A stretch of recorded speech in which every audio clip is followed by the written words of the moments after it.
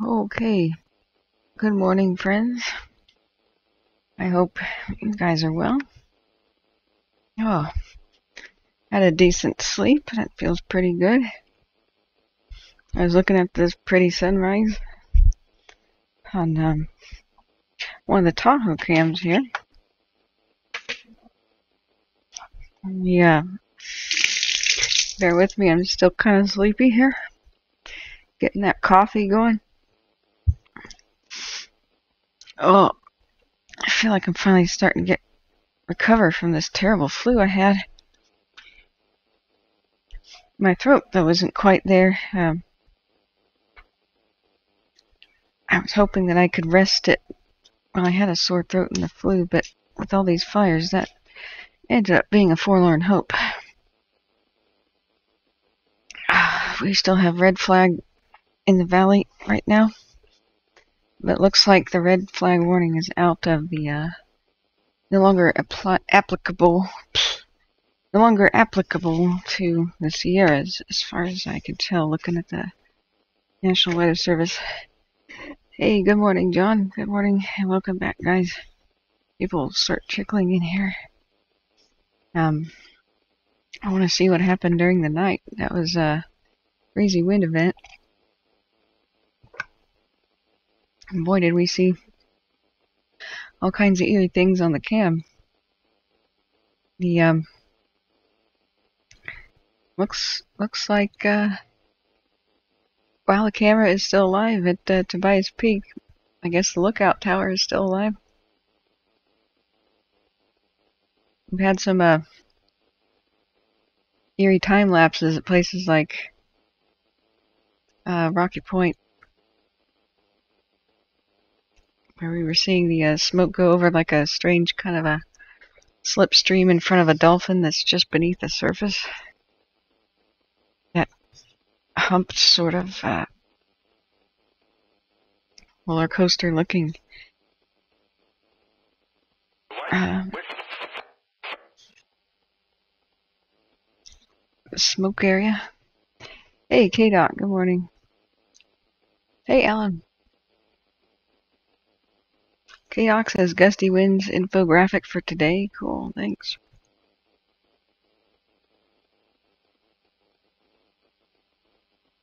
All right. It was a little hard to get to sleep.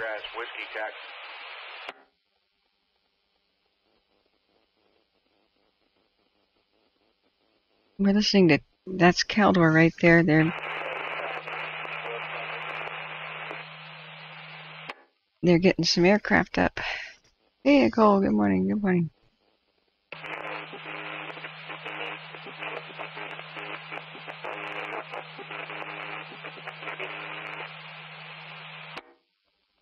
Yeah, that's our um. This is the shortest route through somebody's backyard, but look around.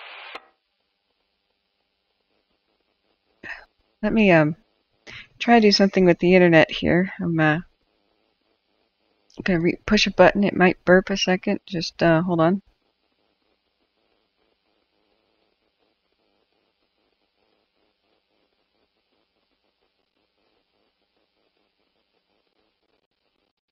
Okay.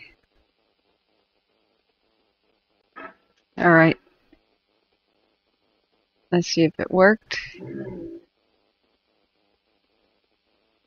Okay.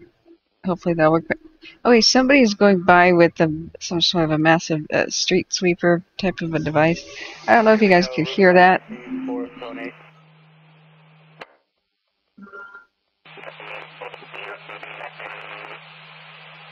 Okay, I wonderful. It seems that there's massive construction going on next door, so and all throughout the street. So I'm sorry.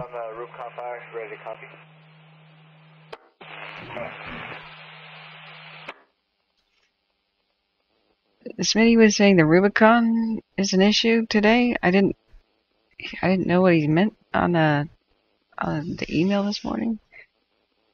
So there's still active red flag flag warning for much of the active wildfires. Okay. Well, we know that they're getting aircraft up on the um, here at Tahoe. Here's the uh, here's here at Tahoe's 12-hour time lapse.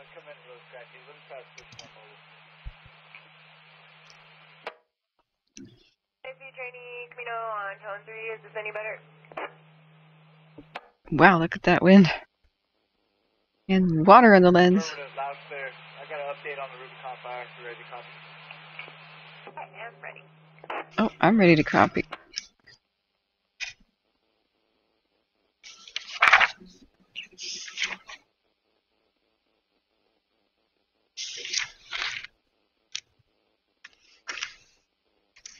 I am ready. I'm ready. On IC trainee Camino, I don't know if I got scratchy again, but I am ready for your update. Okay.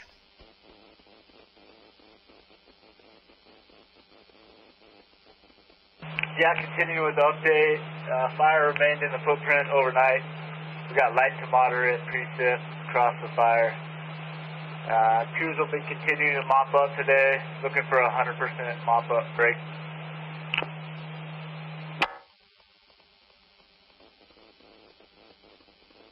Nice. Yeah, additionally, resources beyond on scene to approximately 1800 this evening.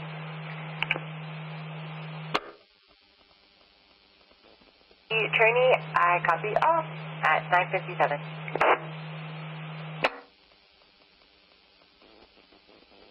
That sounds awesome. So the Rubicon update just now was that the fire remained in its footprint overnight. Light precipitation fell on it. Crews will be there to mop up until 800 this evening. Cool, cool, cool. 9.58 a.m. Excuse me guys, I'm making a note here. We had, um, we can do a Leek Springs time lapse as well. I'm so glad that that air was pretty moist. It looks like perhaps even a bit more moist than they anticipated. That's such a blessing. We were a little bit worried about that, especially after seeing the uh, the kind of nervous aspect that they had during their um, uh, briefing, the Caldor yesterday and the day before, uh, the community, excuse me, the community meeting. Okay, let's go in right down. I'm sorry, there's this massive construction sound going on outside. I don't know if you guys can hear this. It's like an incredible blower device outside. I don't know what they're cleaning or cleaning up at the construction site, but if you if it, if it comes to the microphone, just let me know and I'll uh, mute myself for a moment. Hey JE Cat, you're listening to North Cal Fire on my phone.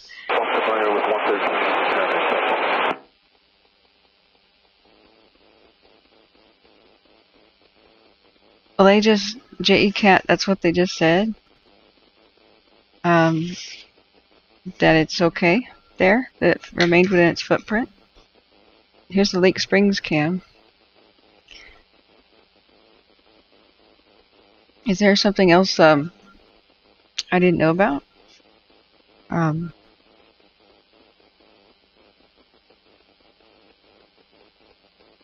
Yeah, uh, yeah, JE Cat may not have audio for my stream going. Um, uh, but I'm going to ask uh, JE Cat, what uh, channel were you listening to? Yeah, Smitty, I we we just heard him say it was in mop up that it was um it never left its containment. It was already declared 100% contained. Um, yesterday or the day before, so it stayed within its footprint and had light precip on it, and I can't even see any issues on any cams. Um, so that's what I'm puzzled about. I think Smitty kind of woke me up with a text saying, uh, email saying um, that the Rubicon was doing something, and so I jumped over, jumped on the computer, but I don't see anything happening with it. I don't see any, any at all kind of heat detection, and it's been 100% contained for. Oh man, that was loud for a bit now. Um, turn that down. So, uh, okay. Alright, there's a massive uh, machine thing going on outside. Hang on a second.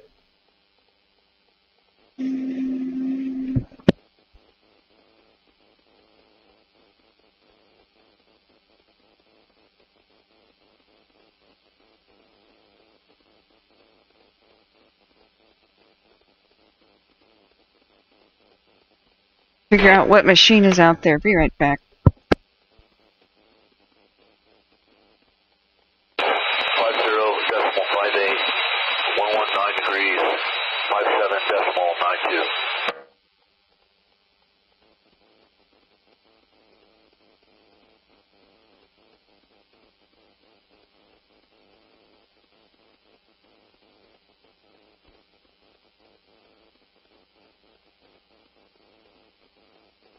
Reset. Look, Section thirty. Northwest of the southwest of section thirty-five.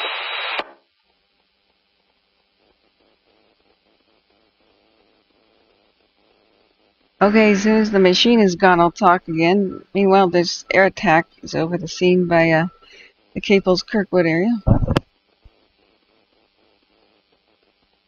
you go. Let me know if you need anything else. I don't see a bucket need for it. I think I'd probably be more to let them get in there, see it. I'm afraid if we drop on it, they won't be able to find it.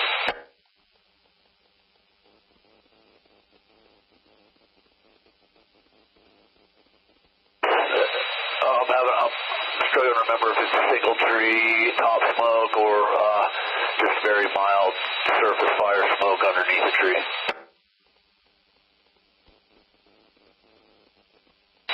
Pretty certain it was all uh, ground fire.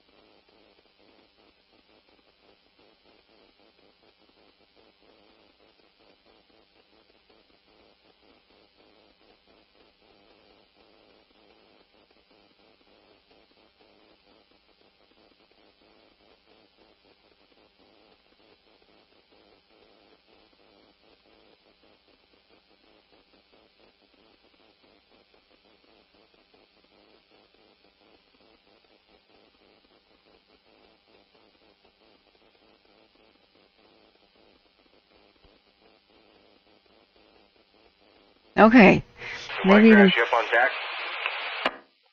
maybe the machine is done with its crazy ah blowing thing. Stay on this main road. Uh, GPS tells take a take a route out through the black uh, onto the forest ground.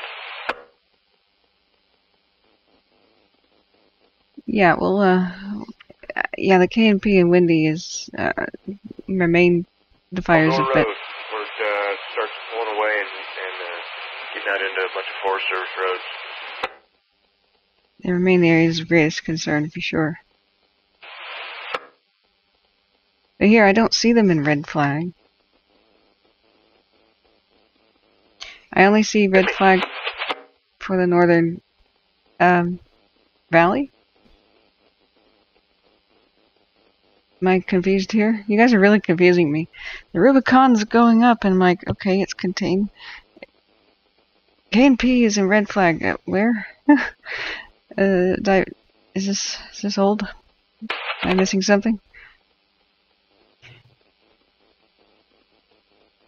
I just um we uh, red flag's a very specific thing. I think they should expand that a little bit, be a little bit more looser with the term. But I don't see a red flag over the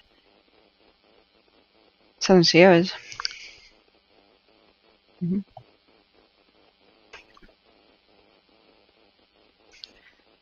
Okay. Yeah, they um. Thanks for keeping us abreast of the situation.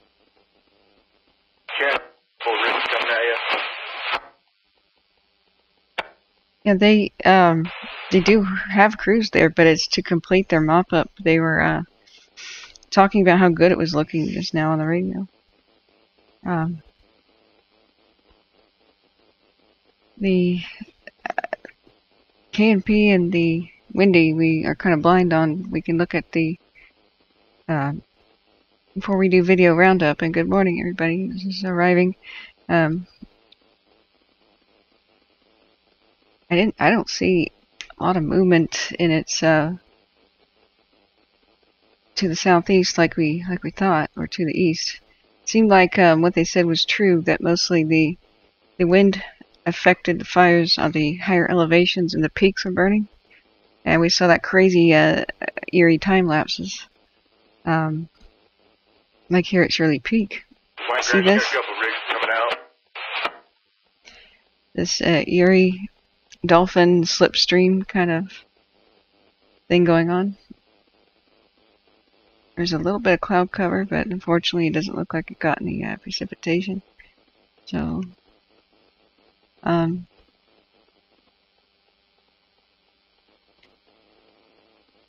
yeah, every morning at 7 in the morning, JE Cat, um, there's a shift change where the night crews go off and the day crews show up. Um, air attack does come up every, every morning at like 8 and survey everywhere. That may have just been their number one priority to go look at the situation. Um, the I, I don't see that it was of any particular concern to them. Um, J Cat says a cave in at the Totten mine on Sunday, trapping 30 mine, miners. 36 are out now. Oh my gosh, what's that? Um, whoa. Is that big headline news? I just I just woke up, guys. So uh, here's what the uh, Windy was doing over the night. That eerie uh, slipstream thing.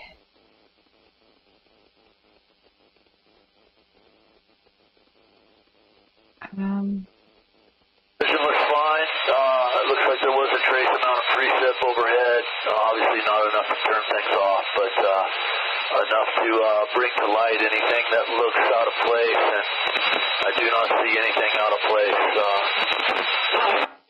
Uh, between 69 and 73, uh, looks the same, nothing across the line. Interior smoke, a little less fire behavior when the clouds burn off.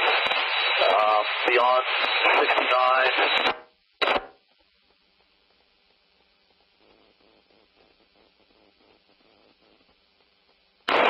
down below in Strawberry, I'm not picking up anything that uh, you guys may or may not know about. I think uh, for the most part it's uh, a damper version of that uh, dirty black edge we've out for two weeks now.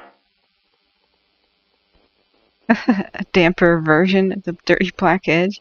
This is Caldor uh, radio comms. The uh, air attack is giving a report right now. He's doing his flyover um, of the Caldor situation, trying to figure out which kind of um, aircraft they should order for today. uh, inbound, et cetera. So uh, uh, let us know. We still have all the Type 1s and the mediums. So uh,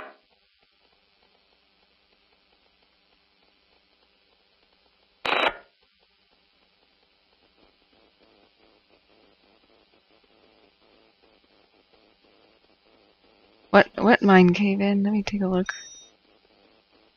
Is it in, hey Morris, good morning. Oh, Sudbury Ontario Nic- nickel mine. I go to CNN and it's not even there. Um, Sudbury mine miners trapped. Okay, let me take a look at that. So is J J E Cat? Can you hear me right now? Um, They've been there for two days. I didn't even hear about this. Uh, yikes. Well, I'm glad they're rescuing them. Um, so, yeah, I don't think J. Cat's listening, but Uh, oh, there you are. There you are. So right now, Air Attack is doing the, the morning flyover to try to figure out if uh, they need um, if they need air support for uh, anything going around the Caldor. They're saying everything looks within at Spirit Airlines. Everything looks within um, perimeters, but there is there is nothing over the Rubicon. There is no air support there, and it uh, stayed within its footprint overnight. And um, they're in mop up, and the ground crews will be mopping up there until 1800. Um, he said 5973, everything's within the lines, and by 69 in Strawberry, dirty, uh, more wet version of the black line. So everything looks great on the Caldor as far as we can uh, gather from what the uh, current report is. Um, air attacks morning rep- report and flyover. Um, but yeah, KDOC, that would be a good thing. We can look at predictive services. That would be the next thing to uh, take a look at. Um, today's weather report.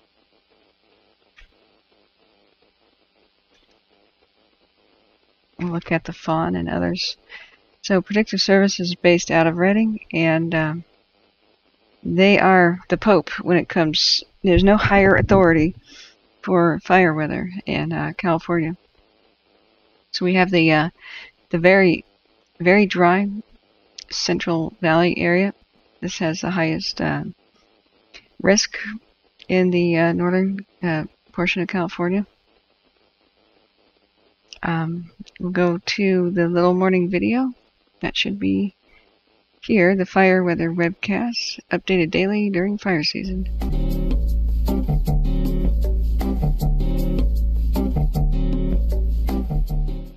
Welcome to the North Ops Fire Weather Webcast for Tuesday, September 28, 2021.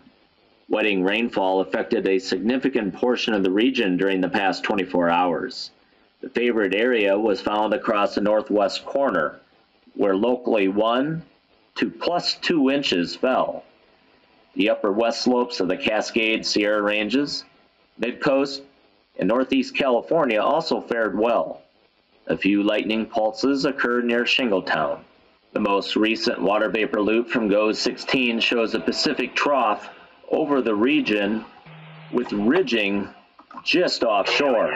Visible imagery this morning shows variable cloudiness over the area with a thicker band of clouds moving off to the east. Skies will eventually clear across most central and western areas as the day progresses. The Pacific Trough will exit to the east as the day progresses and allow Pacific ridging to influence the region's weather tonight through Thursday. It appears that the models are settling in on a weak disturbance, moving over the area Friday, and then setting up offshore, while a ridge of high pressure builds over Northern California during the weekend. This pattern could last into early next week, although we'll be watching where the weak low pressure area ends up. Temperatures will be cooler than normal today, but gradually warm through the rest of the week. Widespread above normal temperatures expected this weekend and possibly lasting into early next week. No precipitation expected at this time through early next week. Post cold frontal brisk north northwest winds will affect portions of the area today, favoring the coastal range, Bay Area, and Sacramento Valley. Peak gusts will generally range between 20 to 30 miles per hour, but locally a little more in the terrain channeled areas. This forecast image is valid at 1400 today.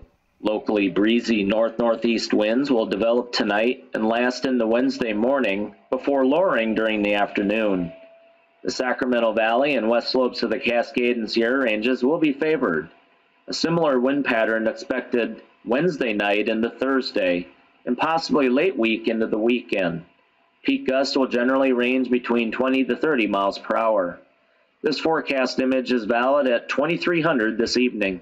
Following good to excellent humidity recoveries overnight, values will lower today, especially across the areas that didn't receive as much, if any, rainfall. Expect minimums in the teens and 20s across portions of the Sacramento Valley, Greater Bay Area, and to the lee of the Sierra. This forecast image is valid at 1700 today. The lowering trend will be more pronounced Wednesday into Thursday, with more widespread interior minimums in the upper single digits, teens, 20s, and 30s. Values should improve slightly Friday before lowering during the weekend. This forecast image is valid at 1700 Wednesday. The seven day significant fire potential product reveals a mix of risks near term with increased risks late in the forecast period as the dead fuels dry. Near critical conditions expected within the Sacramento Valley today due to the gusty wind flow combined with lower humidity, cured out grasses, and a flammable live fuel moisture. Pockets of elevated fire danger will continue through the rest of the week into the weekend due to locally breezy and dry conditions, but not widespread enough to warrant a high risk. In summary, a Pacific trough finishes its sweep over the area today, leading to gusty post cold frontal winds and near critical conditions across the Sacramento Valley. Locally breezy and dry north northeast winds will occur the next two overnights and possibly extend into the weekend. An overall warming and drying trend commences today, although temperatures today will be below normal. Possibly extend.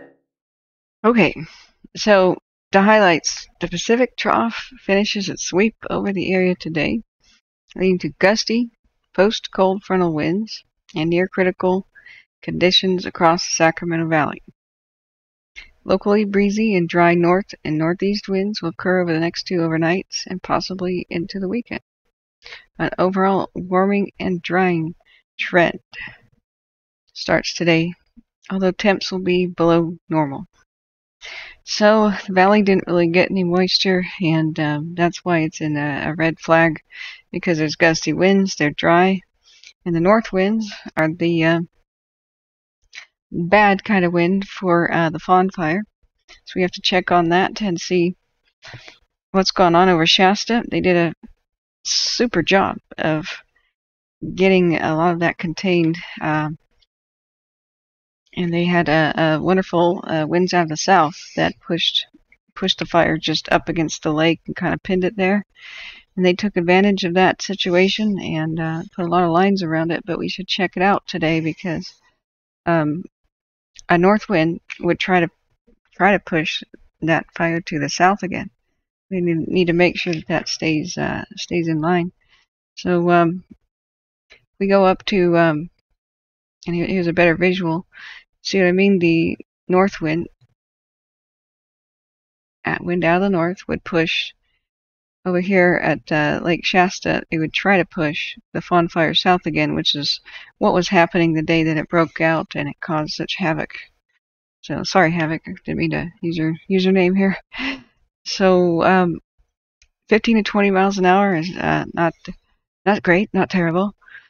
Um, we should uh, check out the situation. I was looking at Tahoe. Everything was looking pretty good, pretty grand over there. Um, Air Attack is doing its flyover right now. I'm going to unmute them in case they uh, speak again. Um, they're trying to figure out what kind of uh, aircraft they want during today.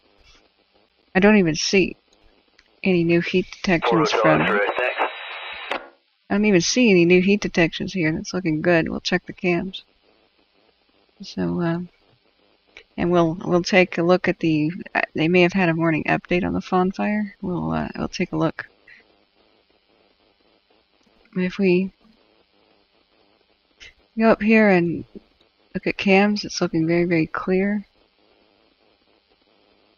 Highline Trail, you can barely see anything. We see red retardant all over the the what was that Bear Mountain we could do a 12 hour time lapse. We couldn't even see the fire overnight. When I finally uh, went to bed.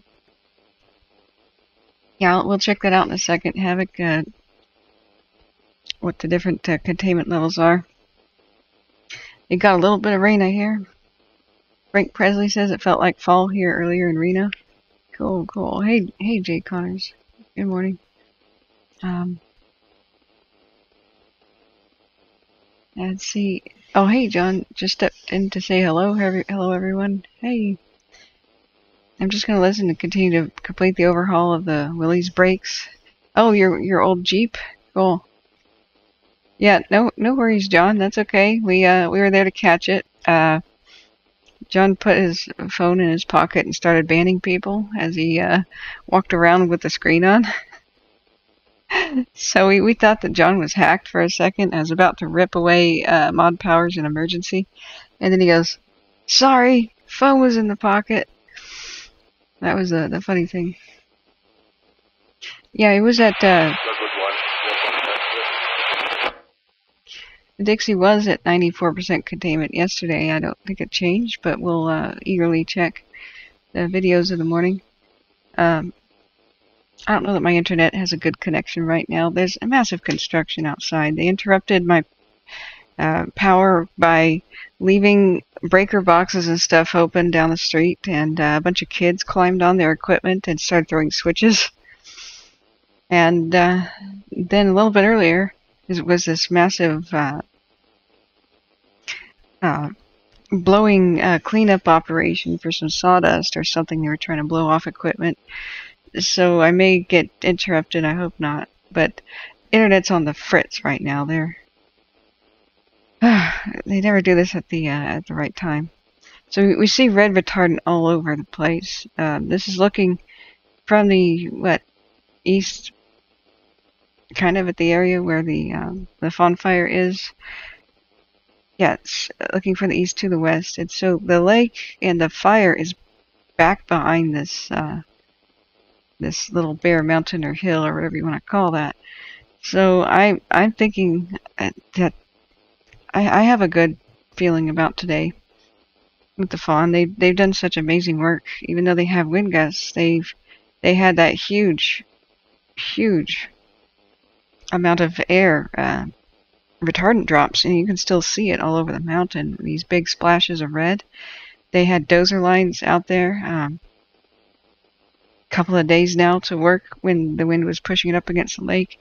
Now that today's wind is going to try to push it south, I just uh, I, I think they probably have it under in hand. So we'll go and check. Um, we'll check on it.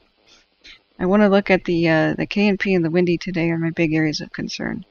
So we can look at Sequoia Kings National Park, see if they've got a um, update real quick. I want to see if there's a evacuation update for the Windy. I just uh, I don't think that there there is, but we should uh, take take a look. An hour ago, there was a KNP update. Let's um, quickly look at Tulare County Sheriff's Office. Um, I don't see anything new from yesterday. So we'll, we'll also check the evacuation map. Uh, link is in the description of this video. It's tularecounty.gov .ca.gov slash emergencies. I believe, if I remember that off the top of my head. Yeah, it is. Oh man, that machine's running again outside. Looks the same. That, um, all the way down to the Kern,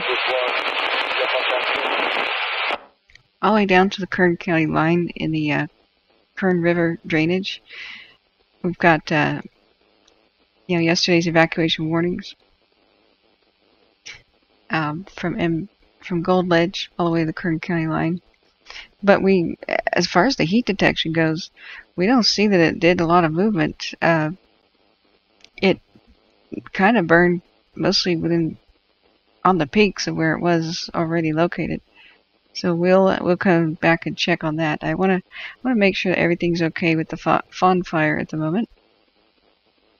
Um, and then we can pay proper attention and do our video roundup. Predictive Services is showing that the red flag and fire danger is extremely high, all the way from the um, North Valley, from San Jose, San Jose up up to Red Bluff. It looks like uh, because it the rain skipped it, and yet there's going to be that north wind that's drying and dry. And so why why are north winds drying and dry? Uh, because mostly they come out of the, the inland area like this. And you see that's this huge deserty Great Basin thing. and so they're dry as a bone. They're unnaturally dry, uh, straight out of a desert. Not um, not the kind of stuff that was moist, uh, like yesterday, day before. That came out of the Pacific, but north winds usually don't. They usually don't. Even if some of them come in from the ocean, and they're a little bit more on the moist side, they're they they seem to always mix with the dry stuff. So we'll be watching. Colony, Salt Spring. Joe 15, 1026. Yeah, so we'll um, you know what we could do is look at Cal Fire. Cal Fire would tell us about the uh, containment lines with the Dixie as well, or containment percentage. And here's the thing, guys. Um, I was tipped off to this. Federal or state funding, surge dollars, or whatever you want to keep, uh, call it, you know, like extra extra funding for wildfires, ends the moment that there's 100% containment. So if you look at ancient fires that have been kind of not out, but like a done deal for a long time, like the one affecting Doyle, the uh, gosh, what was it called? Sorry, guys, coffee hasn't really kicked in yet. Um, that's going to stay there around 98% for a long time because they have so much extra work to do because the Dixie ran right up next to it that they don't want to lose their funding. So um, the uh, there's the Dixie's current footprint, but uh, and it's not even it's it's acting like it's invisible, like it's not even still there. Um, but over here, this fire, what was that? The what was that? The it starts with a B. The gosh, what was I? I really need my coffee.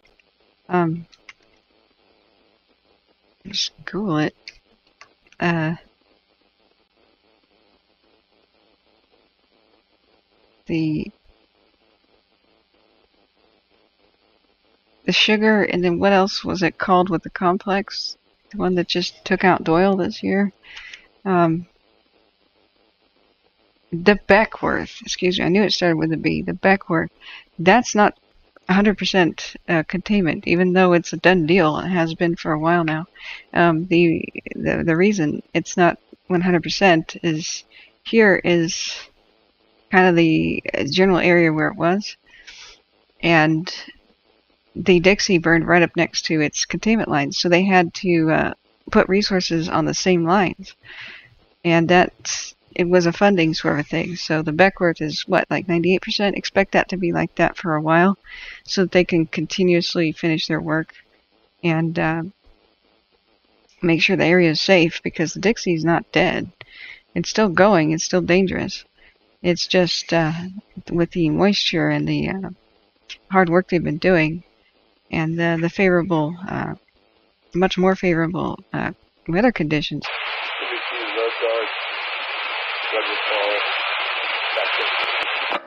it's just less of a threat, but it still is one. So we're, we're listening to um, Caldor. They're going to get some aircraft over the scene and hopefully um, put the dang Caldor uh, to bed. Hey guys, start cutting upper part of the bowl, low side of the road. Let me know if you have dropped filled up. We'll shut it down a little bit. Okay, yes, yes, you guys were saying. Uh, Mike Air Attack Aircraft. Okay, so let's go. Let's go and check on the fawn fire. Uh, two very up out of uh, this incident. Very distinct uh, footprints where both of those are. Highest point of the fire above the lake, no concern. And additionally, it looks like you did get some trace precip uh, in the Echo Lakes.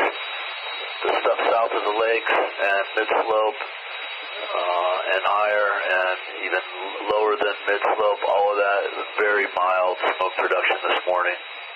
Uh, no threats in India, Mike. Nice. No threats in India, Mike. We're listening to Caldor um, as air attack is up over the over the scene.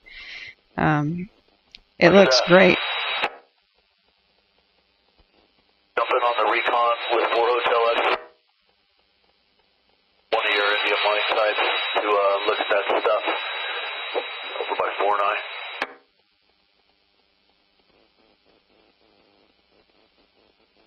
They had some uh, just enough precipitation for the insano winds uh, that hit the Tahoe area last night uh, and yesterday for for them to um, not spread. So that's that's wonderful.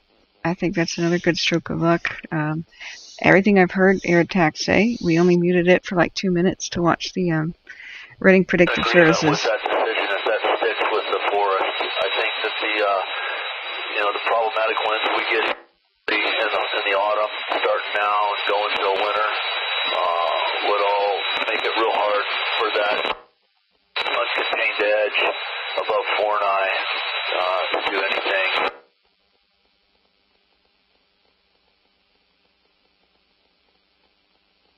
No. Uh, I think that Smith is. Uh, I think that eventually it'll run out of steam and it'll go away.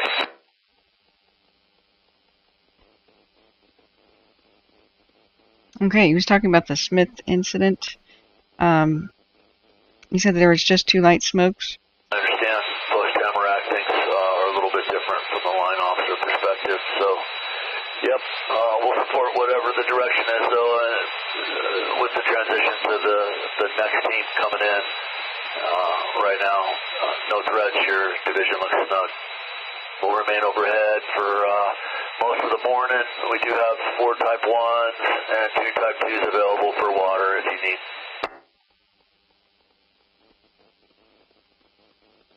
Your division looks snug, no threat. How neat. I just don't know exactly who he's talking to, but I think he's I think he's talking to um, India up there, which is over by the Echo Lakes, Fortnite type area. 3011, got to place yourself there. Attacks overhead at 10,000. Look at the fawn fire info in a second. 95 I wanna- is an acceptable ceiling for you between uh, 67 and 113, right?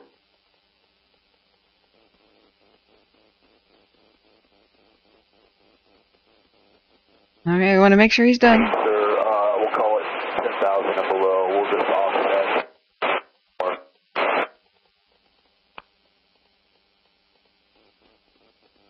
So far, it's just air attack and a helicopter over the Caldor. But just a, a summary of that is it got just enough moisture that the insane winds uh, didn't appear to blow anything over lines or cause any new spot fires that I can tell. Air attack's been making a kind of a a really long circuit around checking out all the smokes at um, that were visible on the cams, like the uh, strawberry uh, up above strawberry. The um, kind of scary looking for a bit uh, flare up that was caught on the Sierra Tahoe cam. This this overnight was just absolutely slammed by winds. Even though it was bright and there were there were some minor issues. Uh, After 363. thing, Inquiring if your engine's available today. Things stayed within the foot, footprint, and so I'm just gonna We'll be available here shortly. I'm gonna mute that because we're we need to go check on the fawn fire. But thank goodness, guys, just thank goodness we had this amount of moisture. Twice Tahoe has dodged a major bullet. Where imagine if if these 60 mile an hour winds this week and the one last last week had been dry, what kind of insane uh, growth and revitalization of the Caldor we could have seen. This was extremely lucky that these um, these storms came in with a bit of rain. So, yeah, Desiree says I went to watch Holt Haley's weather report. Now I'm back. Cool, Desiree. Can you summarize it? That'd be awesome. Um, I would love to watch Holt Haley's stuff, but it kind of goes on for hours, and I have to do my own thing. So, and I can't just sit there and watch it with you guys because you guys should go to him and you know click the like button and watch watch his content. So um, I wish there was like a 15 minute summary at the beginning and then he could do the rest, but it's frustrating. I, I want to look to him for the fire weather, but I don't have an hour to uh, to look at it or three that sometimes his own broadcasts go on. So if you guys could summarize it for me, that would that would be awesome. Um, going back to the Fawn fire, there's mostly evacuation uh, kind of uh, info about returning to areas that are have been downgraded from uh, mandatory to warning. I tweeted some of those things. There's a evacuation orders and warnings update from one hour ago. Residents returning home should use caution and be aware that county roads and fire equipment is still working there. A reminder to the public, if you come across a road and fire hoses are across it, stop and wait to be told that it's safe to cross. If the if the lines are charged, if the hoses are fat and there's actually water in them, never drive over them. Just period. It would ruin the hoses and screw up what they're doing. Um, if they're flat, wait to be told that you can cross. Um, this is very blurry. They just sort of did a bad scan of some sort of a document, and it's really frustrating. It's not my broadcast; it's actually blurry, and I can't really read that. Um, I have a small monitor for the uh, for the broadcast, but mandatory evacuation basically remains in place for some areas from Clikapudi Creek. I that's blurry and I can't read that. West from Wildcat Canyon and south from Juniper Drive. And then there's warnings that remain in place for all kinds of other places, uh, like um, that anybody familiar with the area still knows about. So looking at the uh, morning updates, looks like we got one from one hour ago. Let's watch this about the, the fawn fire. it's real brief. Hey, good morning. My name's uh, Tim Perkins. Sorry, let me fix the sound. Operations Section Chief with Cal.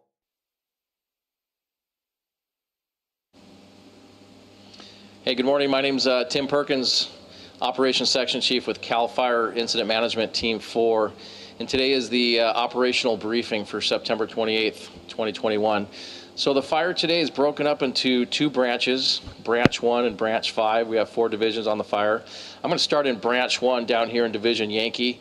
Um, crews are going to be engaged, what we call tactical patrol. They're going to be in and out uh, around the homes um, through Oregon Trail and the uh, homes through that uh, area, you know, identifying uh, hazardous trees and the different hazards that the fire kind of created uh, throughout the last week. As you move up into Division Alpha, up near Copper Canyon, and through the homes up there, uh, there as well. We're going to have uh, crews engaged in tactical patrol, making sure all the hot spots are out. You'll see crews in and out of the, uh, the homes and on the fire line. Um, as you move up towards the, uh, the easement, the power line easement, up through Alpha into Division Bravo, uh, we're going to continue to hold the, uh, the lines up into Alpha, up towards Radcliffe. Moving towards the top end of the fire, we're calling that Division Bravo, up near the uh, Calaveras Quarry. They're still uh, working on uh, some hot spots on the backside where it kind of moves down towards Alley Cove. You'll see crews engaged in there today, making sure that there's no more hot spots in through there. Coming around the top side of the fire, we'll move into branch one. Up towards uh, Division Mike and into the Silverthorn area, crews continue to mop up and patrol. Um, they're also doing some tactical patrol in there as well. We've got dozer lines that come down through Silverthorn, uh, holding the fire cruiser and uh, making sure that the fire is not moving uh, any further and the fire has stayed in check through that area. Coming down into Division Tango, um, uh, towards uh, Bear Mountain Road. Um, a good, a lot of good dozer lines been put in uh, over the last week. That fire is holding in check. We'll have crews to ensure that there's no additional fire movement, and they're working on controlling any hot spots that come up. Coming down into Bear Mountain and Division uh, Uniform, and then Division Whiskey. Same thing along Bear Mountain where that fire came through a lot of the homes. In through Sunrise, in through Kitty Hawk, we'll have crews engaged uh, through the homes, making sure there's uh, no additional hazards as we uh, prepare for our goal of repopulating the entire area. So crews are continuing to engage um, uh, all the way down into back towards Oregon Trail to make sure things are safe and there's no additional fire hazards. Thank you. That's the uh, operational update for September 28th.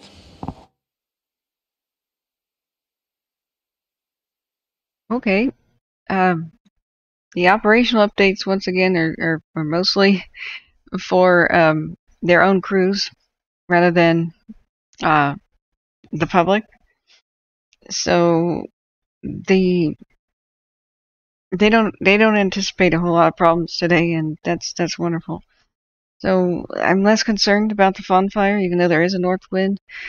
Um, I'm actually more concerned for the valley in general, and the uh, the fact that it's under red flag. Um, I'm more concerned for like new starts, new starts in the valley today, and of course the KNP and the Windy. So we have a video roundup time. Um, the summary is Caldor area looking rather well. Um, they had a lot more moisture than they kind of expected. Air attacks up there doing reports and everything that we uh, heard so far was looking pretty good. Um, they're going to transition to a new crew, and so they're talking about um, summarizing the situation for the new people coming in, and uh, that'll be sad. We uh, we miss we'll miss the uh, the fun uh, pilots, uh, air attack pilot who was uh, kind of hilarious sometimes. Um, but they're all they're all pretty pretty good at what they do. The aircraft has really helped turn the tide with the uh, the Caldor. We saw amazing amazing work since uh, day one there. The um, there's no official fled, red flag kind of warning over by the KNP or the Windy. However, it's still pretty high fire danger. So we have um, Tobias Peak Lookout is alive. It's still alive and kicking. Um, just a precursory, you know, glance at things. It doesn't seem like there's a whole lot of movement on the Windy, but there's a whole lot of action. It it did um, burn off the top at the peaks and the ridges pretty fiercely, and we saw some pretty uh, eerie kind of time lapses from, uh, for example, the Shirley Peak cam, where um, a crazy amount of wind just went over uh, over the peaks like a dolphin slipstream, like a dolphin underneath the water. And uh, this is not animating very smoothly. I don't know what's up with my internet connection right now. But uh, the we, we, we see that there was a lot of ventilation over at least over the very top of the fire, and so the peaks were blazing up good on the KNP and the Windy. Um, the North Fork, uh, as far as the KNP goes, it was in the North Fork of the um, uh, area, and there wasn't much in the way of inhabitation there, like just a bit northwest of where the uh, the Giants Grove is with the Generals. And we saw a lot of helicopters working the scene yesterday, and hopefully they'll they'll be able to today. But uh, those those two remain the the greatest concern. This is actually just stuttering here. I'm sorry. Let me try to tweak my internet connection again. Um, I'm I'm sending little diagnostic reports about my internet troubles to my um uh to my ISP. So sorry. Let me uh send one of those. I'm like uh, typing up slow connection to alert wildfire cams. Okay, and uh, let me send that off. And now let me let me uh, hit a let me hit a button here. If it burps, it burps. If not, it might make the internet better. So bear with me. Okay, just uh, reconnected. Hopefully that'll be better. Let's see what happens. Is it going to load? Alright, let's test this again. Let's do a 12 hour time lapse. There we go. See how much smoother that is. Awesome. Okay. And there we can see how the extreme amount of ventilation just kind of went over the uh, over the, the peaks. But we see at the same time that there is still a lot of smoke in the lower elevations, which may have suppressed fire activity at the lower lower portions of the KNP and the Windy, um, just just as they were explaining in the meetings. So, um, oh, Husky says my brother's in surgery right right now.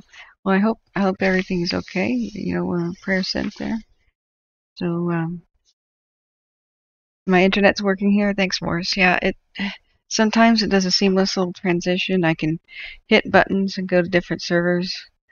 Um, but sometimes it'll just completely drop the connection for everybody, and I scramble to get it going before YouTube totally uh, disconnects the stream. So, um, Desiree says overall we are where we expected to be today, and the snow's an added bonus. Thanks, Desiree. Desiree was. Oh, Desiree, you said Holt has not posted a video in two, two days. Oh, okay. Well, he's in school for his uh, what masters or something in weatherology. so I, I don't know that he's going to be able to do stuff every day like he did before. Uh, but he, he's cool. I call him Hanley the Kid. he's uh, been such such a wonderful asset this fire season and the last one uh, keeping people calm and telling them uh, what to expect with the weather. When my stream ended last year the, after the glass fire, I was like, guys, you guys are in good hands. There's somebody new on the scene called Holt Hanley. Yeah, he knows his stuff about the weather. So, yeah, J. Cat says Holt said on Saturday he was back in school. He would try to post late in the evenings and on weekends. Yeah. Well, his he, a star is born is all I gotta say about Holt. You know, he will be saying, "Hey, we were his original subscribers." I mean, I I knew about Holt before it was cool last last year when I was covering the glass and the Zogg finds. So, um, he's working on his master's thesis, but we'll try to update when he can. Okay, let me look back up because Desiree um, was trying to summarize um, what Holt's uh, what I was going to say uh, about this weather event. So, um, Desiree says it was two days old, not as current as we would like. The weather system came through just like he said. It didn't come down as far as we wanted. It was not as wet as we had hoped, but more wind than anything and cold air. He talked about the KNP and the windy mostly, and that there were a couple of spot fires blown off the southwest side, but they were on it. Well, that may have actually been what really hurt the situation. They they did explain that. We'll do video roundup in a second of the KNP and the Windy. Um, that spot fires are what caused um, it to get so close to Sugarloaf, and we know that they they lost some structures, and we're not sure how many. Um, this morning's update, or maybe if they have a community meeting tonight, we'll find out. But it was real bad when we saw the uh, when we saw the uh, heat detections all over Sugarloaf, and we were wondering what was happening. They're right here. This is the Sugarloaf Mountain Park and Sawmill uh, Historic Structures area. And, you know, as you can see when we turn on the, the fire activity, the um, it was all over the place. They were speaking about uh, trying to race there with fire crews, and by the time that they they arrived, they had some structures engulfed, or at least uh, impacted greatly. So we we should go ahead and look at their updates. Fawn Fire is looking good, guys. We'll continue to watch it, but they don't expect any problems today. Um, as for their morning update, Caldor is looking good. I don't think they expect any uh, problems, but we could, of course, watch their update. But the KNP and the Windy, we um, we are really concerned about. Uh, so the that was our Fawn Fire update. They have 65% containment on it. There's been three firefighter injuries. 8,577 acres, 26 damaged structures, 185 destroyed structures, 1,269 threatened. They have 183 engines on the Fawn Fire, 30 water tenders, 8 helicopters, 50 hand crews, 25 dozers. In total, 1,796 personnel. A million cooperating agencies. Um, fire suppression. The current situation with the Fawn is that fire suppression personnel will continue to strengthen the lines by patrolling and extinguishing hotspots. Southwest winds today will transition to a north wind event this evening with predicted gusts up to 35 miles an hour. Fire suppression, repair, and rehab has begun and will continue throughout the next few days. It's our priority to make the area fire uh, make the fire areas safe for residents to return to when told. Uh, residents will, within evacuation warning, should be prepared to leave at a moment's notice if fire activity does increase. So, even though it looks good, that's that wind is still very threatening, and so it's not a uh, it's not it's not a uh, where in the world is the second page? It's not an entirely safe situation. They just don't expect extra problems. Okay, they have two pages, two two page ones instead of a page one and a page two. Um, so I, I can't read the second page. Um, all right, let's go to Cal Fire because they accidentally posted uh, two two page number ones. Um,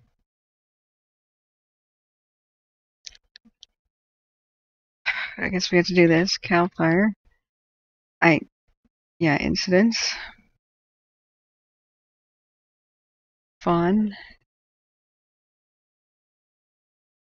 View the details. Okay, hopefully that flyer will um, be posted here.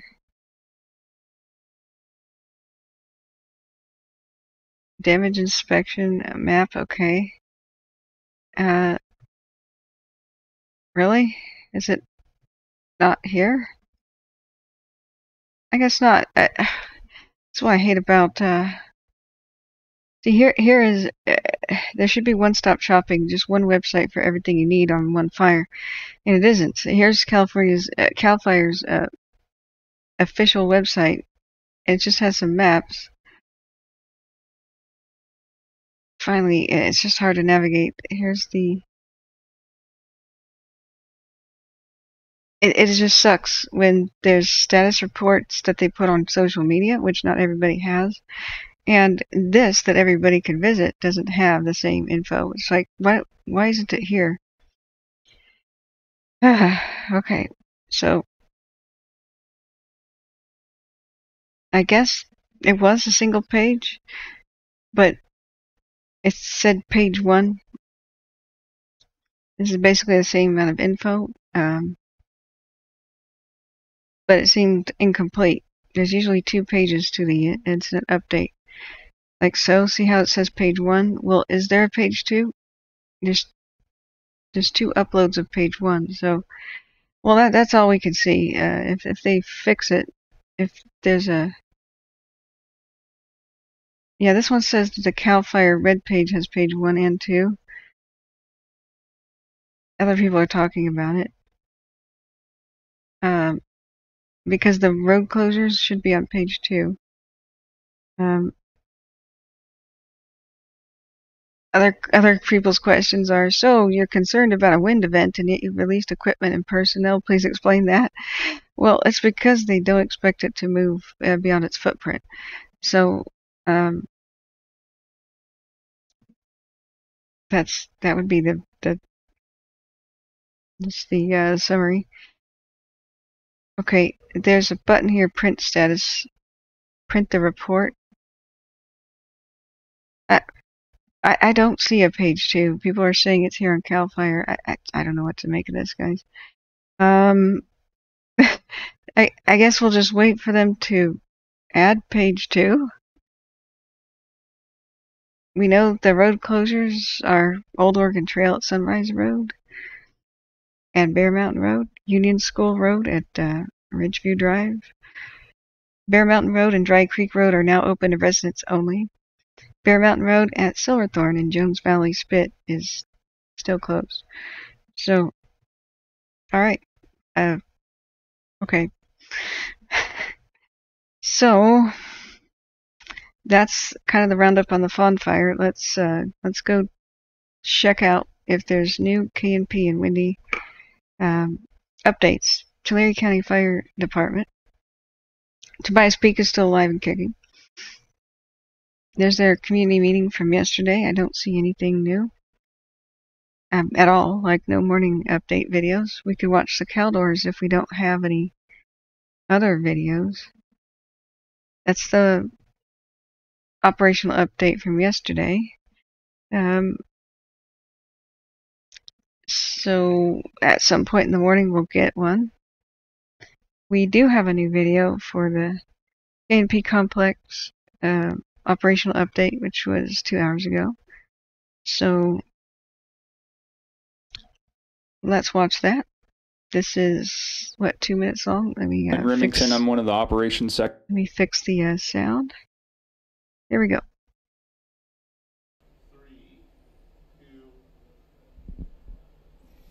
Good morning, everybody. Uh, Clint Remington, I'm one of the operations section chief trainees with Southwest uh, Team 2. So I'll talk to you folks a little bit today about uh, what we accomplished on yesterday's uh, mission and then the plan going forward for today's shift. So overall, a really successful day yesterday. We had a little bit clearer air with a, a slight west wind. So we did get some operation folks that got to get up and fly. A lot of rotor time and windshield time yesterday.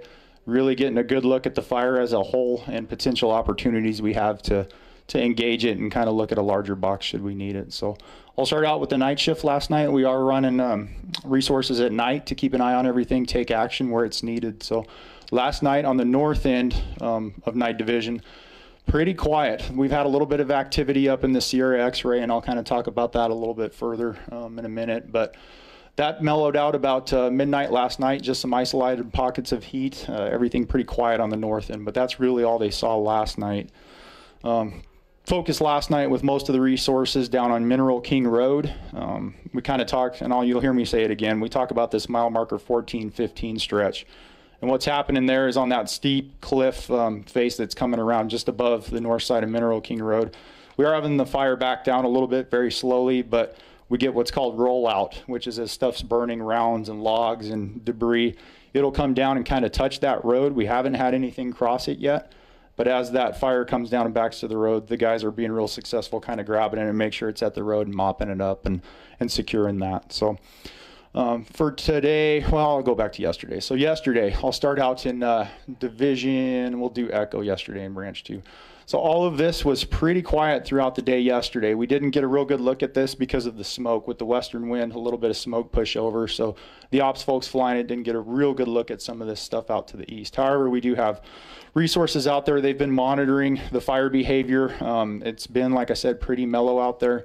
Um, but more than anything, we're just monitoring by air using UAS drones, things like that to give us some heat signatures where it is. But feeling pretty good about Division Echo. But as we come around into Division Charlie, um, that's the division that runs along this Mineral King Road here.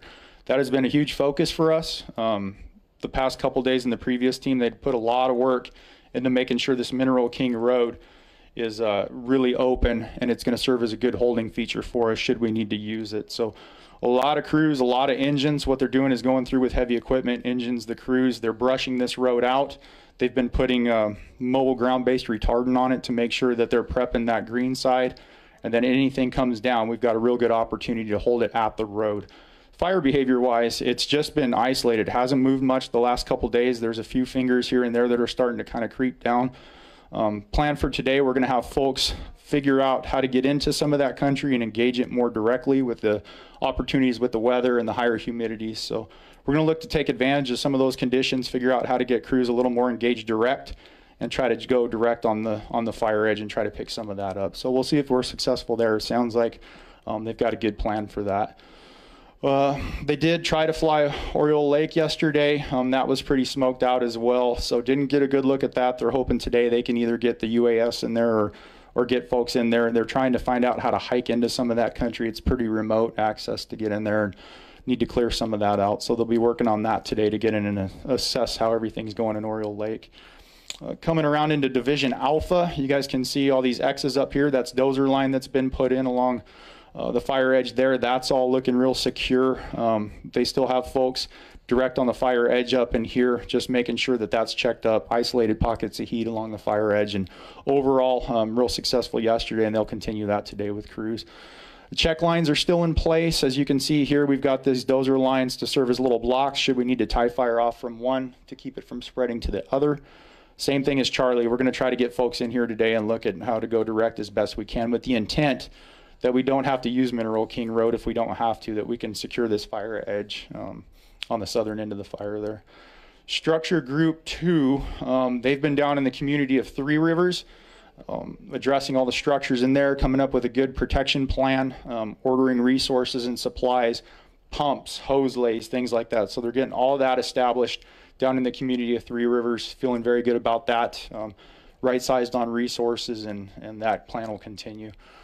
So coming around into uh, Division Zulu and X-ray, we've been working really close with CAL FIRE, a lot of good information sharing back and forth, sharing of resources. So it's it's been a real good relationship with those folks and working close with them. They've done a lot of outstanding work the last couple weeks. You know, they've got all of these contingency lines you'll see out to the west. Um, a little closer in, you'll see where they've put some hand line in and tying things into the Cahuilla Road and North Fork.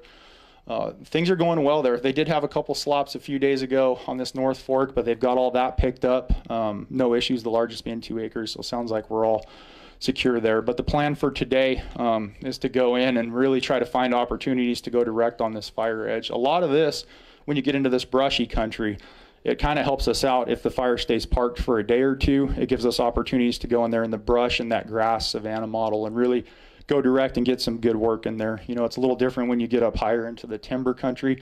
Um, it's a little more technical, but hopefully we've got some good opportunities to pick up some of this lower elevation stuff direct and get that secured to prevent the fire from wrapping around and threatening anything in Hartland um, or up in Sierra. So a lot of activity yesterday in Division Sierra. They did fly that a bunch with the ops folks. They turned a lot of rotors, and by that I mean a lot of bucket work directly with the crews on the ground, dropping buckets. Um, multiple helicopters yesterday in there, and the intent there is to really try to just supply those crews with aerial delivery of water to get any fire spread checked up in here, and that's going to be a focus today going forward as well. Really trying to seal up all of this northern piece between Sierra and X-ray on the division break there to eliminate any further spread north. We do have contingency plans. You guys can see it in place. They've got a lot of roads and dozer lines and the highway tied together if, if we do need to get into more of a burning operation, but that's second to trying to pick a lot of this up direct. A lot of this country is pretty tough around this fire. Um, the crews and the engines and, and those folks, the crews especially, they're having long hikes in and out, um, rough country, but they're, they're doing exceptionally well. Um, coming around into Division Papa, um, they did do a small burnout yesterday. You can see this little finger here, so they tied that off, got that cleaned up, so this is more of a straight fire edge now that uh, that's an awesome operation to have. It keeps anything from getting different on us and trying to, to pooch out one way or the other. So um, still looking at uh, putting a firing plan together should we need it west of the 180, east of the 180, looking for opportunities. Same thing I've been saying, go direct right on the fire edge to try to secure this line to prevent any uh, further north spread. Um, coming around into Lima, you can see, you know, the small amount of containment we do have and feel good about on the fire. That's these highlighted black lines here, um, kind of west of Lodgepole. And uh, continuation of that, we'll have crews going north, working towards Division Papa as they're coming east to secure this edge. There might be a lot of bucket work in there today, um, taking advantage of the air conditions and a little bit of less smoke up in there to go direct with the crew, supporting them with bucket work. And um, coming down into structure group one, they are still working in Lodgepole, uh, the giant sequoia grove. So things have gone really well um, in the grove so far. Yesterday they were running um, what's called gel. They they'll drop gel directly into the grove there. The intent there is to try to protect any of the trees from uh, from catching fire and burning, and that's all been real well. We'll continue that today, but the folks are feeling really good about the fire that's up in the grove. Very low intensity, and uh, the prior treatments have done real well to keep the fire activity knocked down there. Um, but it'll be the same story for uh, the giant sequoia grove over to the east there. But you're going to see a lot of resources. We did beef up structure group one um, with some additional engines and some overhead to help those folks out, just so they can spread out a little bit more and cover a little bit more country. Um, and make sure we've got a good plan in place there. So feeling good about Lodgepole, the giant sequoia grove, all that uh, will be a continuation of, of, good work to address all the structures and the, the giant sequoias in there. Coming into Middle Fork, um, as you can see here, um, fire is still on the south side of it, which is a good stroke. It's keeping it from reversing slope and coming up and giving us any issues in here. So we'll continue to monitor that. Pretty rough country there, but um, we will keep an eye on that, and they'll have plans in place should we need to implement actions to the north. Um, I kind of talked about the south end of Echo, but a lot of this is that rockier, scabbier country. It's not real conducive to fire spread. We will have little pockets here and there, but not a huge concern so far from what we're seeing out on this uh, southeastern edge of the fire. Um, but overall, real good day. A lot of information and intelligence gathering, and, and things are going real well. So appreciate all the community support. Uh, it's great to see all the signs up that cheers the guys up, and they're uh, we're doing good and happy here to help uh, help the local community. Appreciate it. No, no, no. We, the community, we thank you. We appreciate you, firefighters. So, um, I want to go back and kind of absorb that. I must confess, I don't have my coffee yet. I need to go. I need to go get some. Um, and I don't like the fact that YouTube is suggesting really weird videos for me to watch. Um, I kind of wanted to go by that uh, a little bit on the slow side and uh, kind of absorb that a little bit. So Big Dog says, is there a difference between gel and the red stuff, or is it one and the same? There's actually a, a couple types of. Um, excuse me, I gotta go in the kitchen. Ah. I don't know if I just didn't sleep well because of sinuses or what, but I'm just. I'm having trouble waking up. Um. So there's a couple of types of retardant so I wish Dusty or, or Bob was here to uh, explain that. Um, there's Phos-Chek and a couple other varieties. I don't know how runny or how gel-like the various types of retardant are, but um, they when it does dry out, it loses a little bit of potency, but either way, um, they typically last about three days for good potency. So when we had the KNP and the windy breakout, they kept reapplying it. You know, they were basically lightning at the top of, uh, of mountains. And so the top of the mountains was burning only. They they were small for a long time. It was just so sad that uh, they didn't have the resources they need to respond in time to keep it small. Um, but they put the fire in a retardant cage, and that is one of the best things that. Uh, okay, that's one of the best things the aircraft can be used for. The moment that a fire breaks out, they can just basically put it in a big red cage, like so. But the problem was, and everything went to hell uh, after on the KNP and the Windy when smoke meant that they couldn't fly the aircraft and then it eventually dried up, became ineffective, and then wind picked up, and the Windy and the KNP uh, escaped their cage, burned right through the ve vegetation that had the red on it previously, and got out. So, uh, yeah, if anybody else is more familiar uh, with that, some of the retardant is runny, liquidy stuff, and some of it is more of a gel, and I just don't know which name brands are which. So, um, the uh, looking back at Morris says, I would like to know who the cheese burrito was with that bumped my. I don't know what that is. Okay, we got a spammer. Hang on a second, guys. Um, done. Okay. Wow, I was on that. That was a quick draw. the uh, the cam cam thing was back. Um, those spammers, guys. Like if they ever say, um, watch you know the cam girls or whatever that is just uh, don't hit hide user um, hit the button to report um, explicit material just um, hit, hit that button Smitty yeah that's exactly what I'm saying don't hide them just hit the hit the report button um, and then they won't even kind of be here visible uh, there's complications if you do the hide button first. So anyway, I, I got taken care of. Let's look back at this and just absorb this and understand what's going on completely. We know that we, um, when we were watching the Buck Rock uh, cams, we saw a whole bunch of aircraft yesterday, and he did gesture toward it, and most things are looking much better than we than we expected, and that's what he reported. But Mineral King, um, down here by Silver uh, City, I wanted to understand a little bit more about what their strategy is. Uh,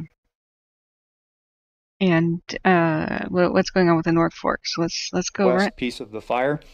We have uh, Division Sierra, and as you can see, a lot of the purple on this map around Hartland. Um, this is all contingency line, so there's a lot of dozer line, hand line, different pieces that have masticated line, which these it was masticated. Okay, that's when we should drink milk. Okay, drink. It's part of the drinking game. Uh, not alcohol, of course, but half and half or coffee. Um, masticators we are extremely enthusiastic about because they are new technology that makes building a fire line so much faster and um, cheaper. So, purple, I love the color code. Anywhere that you have dark X's, that means it's a dozer line and it's complete. And I, I'm glad to see that there's a lot of complete lines. The black ones down here are their main dozer lines, and he's explaining that purple was contingency. That's great. That's uh, that's their second second chance lines if the fire were to uh, breach the first ones, which they call a slop over. They're all in place really. If the fire pushes A, then we can fall back to B. Exactly. The contingency line is the fire pushes on A, they can fall back to B and man the station.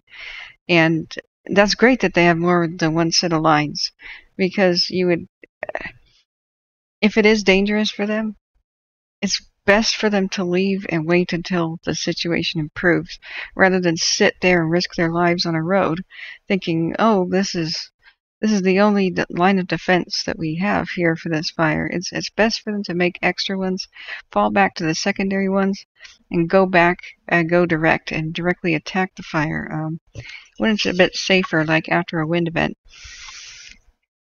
Now, everywhere he's touching that says R, that's where a road already exists. See, really faintly here it says Cherry Road, and that means they've used the road and improved it in order to make it a fire line, and that's that's mostly that's what a fire line is. Is basically it's a road that they make. Um, they can travel on it and suppress fire, and basically they cleared the ground so that fire can't move along the ground. And um, anytime the fire uh, spots over, then they use that same road or that line to access it and uh, get it get it out. So that's what R's mean. They're using an existing road, and the X's are like they made kind of a new one to make a fire line.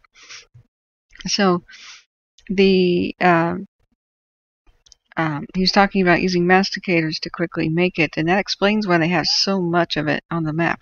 Those are brand new type of technology that uh, it's like a tractor with a grab claw at the end of it that grabs things like trees and bushes, and it has a wood chipper at the end of it, and it just goes and entire uh, bushes and trees and stuff disappear, and stumps and logs, and it becomes little wood chips on the ground, which are not going to cause a huge flare up like uh, like a tree on fire or a bunch a bunch of uh, bushes. It's way more environmentally uh, friendly than uh, the old dozer type technology too. Um, but a lot of work happening up here in Sierra in the northern corner. So the past couple days, um, they've done a really good job working with heavy equipment, dozers, um, lots of hand line with the crews, going in and trying to pick up this northern fire edge direct. They are having to go indirect in places here and there, which means they're not right along the fire's edge, but having to back off a little bit just because of the terrain and uh, safely getting people in and out of access to the fire. So that's all going to continue moving kind of um, west to east, coming around as best they can until we get over in Division Papa. So Division Papa coming down that General Sherman 180 highway. A lot of focus on securing anything across the 180 road right now that's already across and looking at if we have to down the road and we get pushed, coming up with a firing operation plan if we need to along the highway to kind of connect the dots and, and firm that fire piece up. Um, but a very busy division over in Papa as well. Yeah, so that looks like it's one of their. When they say busy, um, that that means that there's a lot of uh, uh, action there, lots of uh, fire threat, and lots of uh, resources assigned to, uh, to immediately address it. So that's one of those places where I've been looking at the uh, situation. A lot of times the wind is blowing the fire towards northeast, and so I don't know what Little Baldy is, um, but the Cabin Creek area. Um, when they say busy, you know that, that they mean that there's a lot of uh, fire activity and threat. So Lodgepole, he was saying, looks very good. that's that's a bunch of structures that we were very worried for. Um, so one thing to look at, Vision pop-up, Cabin Creek. He's saying very busy. We'll have to continue to look at that, but I, I don't know if we'll ever have a direct camera view because because of to the north here where um, where the Rocky uh, uh, no not Rocky uh, gosh gosh gosh sorry guys I'm still not very awake here um,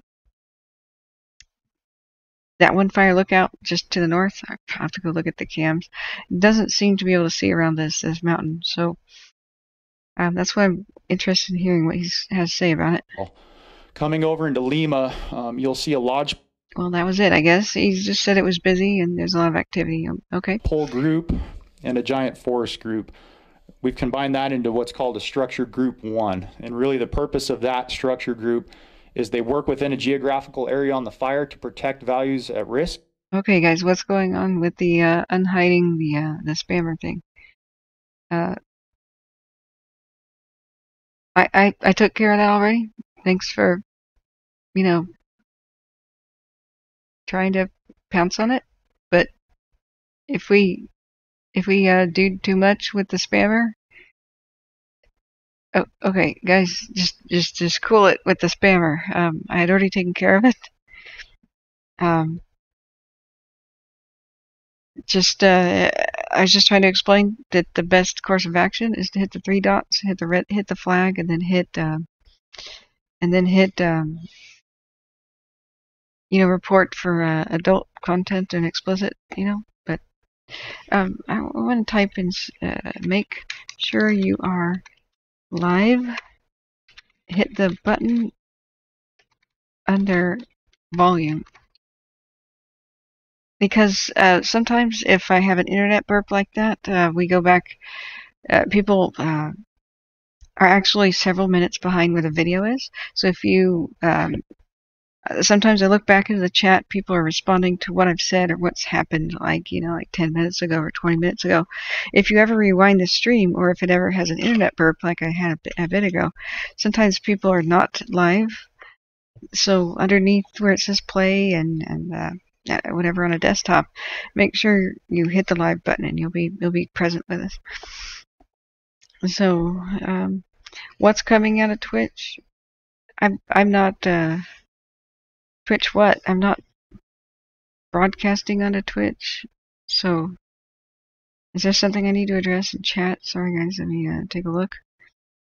Um,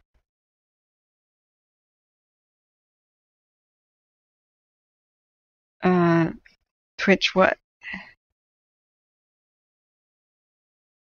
I'm just broadcasting to YouTube, so um, there something I'm missing? Some of you still have it on your screens? Oh, weird. Okay. That I was unaware of. Okay. So, then in that case, I guess we have to report then hide. Ah, this is so bad. What it did was it immediately hid it for me. So if you still have it on your screens, then I guess we have to report then then hide. But here's the thing: after I did the report, I can't hide. Uh, okay, thanks for bringing that to my attention. I guess the new uh, protocol would be hide, report. Just the opposite of what I said then. So sorry, guys. Thanks for thanks for catching that. Now it's fine now. Okay, good. Good. All right, let's go. Um, which could be the structures, it could be the giant sequoias themselves, but really our main priority right now is ensuring that we've got structure protection in place for all the infrastructure, buildings, and and things surrounding the fire. But they do kind of dual duties, um, really checking up on the giant forest and uh, the stuff in Lodgepole. So you'll see this black line here, which is um, containment line, and in Division Lima, they're going to start working north, trying to bring containment line with a mix of um, hotshot crews, engines, things like that, working with heavy equipment to go right along the fire edge and look for opportunities to engage that and work around to Papa to shore up this northeast end of the fire. Oh, the structure group one I did talk about, they're going to have a very large presence um, in here in the giant forest group. So they will be in here um, checking structure protection, looking at opportunities if we need to put some fire down and ease it through some of those giant forests, uh, the giant sequoias. We'll have a good solid plan for that if, if we need it. Um, this middle fork has been what we've really been paying attention to the last couple days. Fire still on this kind of southern side of Middle Fork, but we are watching. There was a little bit of activity up in here last night, so we're going to keep good eye on that. We will have a division supervisor in there today from our team, really looking at plans in place to make sure A, if we can hold this, B, if we can't, what it looks like impacts coming up in here. And so that these folks will work together in Golf and the, the giant forest group to make sure they're talking to each other and really have a lot of good intelligence there. Okay, so that was critically important that uh, this is I'm sorry this is why we're kind of replaying the video is I like to play the whole thing without interruption and then go back and, and do a step by step because some people just need the whole video to play boom and they need to go about their business. And they can absorb it fast and they have fire uh, training and they know about it.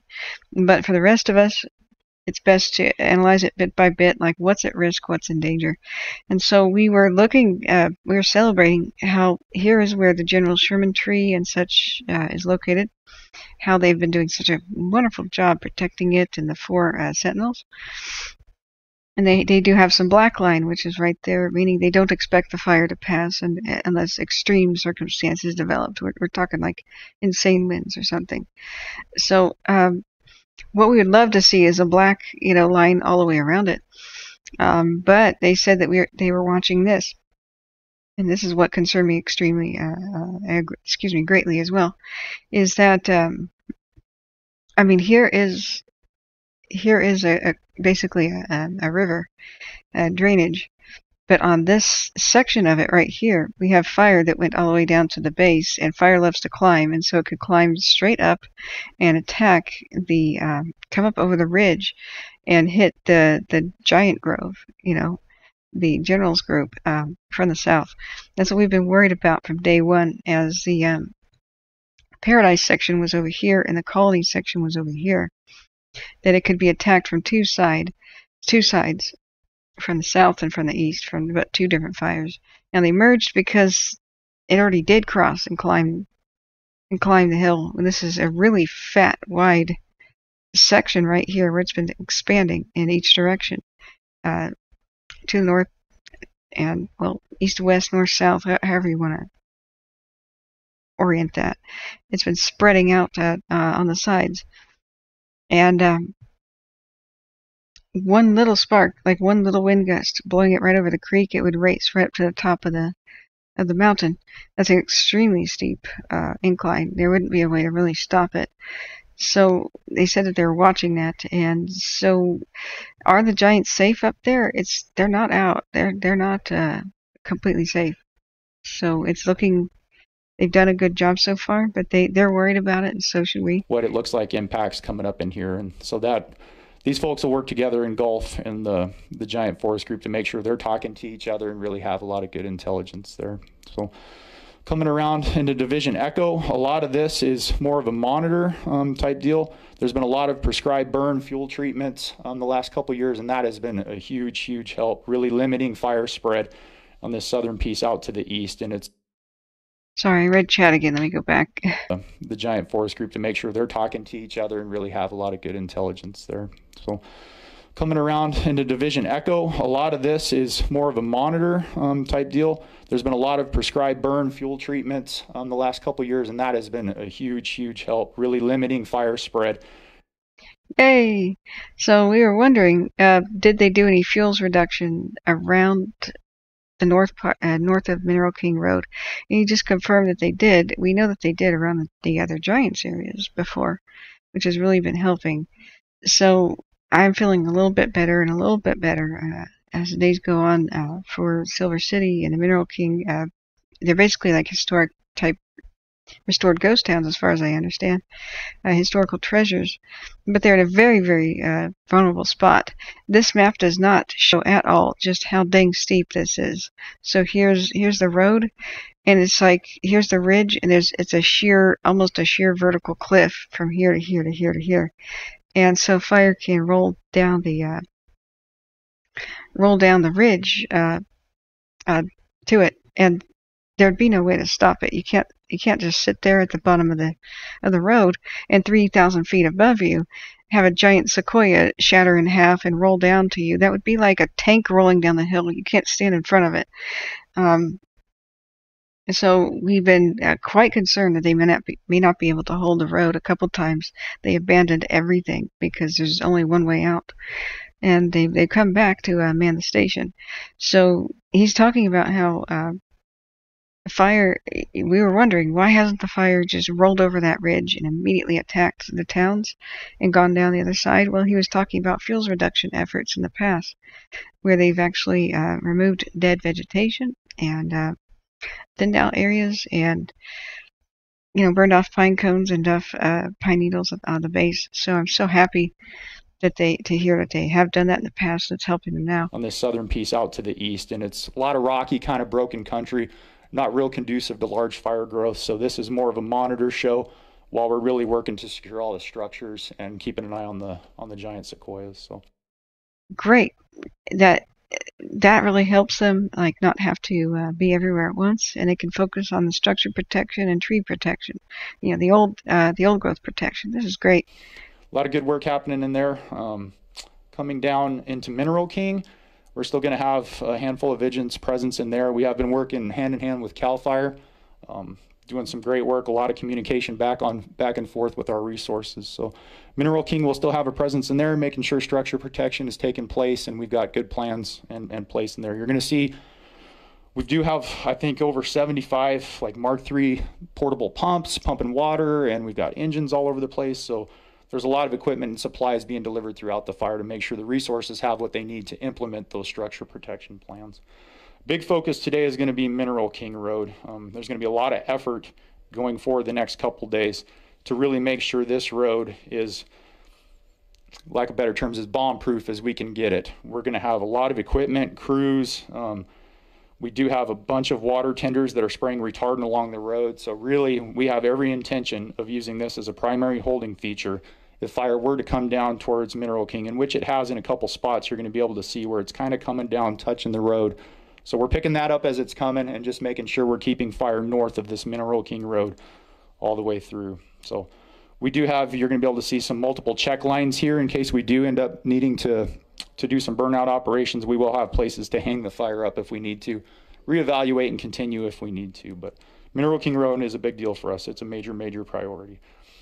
Uh, coming around to the west into Division Alpha, and Zulu, you're going to see it looks like a very busy map, a lot of lines everywhere. But the purpose of that is, like I said, in the north, a lot of contingency line to give us multiple options. We don't want to put all of our eggs in one basket. So that's what contingency line is. We really make sure if push comes to shove, we have multiple options to try to engage the fire. So continuation of that work, especially with Three Rivers, very, very important. We've got a bunch of engines and equipment and things happening in there.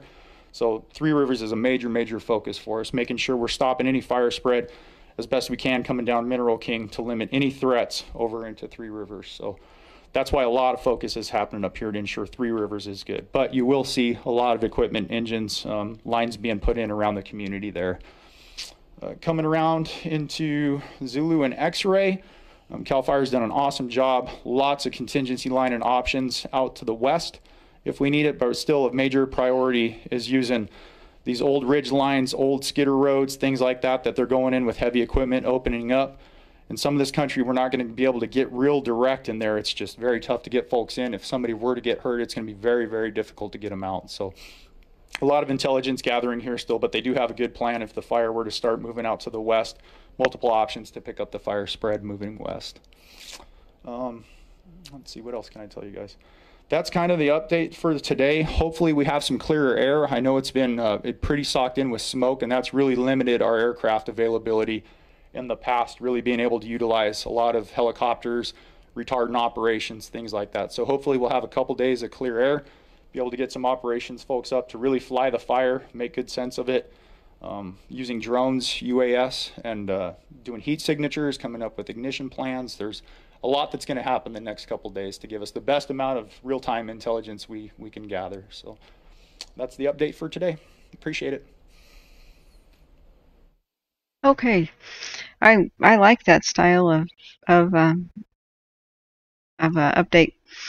So that is the KNP. I don't think that we have a windy uh, update. Usually, I- think they're recorded around seven in the morning, but it takes several hours for them to make the uh, make their way to the internet. I kind of wonder if it just takes that long to do the upload. Um, I mean, we are talking about uh, extremely, you know, non-developed kind of uh, uh, boonies, for other uh, uh, lack of a better term, um, you know, wilderness. So I keep checking Tulare County Sheriff's Office. Um, we don't have any new evacuation updates. Everything there looks pretty good. Um, we can go to um, Tulare County Fire Department. We just have we just have the community meeting of yesterday, 16 hours ago. Really, nothing new for any kind of update on the on the windy. Uh, there were updated maps that showed up on Facebook, which are going to be com- completely completely useless uh, because of the uh, activity overnight. So, yeah, we have like 20 hours ago uh, updates, so we'll just keep checking to see if there's been a new video. Um, oh, 23, 25 minutes ago, Sequoia National Forest gave us a windy update. Shut my mouth, but we, you know, we don't have a video update. We can read this. Um, 41 minutes ago, the Windy Fire resources are 2,402 personnel. Wonderful that they're getting so many more people arriving. 69 hand crews, 133 engines, 16 helicopters, 35 dozers, and 9 water tenders are on the scene. Structures threatened is 2,000 residences, 100 commercial structures, and it says uh, structures destroyed, 2 commercial structures. Tulare County resident information. They will begin assessing damage to homes and property in the Sugarloaf and Pine Flat areas. Community members impacted by the windy can call the Tulare County Info Hotline 559-802-9790.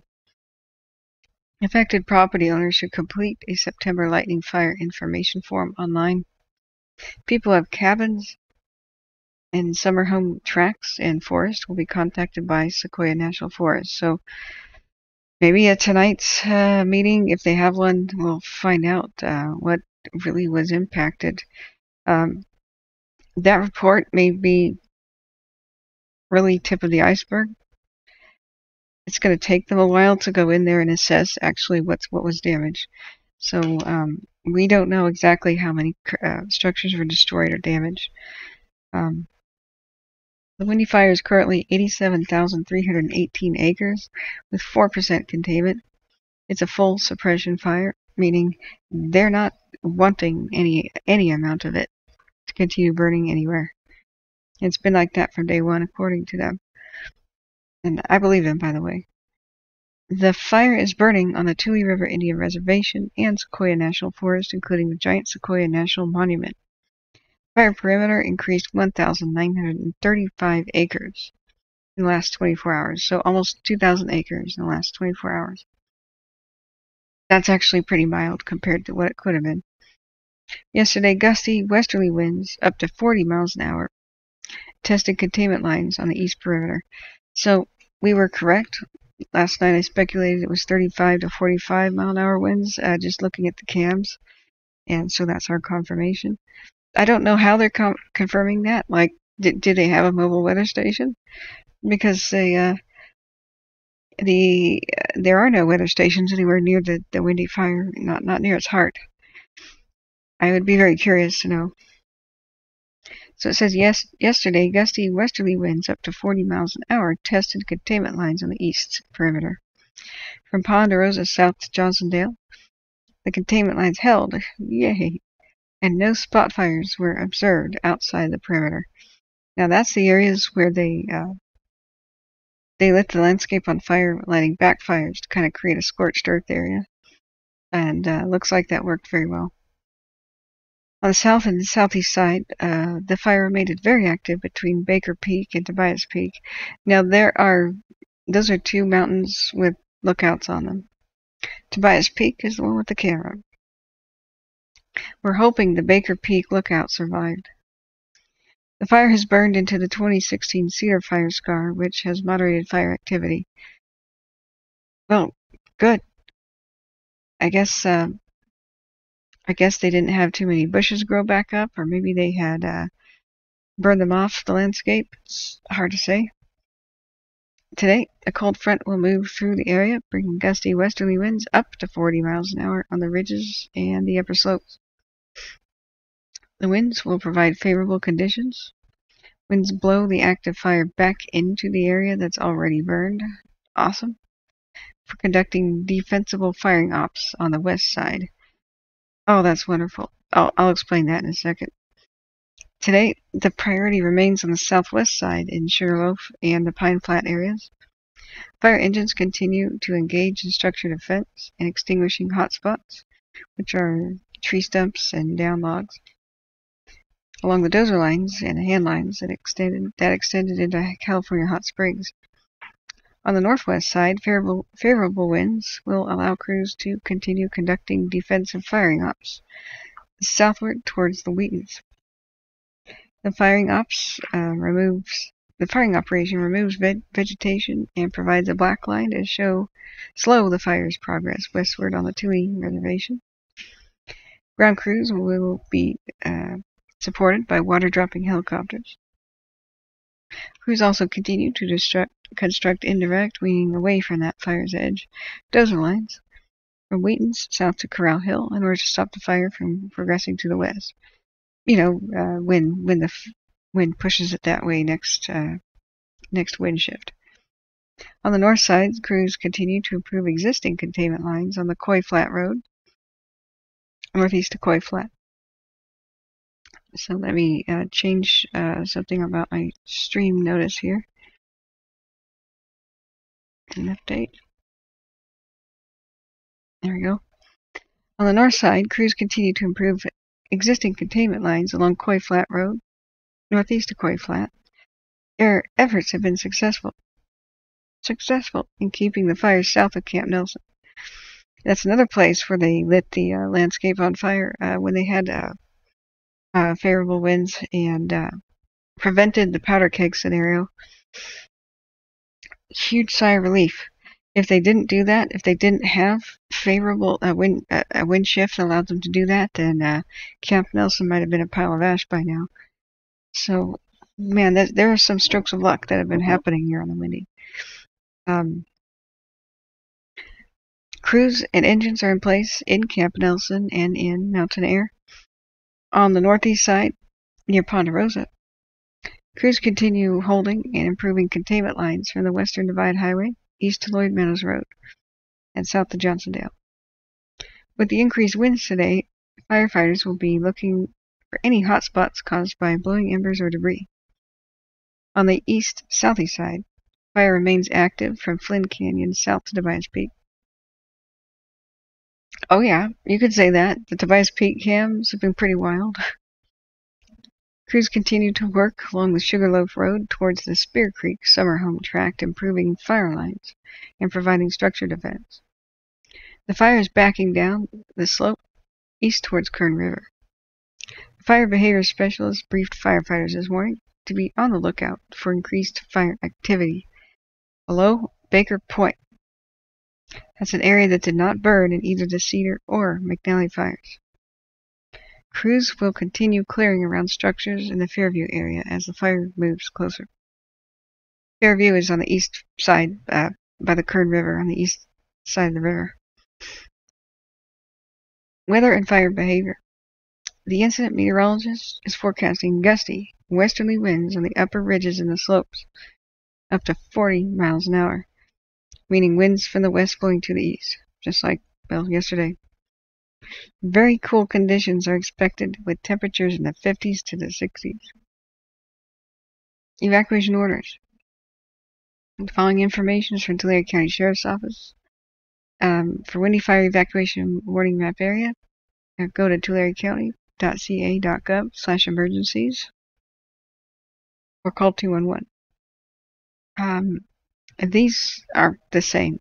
We already went over that. Just visit that website if you are unfamiliar. Um, road closures and restrictions at Jack Ranch Road and Old Stage Road, Highway 190 at Rio Vista, MT99 at Gold Ledge Campground, MT56 at Fountain Springs. Emergency notification alerts. Tulare County residents can sign up to receive county emergency notifications by registering at alerttc.com. They had trouble with that at the very beginning of the fire, but hopefully they ironed it out.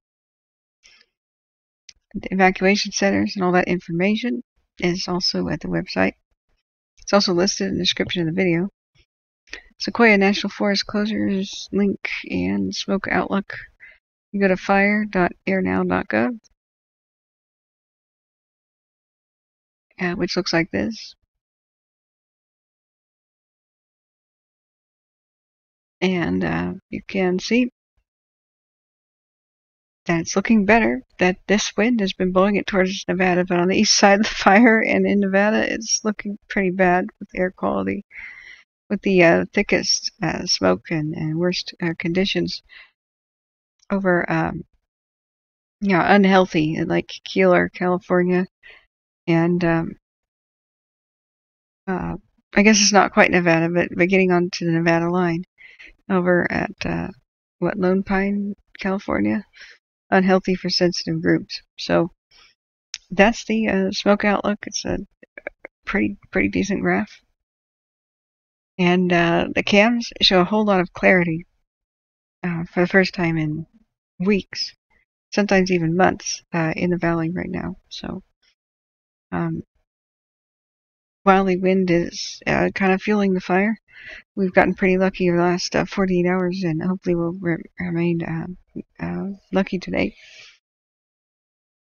Okay, so let's look back. Yeah, LNT, I hope the Baker Peak lookout uh, survives as well. I think we had one of the windows open that was showing where it was. Um, I may have closed it. Now let's go back and look at the current satellite images of NOAA weather. Yeah, Physalia, like general information. Um, if we hit the satellite view, geocolor animation loop,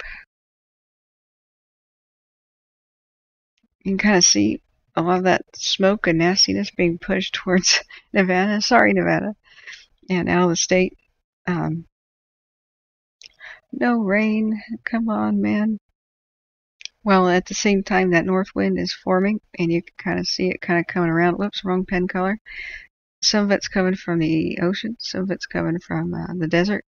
And the good news is, is that at the Fawn Fire, they don't expect that to be a big danger. However, residents just south of Lake Shasta and the east side of I-5 should just be alert and kind of check things throughout the day. So um, if we look carefully, sometimes we can see which direction the fire is moving based on its smoke, but it's really too hard to tell. There's there's cloud cover, um, and that's interfering with telling what what's what. But uh, we could go back and look at the cams. At this point in time, though, during the daytime, uh, pretty much the fires go invisible. like here's Shirley Peak, it's bespattered with ash. Uh, last three hours, smoke just kind of came over to it and settled in. It's south of the fire, um, just kind of looking to the north, uh, looking at the, the windy. We can keep looking at the heat detections, but we don't see a lot, except up on the uh, the Baker I think that was the Baker Peak area. Um, we'll see if there's any aircraft. Hopefully there can be. Uh, today, I I think there's a good chance. Um, where's the heat detection button? Activity. detections. Yeah, there's nothing red currently, so maybe there's a lull in the wind. You could look at windy and see which times of the day we should uh, be expecting. More of a wind thing. They said the south side of Baker Ridge has the most fuels because it's that's the area that hasn't burned in a while. So we there's Baker Peak right there. The lookout towers at Baker Point, which is adjacent. Now if we go into uh, Mota Severes, we did have heat detections near it. Hopefully it stays safe. But uh, this is kind of the spot to watch here. Let's look at Tobias Peak. That's our current info uh, from both cams. Um, the Tobias Peak 2 overnight was was kind of alarming, good in that we didn't see much of the fire actually approach the tower. We did see a little bit, which was uh, for five minutes, uh, freaked us out, but it was just more the manzanita bushes that they unfortunately, or, or manzanita type bushes that they unfortunately allowed to grow ne right next to the structure, right up around the uh, critical critical radio uh, set. But hopefully it's it's working. So we know that the fire's all around it. But notice how the smoke stays down there in in the uh, valley areas. That moderated that activity, and um, helped burn the ridges off. Which, well, if the peaks exhaust all their fuel, that's what causes long range spotting, and that would be a blessing actually. That um, that the wind is well, not crazy, but not um, weak enough to allow the smoke. If the ridges burn off, that would reduce the chance uh, that if we had a major crazy wind event that long range spotting would occur. So this could be a strange kind of weird mixed blessing. Um, seeing what we were seeing on the cams. So now there's cloud cover at Tobias Peak at the moment. And um, it's over at the Shirley uh, cam as well. Um, we can look at what's going on at the Caldor at the moment. But for the most part, we've had strokes of good fortune, which we'll take it. You know, not not everything's been rosy. We've had groves impacted and such, but really compared with with the weather forecast, we we've kind of dodged some bullets. Today we have a red flag day in uh, the valley. Any new fires in the valley are going to probably be very bad. Um, north of uh, San Joaquin area. Um, but wow, that's the overall assessment. Is uh, they've been lucky. Yay! Knock on wood. Yay! So uh, let's see what else we have. Uh, let's see if we have a Dixie Fire update. Um, that's at 94-ish percent containment. That got some moisture. I hear it rained and such near Quincy. Oh, that's right. We were gonna look. We were gonna look at the. Uh, whoops, not Zonehaven. The current windy uh, uh, forecast. There's stuff off the coast, and see what. Um, start at Tahoe. See when the winds of today were supposed to be um, at their worst. So we still have 32 mile an hour winds up by the Echo Summit area to 45 mile an hour winds um, that are now uh, tapering off down to around 16 to 25 ish mile an hour wind gusts with almost a dead calm. Uh, what three to six mile an hour winds uh, sustained. Not very warm today. A high of 51 near uh, near uh, the Echo Lakes at Tahoe. So it's looking pretty good.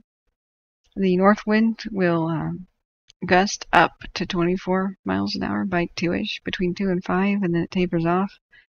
Um, looking pretty good.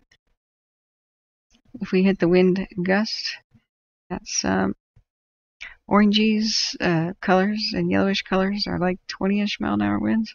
Greens are like the 15s. And as we move we've got the reds down there by Bakersfield. See, that's by the windy.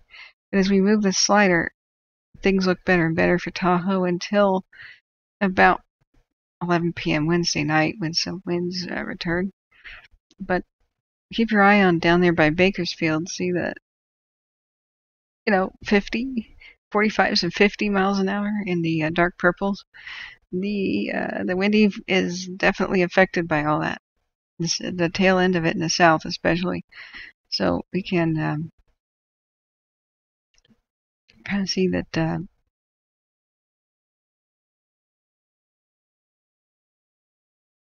the winds are present. Let's uh, let's go down and plant the flag a little bit north of Isabella, where the windy is currently at, and so we have an almost dead calm with a little bit of winds picking up from two to five, like eight mile an hour winds, sustained. And in general, the wind direction would be, uh, well, it's a northwest wind blowing to the southeast, but kind of hard to the southeast. Uh, so we could see a big, it's almost like a west wind pushing to the east, but with a tiny, uh, that's the way I describe it, with a tiny bend to the south. And it, it's in a an awkward kind of pattern like that. So make of that what you will. Uh, the windy is a big fire. Um, nice thing is it's gusts instead of like major uh, wind driven plus gusts. Eight to nine mile an hour winds are very mild, and they taper off to almost a dead calm by by uh, eight. But 35 to 40 mile an hour wind gusts, just like they were saying at uh, the morning uh, update on the KNP, really is mostly affecting the, the peaks. So we can uh, have fingers crossed. That means that smoke might still kind of be settling in uh, in the valleys, up there in the mountains, kind of putting a damper on uh, activity for the fire at the low, lower elevations. So a high of 55 degrees only. Yay. Even though there's a lot of winds, uh, the fact that it's a cold temperature and a bit more uh, humidity in, in there is why it's not considered red flag. So let's look back at the chat. Yep. Like exactly what Morris is saying. More smoke means less oxygen in the air, right? Because there's less uh, uh wind blowing it away and blowing new oxygen on it. Sea Probe says several helicopters and one air attack. Each is over the KNP and Windy. Some also over the Caldor, nothing near the Fawn. No tankers in sight anywhere in north, Northern California. Think Sea Probe. Uh, with the wind, I don't know that they'd be effective. See, helicopters can do precision drops, and they can kind of fling their bucket to where they want it. But the, with a fixed wing, with, a, with an actual uh, airplane, they've got to go low to the ground and they usually drop directly over their target. And if there's wind, well, then they don't hit their target. So helicopters, though, kind of do tricks and they can approach a fire and veer away from it in the kind of like a horseshoe pattern. And when they're at the uh, top of the swing, so to speak, like they, they can they can fly towards it and then veer away. And right at this point, before they make a hard right turn, they can release the bucket and splash and do tricks like that to try to get the momentum to fling the, the, the retardant or the water uh, where they want it to go. But yeah, aircraft that is uh, airplanes can't can't do that really. Um, they can't pull those tricks. So currently it's 50 degrees at Twin Bridges near Echo Summit. Yep, look back up at chat. Does anybody have a question about any of the fires? It's kind of open question answer time. There's not that much to report after we run through all the videos. Um, we can look at Ventusky, which is really good, getting us a better visual on uh, understanding of what winds are generally doing. A reminder, what we've been finding out is there are very few Um, pretty much like that, weather stations anywhere in the Southern Sierras. Very, in fact, maybe just like one near peaks. Most of them are down in sheltered valleys. Um, so every single weather predicting program kind of fills in the gap based on what the other stations are reporting with an estimate of what the wind's doing. So anywhere deep in the windy fire, we have no idea what it's actually doing. There are no weather stations there. And so what all these models are doing is basically guesstimating the cams are the thing that's going to show us the, um, the, the, the truth about the situation. Occasionally they can launch a, uh, launch a weather balloon, but we haven't heard if they've been doing that. So if we look at today's like 2 o'clock, this is the ground uh, surface winds.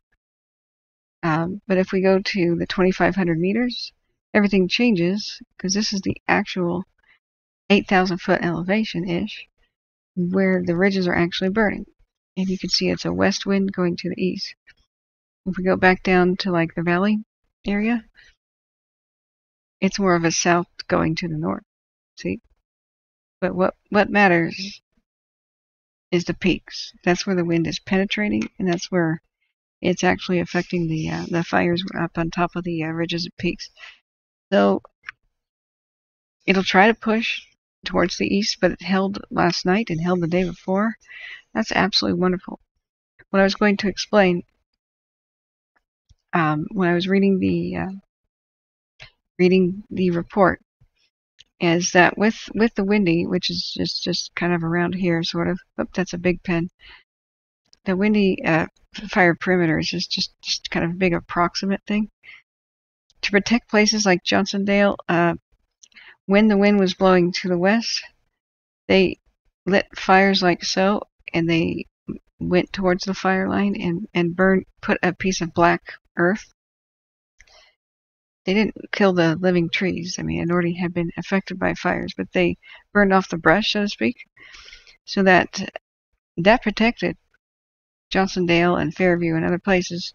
When yesterday and the day before the winds shifted and they were the west wind was blowing it towards the east, well, it ran into a black line of pre-burned area, and so that really has saved the towns. Uh, well, for the moment. Same thing with the KNP and others, like uh, with uh, with Camp Nelson. So, like with uh, sorry, the northern part of the, the Windy is Camp Nelson.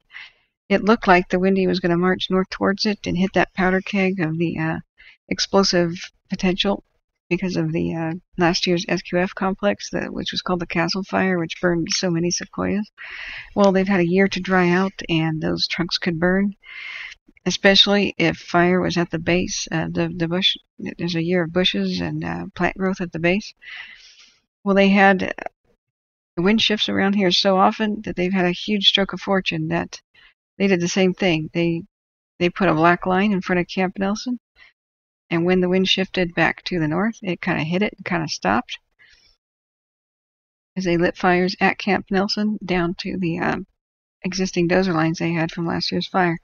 So, phew, huge, gigantic sigh of, sign of relief that that's holding. Same thing for Fairview on the east uh, part where the Kern River is. Um, and right now, huge sigh of relief for uh, California Hot Springs and the Sugar Loaf area and uh, Pine, uh, gosh, I can't remember, Pine Flats. The fire went right up to his doorstep and did start burning structures. But then the wind shifted, and so now the wind's going that way. So at California Hot Springs, uh, Pine uh, Pine uh, Flat, excuse me, and at Sugarloaf, they're going to do more firing ops today because their firing ops will blow towards where the fire is and create that black line.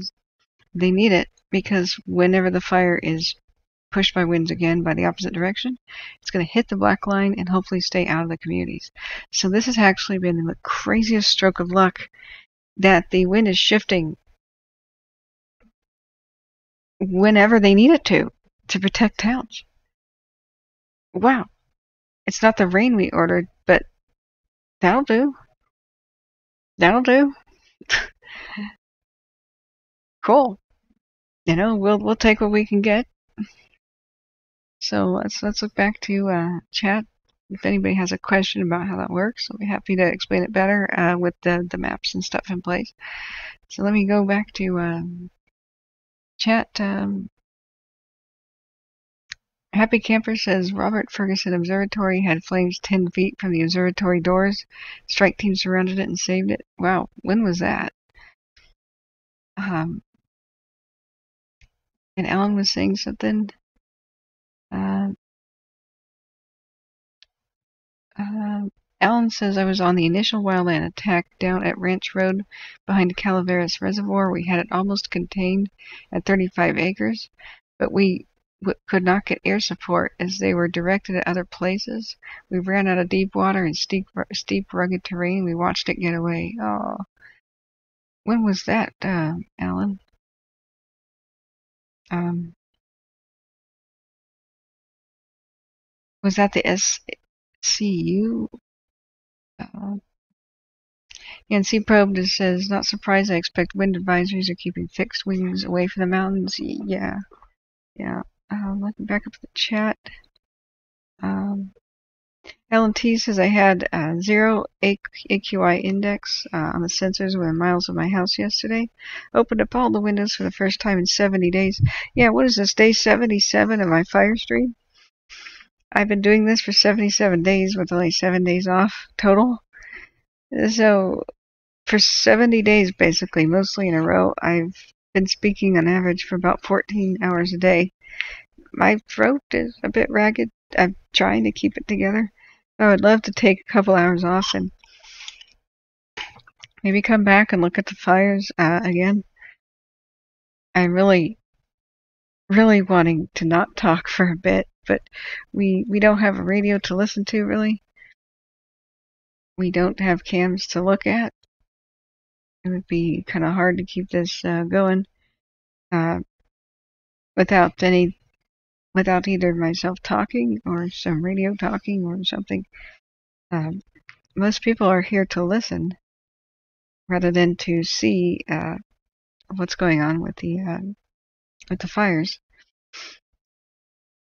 So I'm thinking about taking some hours off and coming back around five-ish or something uh, for the community updates on the Caldor. We could watch the morning Caldor operational briefing, but we we see almost nothing uh, except air attack flying around the Caldor. Uh,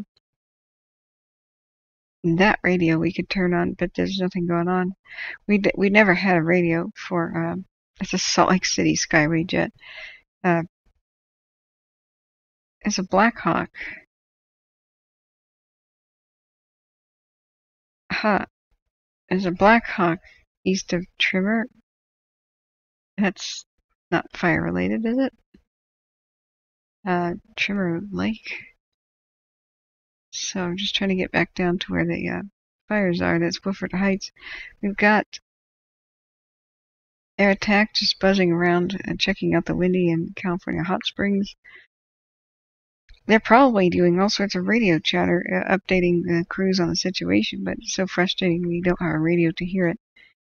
Um, it would take a ham radio operator pretty close to the fires, which would not be good, but uh, broadcasting that. Uh, unfortunately, we just don't hear anything. Uh, going up at the KNP, that's assessed a citation circling the area that could could be your attack. This one actually is probably air attack. The other one might just be a helper of some sort. We've got a Bell 407. This probably is working the area, going around from Three Rivers. It circled enough. Maybe it did some drops. Is that actually... It's not a news helicopter, is it? It's only nine years old and it's, it's shiny and new. Uh, relatively. It could be just looking at the situation. Probably the way it's circled around. But uh, nothing, nothing really to report as far as aircraft. So, looking back at the chat, John Saders has enjoyed your rain show last night. Oh, cool. yeah, I left a uh, I left a uh, rain uh, sound on so people would understand that the rain, that the, the sound worked on the video. Um, but there was nothing, almost nothing to uh, to hear on the radio. Let's check and see if there's a Dixie update. Um, yeah, Lassen National Forest has added some. There's a Dixie update for me to read. Man, my throat is hurting so bad. I was hoping there would be a video. Um, forest road closure updates. There's still 1,727 personnel on the Dixie. 94% containment. 9,000, excuse me, 963,309 acres on the Dixie. And um, there's a West Zone update that's paper, East Zone update that's paper, an evening update 16 hours ago that um, we could watch. It's only four minutes. Let's watch that and then evening operation. Oh my god, that's extremely loud. Sorry. Let's watch this and then I'll read this morning's update. This is from yesterday. Good evening. Welcome to the Dixie's Fire Evening Operational Briefing. My name is Brian Elam, and I'm the plans op- Planning Operations Section Chief for the Dixie Fire and the Southern Area Gold Team here with you tonight. So today was a little bit different. Uh, going in, we had uh, a lot of winds and dry air. So we worked this morning on the fire, and this afternoon we kind of pulled the resources out to uh, a staging area where we could monitor fire. We could pick up the smokes. Um, if we had any new starts or if we had anything roll out, we'd be more inclined to pick them up. Keep us out of the chance of a falling snag with all the dead trees in the area and not any of our folks getting hurt. So, so far today's been really good. We'll start down here in Whiskey Whiskey. And this morning, first thing, we picked up a little area here down in the Boy Scout camp, less than an acre, where the fire had um, burned through some needle cast uh, across the dozer line in there. Got that picked up, cleaned up, looking really good. Uh, in here around the Pacific Crest Trail, the north slope here is looking really good. As we come further south, you know, they still got a day or so of work to button that all up and be done with it. Whiskey Whiskey resources continue to work in here above the Meadow Valley and then working on to the east in here around uh, Kennedy line. Still a lot of work going on in there tying up these lines. So as we get over here into uniform uniform, uh, this work in, above Taylorsville is still progressing. They're still trying to get that stuff buttoned up and, and cleaned up and put back to grade and, and repaired. Uh, doing some assessments on project in here uh, where we can mitigate some hazard trees.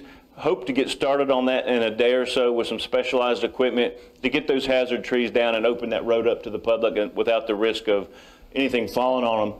As we come in here to Romeo Romeo, here at the Devil's Punch Bowl, where we have talked for a couple of days, uh, we did get a Type 1 crew in today that helped install that line. Uh, they're going to rewalk that. They're going to check those lines to make sure everything is good, check it for potentials of rollout, and take care of any hot spots in there. As we come down uh, the Grizzly Ridge, we're still picking up some residual heat there in the Duff and in the dozer lines that we can put that to bed and, and not have to worry about it. Have some specialized equipment in here working on some hazard trees, working towards Davis Lake. Down here in the Dixie Valley, this work is starting to look really good. So that equipment is starting to move north. Still a little bit of that coming back towards the division break here at Davis Lake, but just a couple more days have that buttoned up.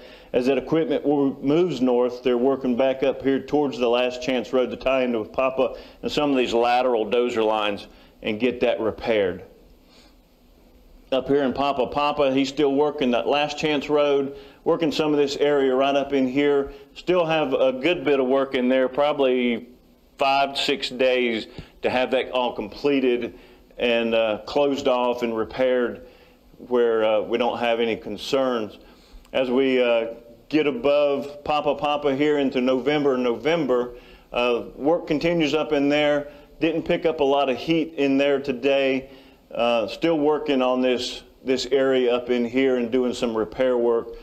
The uh, down here in the valley in uniform, uniform. We did pick up a couple of small starts down in the grass and in the meadow. Those were picked up early this morning and mopped up and cleaned up. No concerns there. Same for the Genesee Valley.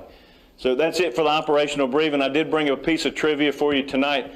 So we have extracted enough hose here since we've been here that was used in fire suppression that if we wanted to stretch it out, we could pull that line from Quincy, California, all the way to Albuquerque, New Mexico.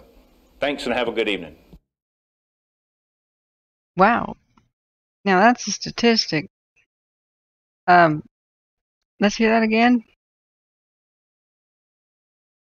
We could pull that line from Quincy, California, here since we've been here that was used in fire suppression that if we wanted to stretch it out, we could pull that line from Quincy, California, all the way to Albuquerque, New Mexico. Wow. This is not only California's second largest wildfire, it is the first is the largest wildfire ever with a single start. We must remember that it started because of the power company PG&E's uh, shoddy maintenance uh, type system, where uh, they let vegetation fall over on their lines uh, with a frightening uh, regularity. It is the largest fire ever in California's history that happened because of a single ignition. What that means is other types of fires are like multiple ignition areas, like say lightning striking a whole area, then it merges together. That's a that's a complex, but as far as single ignition goes, this is California's biggest ever, and it's probably one of the biggest ever in the West ever, yeah, in in the history of the country. And they've used so much hose line that they could stretch it all the way to Albuquerque from Quincy, California. That's I wonder how many actual miles that is. Let's try to find out. Um, we could do an as the crow flies kind of measurement, but we and also the measurement like up and down the terrain would be different. But where where is Albuquerque? Uh, yeah, let's let's do a really crude, non-scientific type of measurement. Um, measure just as a straight line. It's essentially right here to here. That's 859 miles. Or 1,782.67 kilometers. They have like a hundred, they have 860 miles of hose spread around on the Dixie Fire. Uh, wow.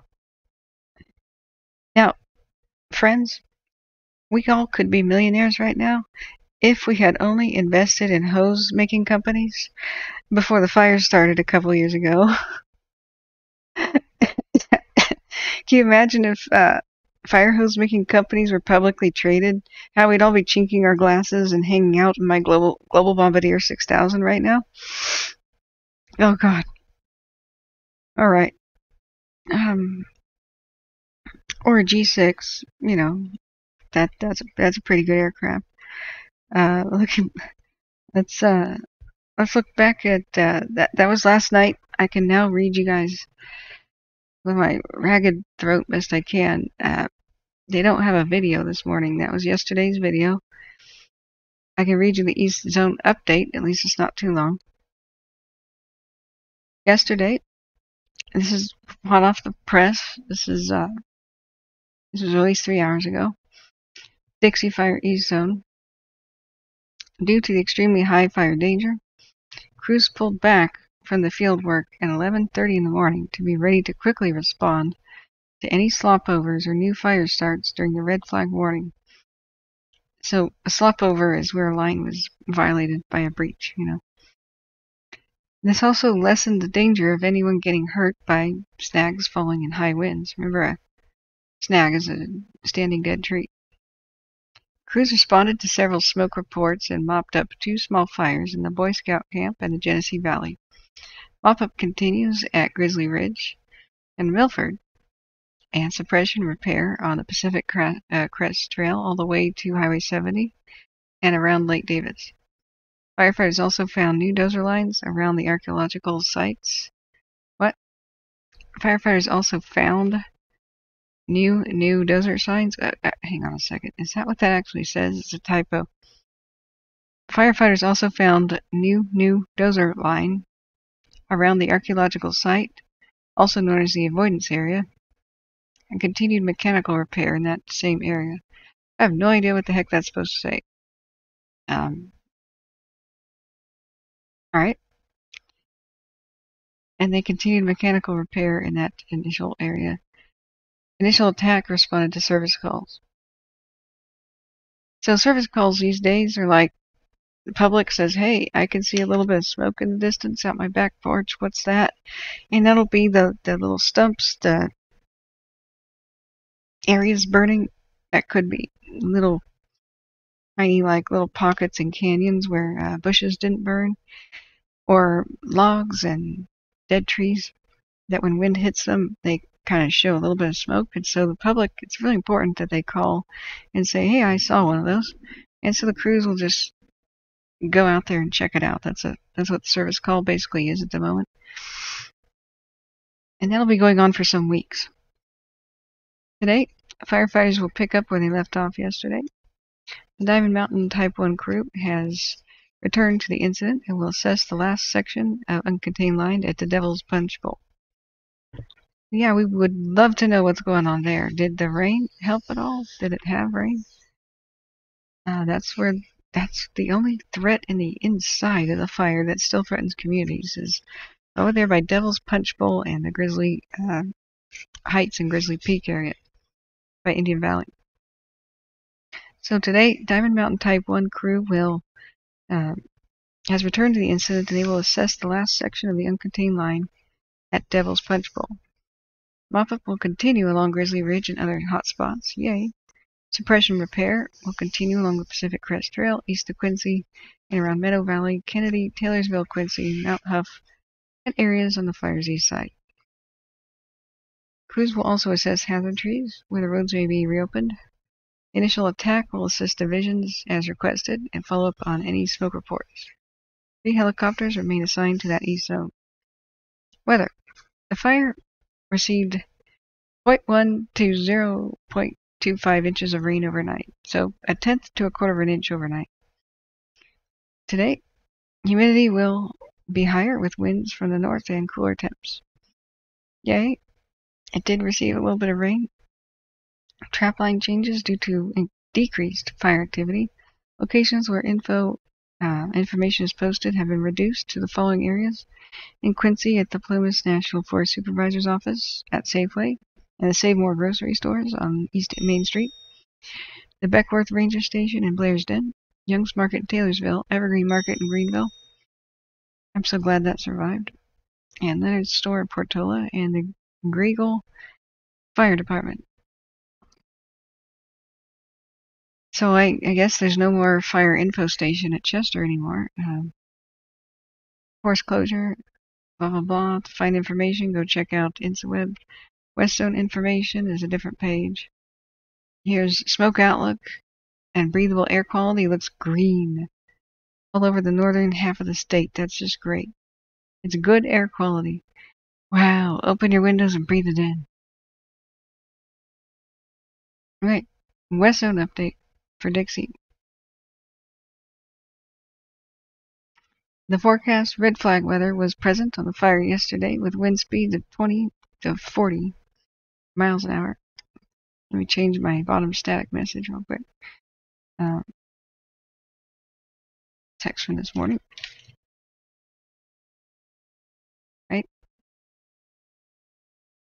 The red flag weather was present on the fire yesterday with wind speeds of 20 to 40 miles an hour. This caused an increase in the fire activity and smoke within the interior, but the control lines were never threatened. Woohoo! Ground crews coordinated with air support to get water onto hot spots to the north of Mill Creek.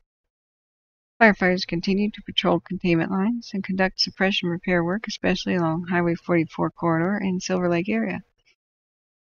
All containment lines held secure around the fire perimeter through, uh, even though there were increased winds. Swing shift resources remained at the fire line last night, providing additional firefighting capacity as necessary. That's an unusual uh, but very effective tactic.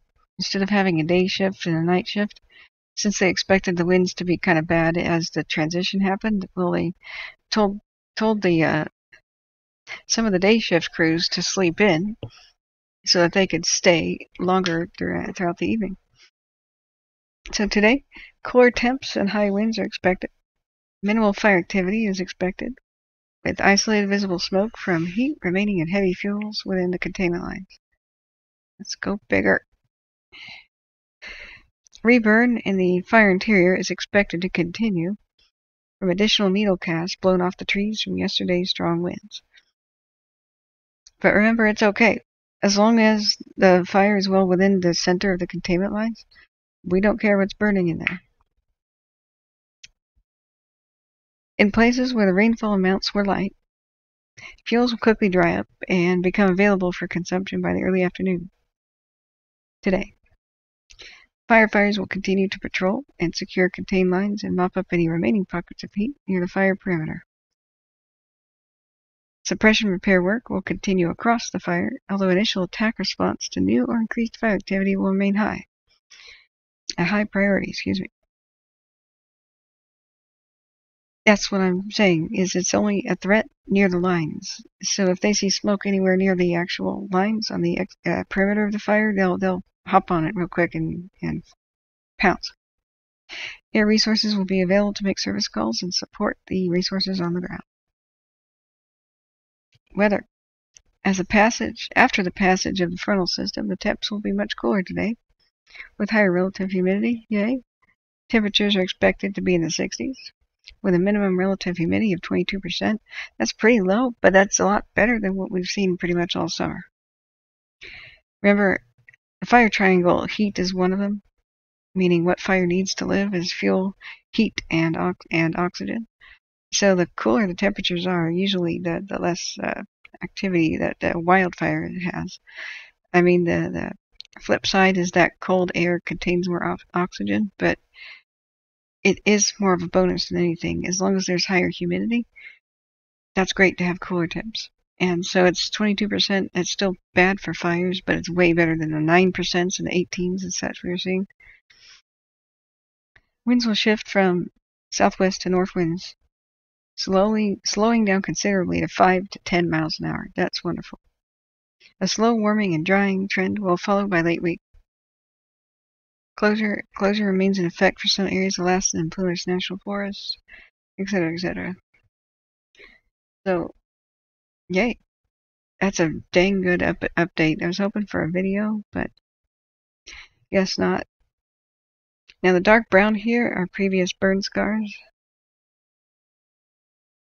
It's hard to read this exactly, but where there's red is where the fire is still kind of a threat in general where they don't have black line, and it's all basically up here around Old Station, the Hat Creek area.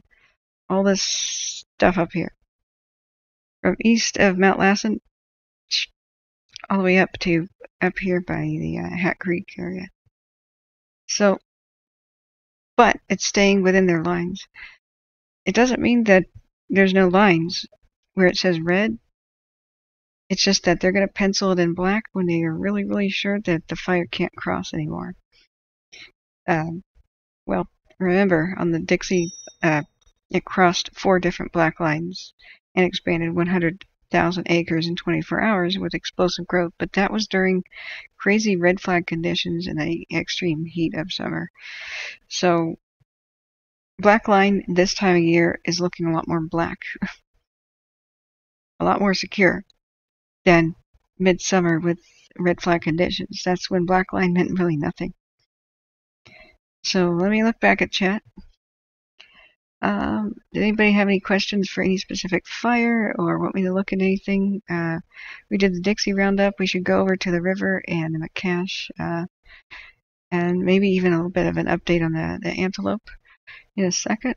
Um, so the Coho Val says we got a bit of rain last night down here. It was awesome. Where were you at, Coho? I can't remember. Uh, you said Papa Papa drink. Yeah, I drink it right now. Here we go. I didn't catch that. So, um, going back up to the chat. Um, a lot of people, you guys are just talking to yourselves for the most part. Um, trying to figure out if anybody has a fire question. William Young says, I've shared this channel with my aunt in California. She's getting up in the years and doesn't always check her messages. I'm looking forward to seeing more family, at least uh, subscribing and listening. Yeah, thank you very much. Thank you, everybody who has shared the channel with uh, your friends and family. Um, and put it on your own social media pages, like your own Facebook. That's the number one way people find the channel. I hate it when months later somebody comes in and says, Oh, I wish I knew about your channel before. Well, um, you can help people find out by sharing me on your Twitter or your Facebook, whatever. Hitting the like button even helps. Um, because it helps it go trending. And when people are looking for info uh, on YouTube, they're much more likely to be connected with a trending channel. I hate the way that works, but that is it. So I do thank you all for doing that, and I thank all the supporters who've been donating to me. This is day 77 of my stream with almost no days off. I think seven in total. Uh, that was sporadic, mostly when I was sick. Um, my voice is absolutely ragged. Uh, I'm trying to find a, a, moment that I could maybe take a break this afternoon. Um, you know, um, on the quieter days like this, I mean, knock on wood, I hope it's quiet. There always could be new fire starts and a red flag warning in the valley. Um, I should probably rest it whenever I can. Um, because I will lose it, like like I did last last year. Um, and then I had to go off the air for weeks. So the uh, here's the Caldor thing. I think we had the uh, they may have posted a morning video. They didn't, though. I guess we could find that elsewhere. Do we have a Sequoia National Forest video at all for the windy? Oh, we do. Wait, no, that's a post I already read. Do we? Oh, yay. Sequoia National Forest has a Windy Fire update video that's two minutes long. Uh, oh, yay. And there, here's the morning update video. I guess I was looking in the wrong place. I was looking at uh, Tulare County Sheriff's. So let's let's look at. I'm going to change this to um, Windy Morning Ops Update. Here we go. Let's take a look. Management Team 5 uh, good morning, Ernie Villa here, uh, Planning Ops Trainee, California Incident Management Team 5, uh, for your Windy Fire update for Tuesday, September 28th. Uh, the fire is currently uh, 87,318 acres with a 4% containment. Uh, real quick, for information about the fire or information related to the fire, uh, you can call 211 uh, you can visit InciWeb for fire-related information. You can also visit uh, Tulare County website for information specific to uh, structure damage or loss. And a phone number for you would be 559 802 9790. That'll be for anybody that potentially had any property loss or damage due to the fire. That could be called uh, Monday through Friday, 8 to 8, and then on Saturday and Sunday, 9 to 3. We'll go ahead and start off here with your update for the fire currently. And uh, we'll start off here on the northern end of the fire here. Uh, last night, uh, everything held pretty well along the 94 road.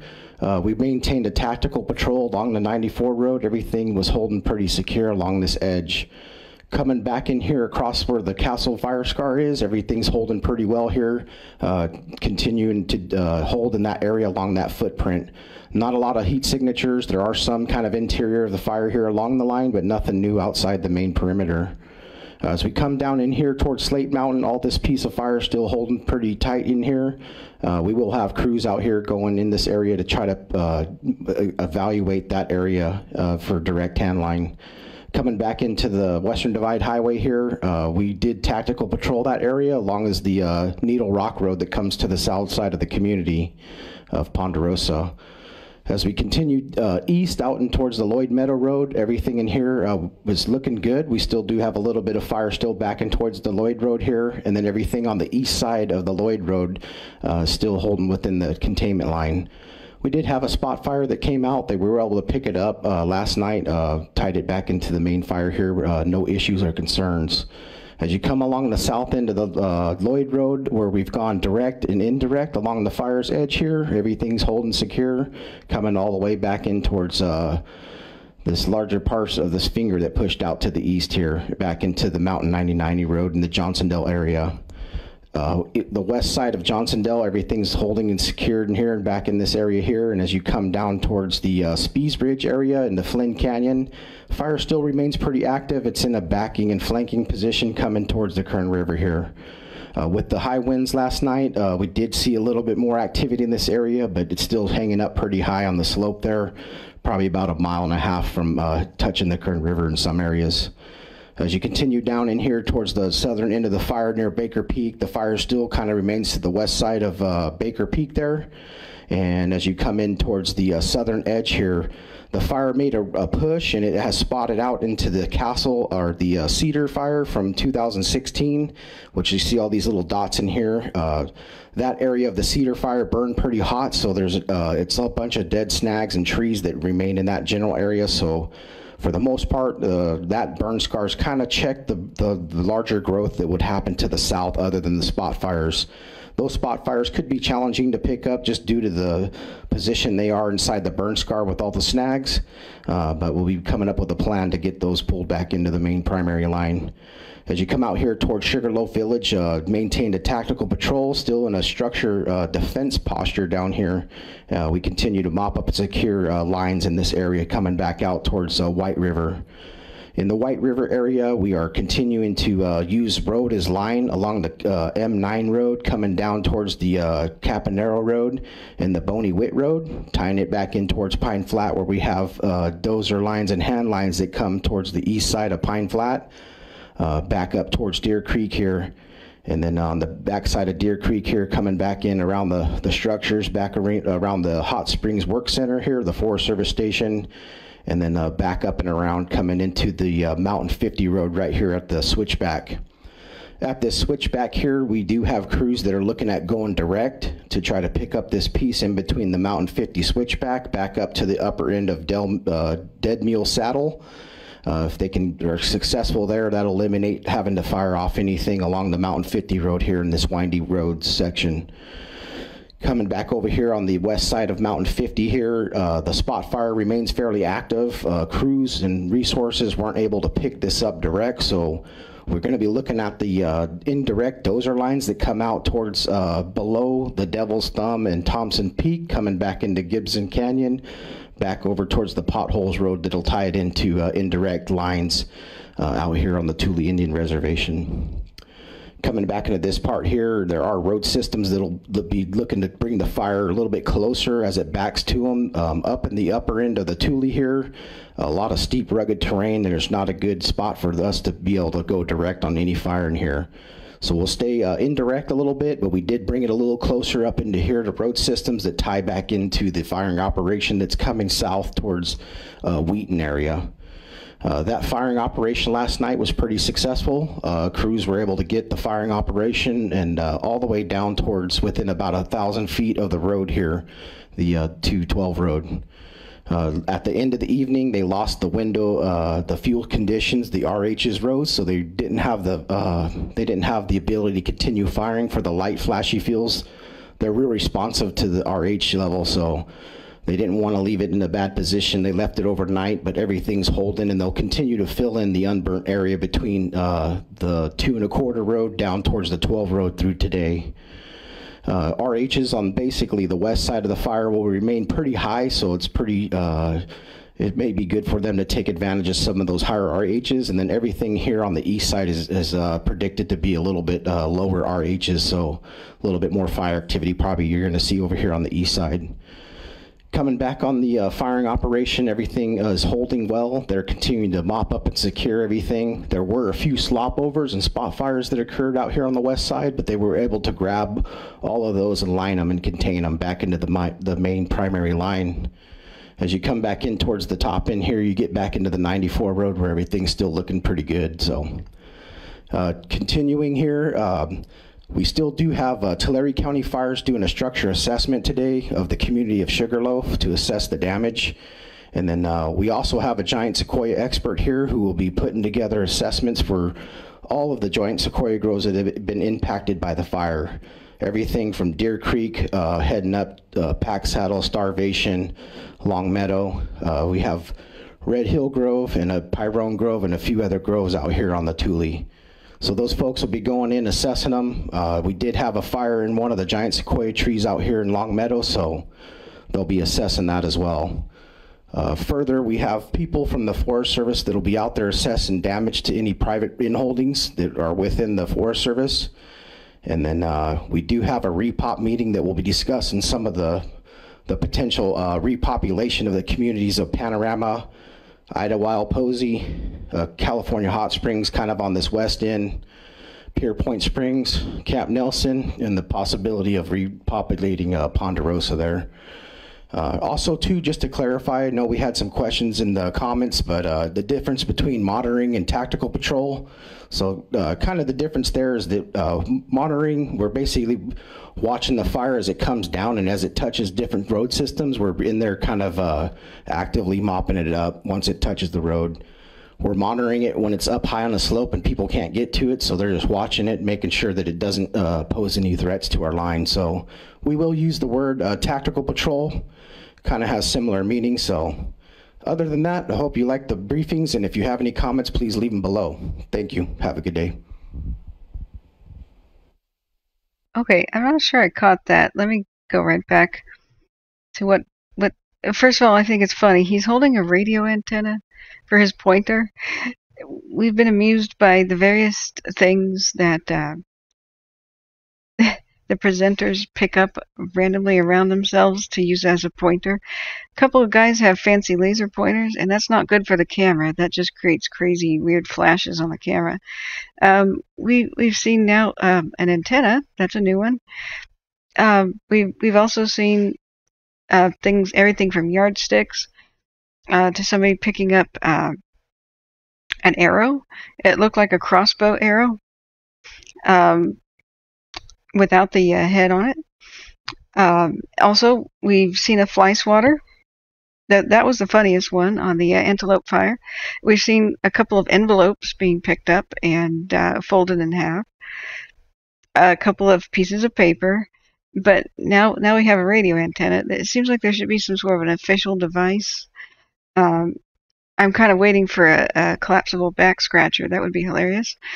Um, I, in my opinion, they should just have like a back scratcher, but instead of the uh, the little scratchy hand, maybe it would have like a pointing thumb, you know, like something like like this, you know, on a stick.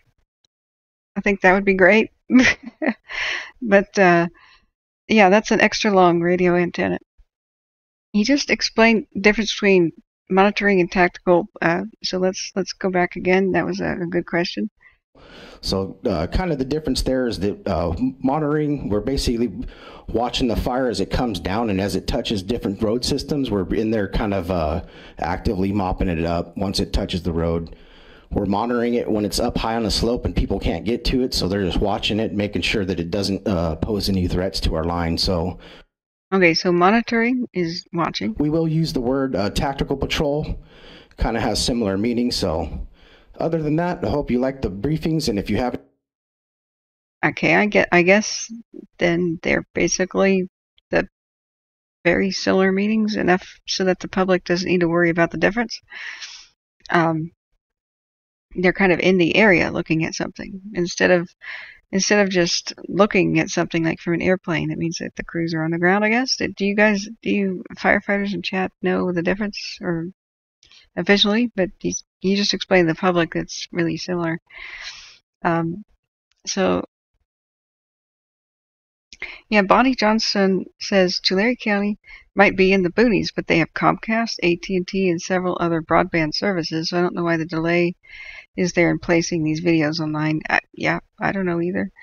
Um, the uh, the fact that the uh, the entire uh, incident command team just kind of set up shop, they may be winging it, and they might be really overburdened with the amount of work that they have to do. The the, the few people that are there, um, that, I guess that might be one of the things. Um, this is a single take. I'm sure that they've actually started and stopped uh, filming again and again. It's very difficult to do an eight and a half minute video without stumbling over your words, breaking into laughter, having somebody slam a door or somebody sneeze randomly, and that kind of stuff happening where you don't have to start the video again. So um, it may seem like it just takes them uh, nine minutes to record this, and it should be like boom, boom, boom, let's put it on the internet. In reality, video production is a lot more difficult. You know, you're in the middle of filming, and all of a sudden you run out of battery, or some other thing happens, you drop something, that microphone stops working, let's get another microphone. Uh, it's it, it's really hard to, to do this. It's it's that was a pretty good like single take that we've been seeing time and time again. So um, I'm I'm really questioning a couple of things. A lot, most everything looks good. He's explained things pretty well. Uh, that this was a firing line, and so they will continue to burn uh, they'll fill this in so that when the uh, currently the wind is is essentially going that direction from east uh, from west to east excuse me it's mostly a west wind. If we if we were a little bit more accurate uh, let me get a different color pen. If we were a little bit more accurate the wind is is in this kind of arcing sort of thing but where it goes into different drainages it'll do this. It just depends on which canyon it is. Direction can be very relative, as, as you can see. So, um, but but overall, west wind blowing towards the east. So that's perfect for their firing that he's explaining. Um, the firing up went well, and it created this, uh, excuse me, this little line. And so, as the wind is going that way, they can light fires here, and it'll uh, make a scorched earth line.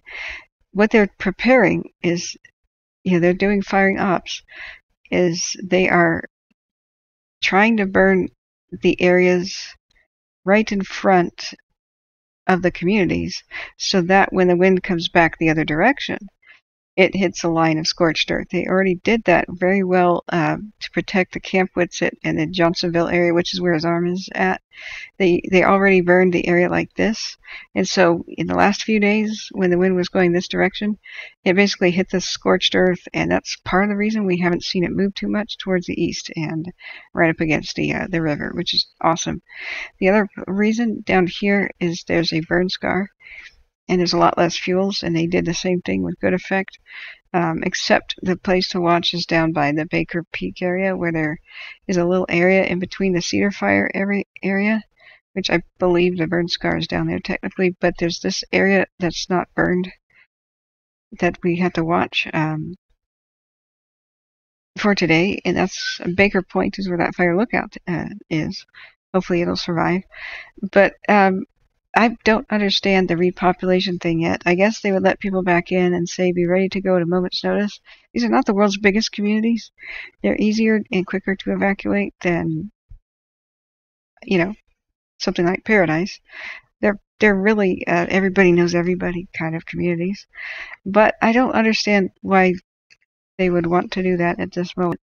Um, what gives them the confidence to think that the windy would come back and uh, threaten them like crazy is that the weather forecast ha- has their firing ops really done a lot to make it safe. We see little spot fires down here on the southern edge that are just kind of all over the place. Uh, do they have confidence those would be uh, wrapped up soon? I was hoping this would go a little bit longer to kind of explain. This would probably be my question. maybe I could just ask that in, in one of their uh, chats. Uh, I mean, there is like a comment area. It says, "Do you want to comment?" Um, I don't know if I'm supposed to leave it here or some other place. We could look at the Forest Service, there's like a chat button, a new message. It kind of says, oh, that's Lassen, whatever. Uh, Sequoia National Forest is where we're supposed to be. I think when I first arrived here, there is a uh, do you have a question button. Uh, I'm not sure where we're supposed to leave that. Oh, here it is. So I would say probably hello, hello. Thank you for doing such a good job communicating to the public.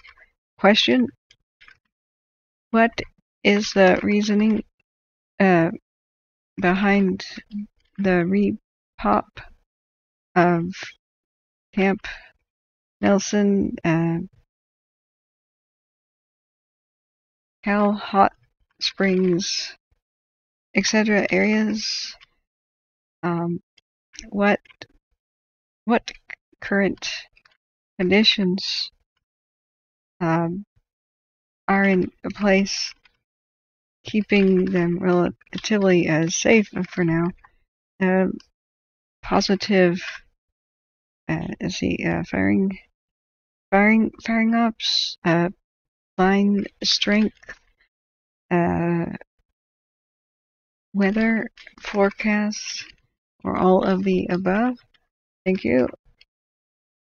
Uh, oh, and uh, which conditions would necessitate re-evacuation if ne necessary. Uh, re-evacuation. Thank you. Okay. I just sent them a message. Hopefully we'll get some sort of response. That's pretty cool that they have a message center. Um, now let's watch the fire behavior analyst video, which is very short. This is two minutes. This is also about the Windy fire. So let's take some a look. of our containment was three hours ago uploaded. Good morning, Jeff Shelton, Team 5 Fire Behavior. And I'm here to talk about uh, the fire behavior and the fire weather for the uh, incident today. Um, the incident continues to expand. We have uh, some heat showing on our infrared on the lower parts of the fire down here in Division Juliet and up here where they were doing the firing operation yesterday in Division Romeo. Those are the primary heat sources that we're seeing today. You'll also see on our weather matrix here, these green areas, they're color coded that show um, favorable conditions for us. We have higher humidity and lower temperatures, um, but in the red, you're also seeing we have higher winds.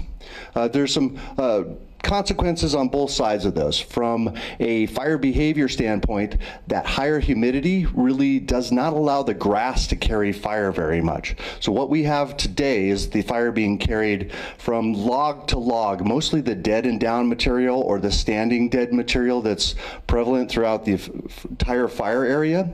And so as we uh, work through the fire today, uh, we'll be adjusting our tactics to uh, to to deal with the consequence of not being uh, able to use the grass to carry fire where we want to, um, but also understanding that uh, uh, the fire is still going to remain very active due to the wind. What that wind will do is will feed fresh oxygen into the fire but on the plus side, there's a good chance that we're going to scour a lot of this smoke out and we're going to be able to use aircraft over the fire. Uh, we do expect the fire to uh, challenge some of our containment line and test that line, and that's a good thing because it'll show us where the line is strong and where it's vulnerable, and then we'll adjust our tactics moving forward from that point. So uh, thank you for your attention. If you have questions, you can always get them to our uh, public information officer through the incident, and uh, have a great day. Okay, that moves very quickly through everything. Let's do a step by step. Let's go back.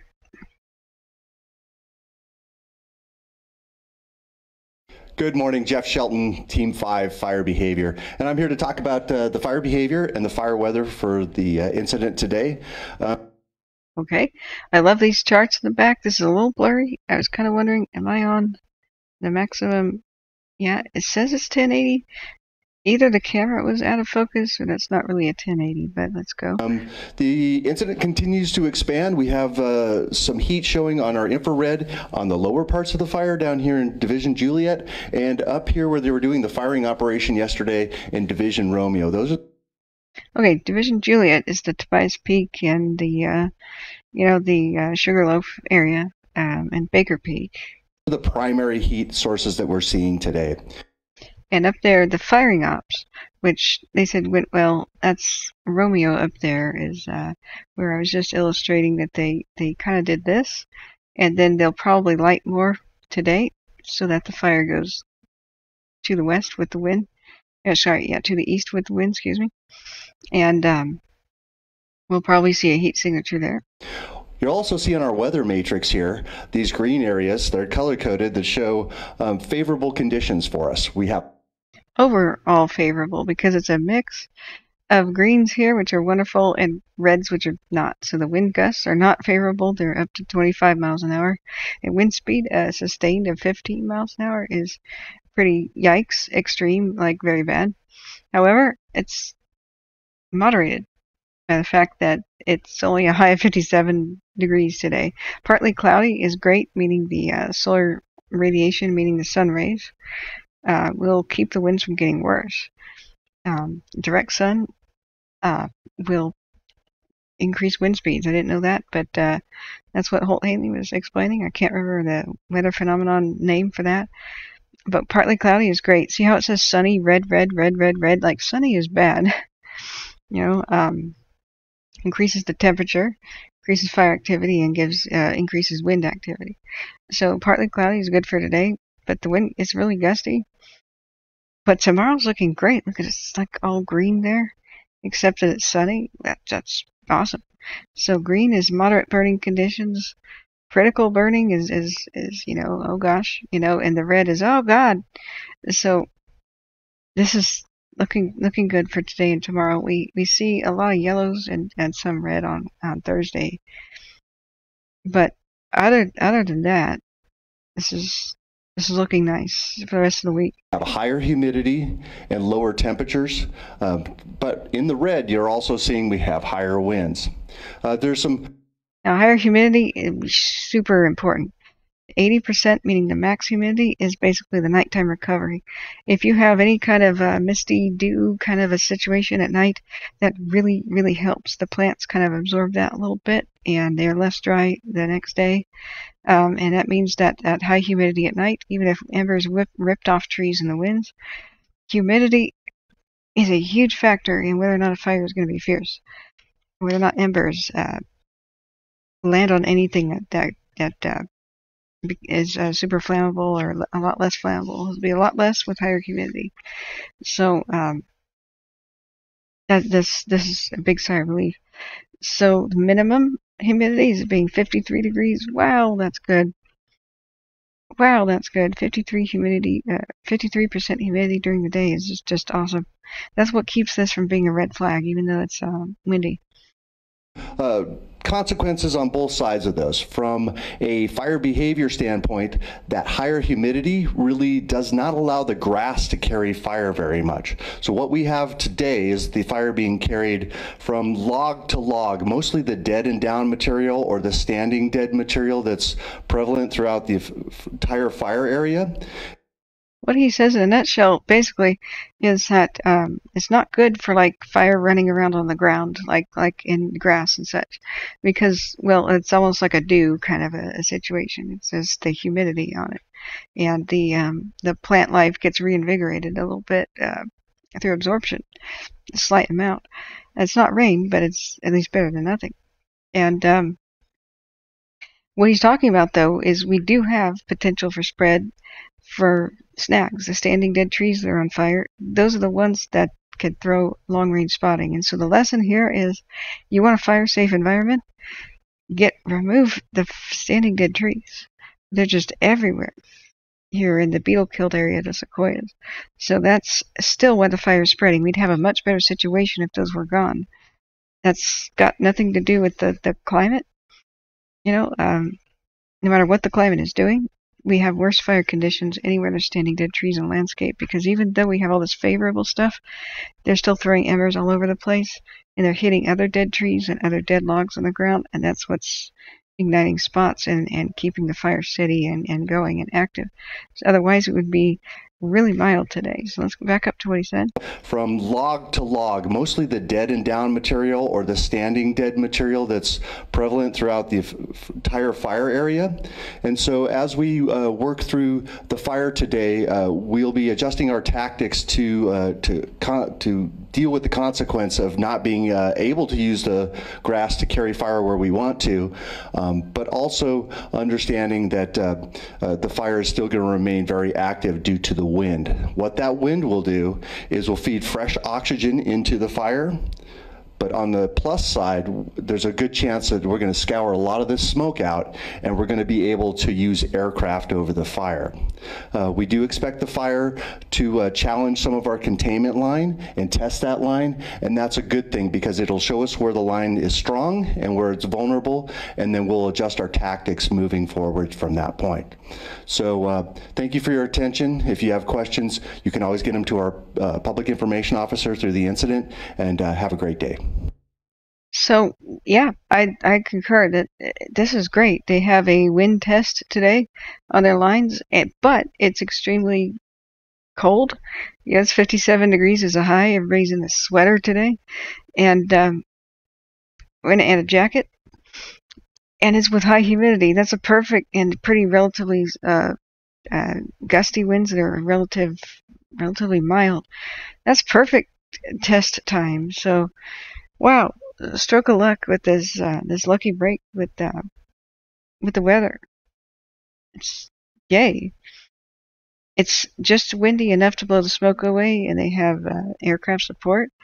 And wherever the lines are tested, the uh, the helicopters are the best at saying, "Oh, I see where the the uh, spot has gone over the line. Splash. Never mind. I got it."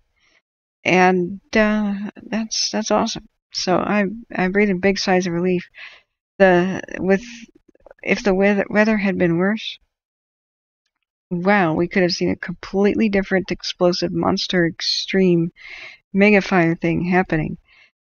It's being relatively polite. It's like this fire's on a sedative. We'll we'll take it. You know, we'll take it.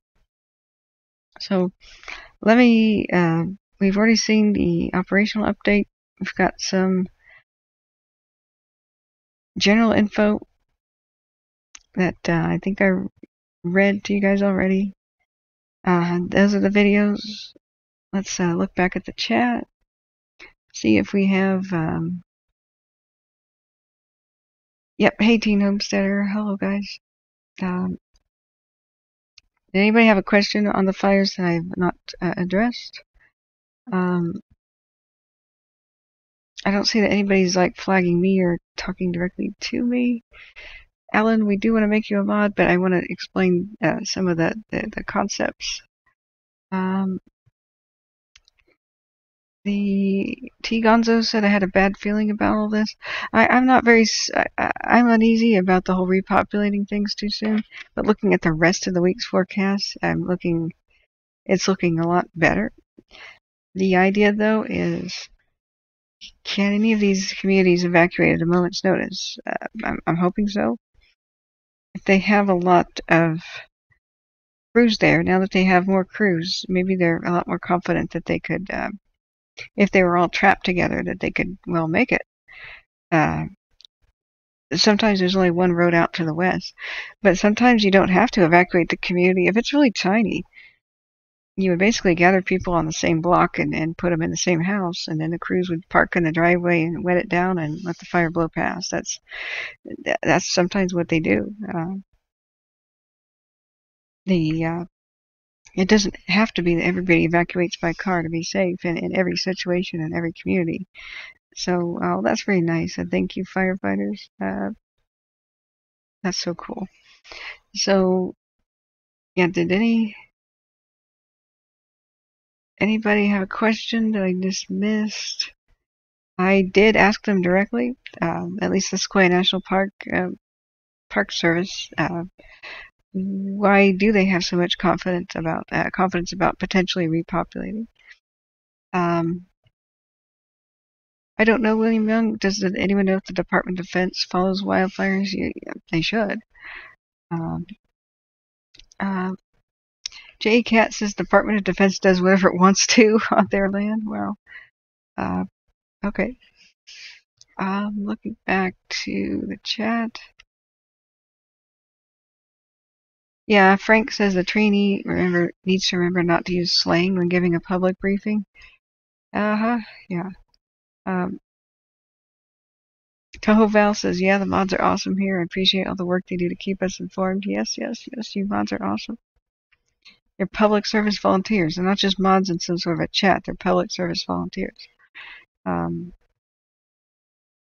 so going back to the rest of the chat. Paul Wiley says, as a radio guy, I close my eyes. yeah, him using point, pointing around with the radio antenna. Um, Frank Presley says, I think there was a back scratcher used on the antelope briefings.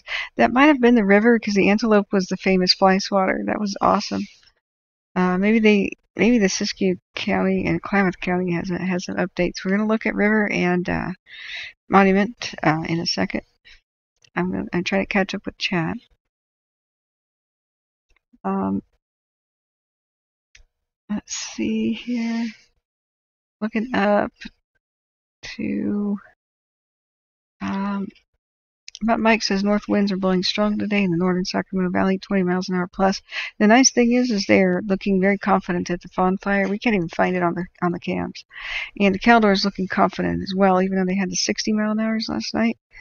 And it was wet, so thank God. Um, let's go to rest of the chat. Yeah, Mountain Mike says he doesn't sound very familiar with the local area on the Windy Fire, but most of them come out from out of the area. Yeah, they just set up shop uh, day before yesterday, so we can we can forgive them. Um, let's see. Coho Val says they should get a pointer stick with a unicorn horn at the end. wow. Um, yeah, William Young says the weather has created some fire control progress. Definitely, yes, yes, definitely. This has been great. Even though it's not the torrential downpours that we were hoping for, we'll take it. Um, the um, oh, hang on, I got it, guys. Mods, let me handle it. I'm getting good at this. First, I did a hide on the webcam thing. Then I did a report message for pornography and uh, whatnot spam. So I think that's going to be our procedure going forward. And Alan, uh, your training day begins. Um, if you see the uh, the webcam spammer person come back, which seems to be almost every day, what the procedure is is there's three dots by the names of people uh, whenever you're a mod, and one of it is like hide the user on the channel. That's a ban. Try not to do that unless somebody's really out of line. Uh, screenshot it and uh, email it to me if you do that. Or at least jot down the person's name and the time it happened. Um, but hide user on the channel, that's a ban. So what we do with like the webcam spanner is we immediately hide user on the channel and then hit the three dots again and uh, report for pornography and explicit because we don't want any of that uh, to run around here. That's one of the biggest problems here with uh, with doing moderation. Uh, what the hide uh, the hide thing is like, oh, they can't show here. We don't want them to be anywhere on YouTube. Um, so what we do is report them with a little flag that says report and then you know same thing with a harasser somebody uh, doing sexual harassment or somebody doing uh, major cursing, cursing up a storm, uh, screaming at people, uh, that's you want to report that to YouTube directly, so that that YouTube bans the person from YouTube, not just from our channel. So the uh, yeah, thanks, thanks, Smitty. And the more people doing their report, probably the more the, the YouTube might take it seriously. And then what that forces them to do is really they get that entire count banned on YouTube, and they have to go through the process of making a new one and probably coming in from uh, a different computer elsewhere, and it really slows them down from coming back and, and messing around with anybody on YouTube. So, but thing is, is that we don't want to we don't want to ban too much. Um, that has happened. Innocent questions are totally welcome here. Sometimes people are eight years old. Sometimes people are 101 years old, and sometimes they're uh, either hard of hearing and don't understand what I've said, or they uh, have vision problems and don't know what's uh, on the screen. And so we, we try to be patient with people, give them the benefit of the doubt. Um, sometimes people have seen really scary uh, other videos that try to say space lasers and shadow governments are starting fires and huge arson conspiracy theory, this and that. They may come in and, and ask the question, and we don't want to like jump on them and make them say, make them feel uncomfortable. If it's an innocent question, we just kind of say, hey, conspiracy theories talk is not allowed here. It just creates an environment of fear and we don't want that even talked about in the chat. This is the facts only resource on the fires. We only uh, talk about what can be confirmed. I heard this from somebody is is not ever allowed. Uh, and so we gently remind people that if they don't obey the rules, that's when the banning occurs. Timeouts we try to do first. But if somebody is 100% nasty, like coming in here and cursing at people, f bombs, screaming at folks, nasty, nasty, like just go ahead and hide user on the channel, but please take a screenshot and email who it was to me. Oh yes, and to know when when things happened. At the top of the chat, don't do top chat, do live chat mode. Live is like as it comes in. The top three buttons you do toggle the timestamps. That's that'll help out with the screenshot. And um, I can tell you guys how to take a screenshot too. Yeah, thank you, thank you, uh, Alan. Uh, also, as a mod, you're going to be targeted, and that's what a lot of people aren't uh, uh, prepared for. A lot of the people that hate me, which a lot of them do, don't ask me why, um, I have fiery passions. I'm very opinionated about uh, what PG&E and, and Gavin are, are like, the governor. Um, plus, when people come in and disrupt and I just throw them out, they get really mad. they will attack you to cause a problem for me. They're going to try to uh, force me to do something. They'll goad you until you might respond to them in a way that's against the rules and then ask me, hey, aren't you going to do equal justice before the law? Aren't you going to aren't you going to ban and time out your own mods for breaking the rules too? And that's what they're trying to start. They're just trying to start trouble. And if I give you mod powers, there's a jealousy factor. So the the way to look at that it's going to be hard, but people will try to annoy you, and you you you guys don't deserve harassment. I protect my mods from these people that are bad like that. Well, look at Tobias cam. This is very uh, cloudy. We can't see anything. Let's see if we can get an eye on the windy anywhere. But the the idea is, don't take the bait. Uh, tell me if a user is harassing you. Like email me and tell and screenshot what they're doing or just copy and paste the, the chat and I'll deal with such people. Um, mods are here to do an important ser public service job and don't deserve any crap. But also, if you just don't like somebody, they're irritating, they're annoying, you, can't hide them from your own view because you have to police everybody in chat. Um, even as much as you might want to. Um, you can't ban them or time them out just for saying something that you may not like or, or for their for their uh, you know uh, them being annoying. Just remind them of the rules and say, hey, please word that in a you know assertive manner, not an aggressive, passive aggressive, or offensive way. Uh, rather than like, dude, don't be a beep, you know? you know what I mean? Um, it's a family friendly atmosphere that's supposed to be welcoming to everybody and we're we're not all gonna like like each other um, or the way we come across to each other but warning people of fire danger kind of goes above, uh, you know, the it, it, it takes precedence and importance. This, this lives are at stake, sort of a thing. So, um, the mods also that don't check in very often uh, will get their powers removed just because we don't know what their status is.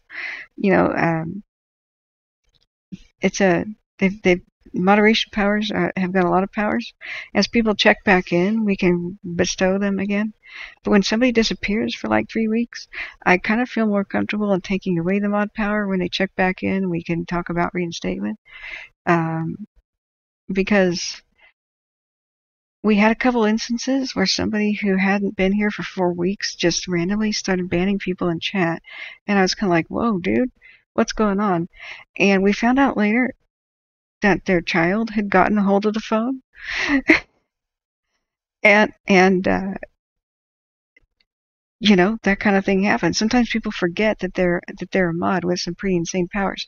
We've had two of them uh, just be hacked, and it, you know, just caused havoc. So the um, that's the general gist of it.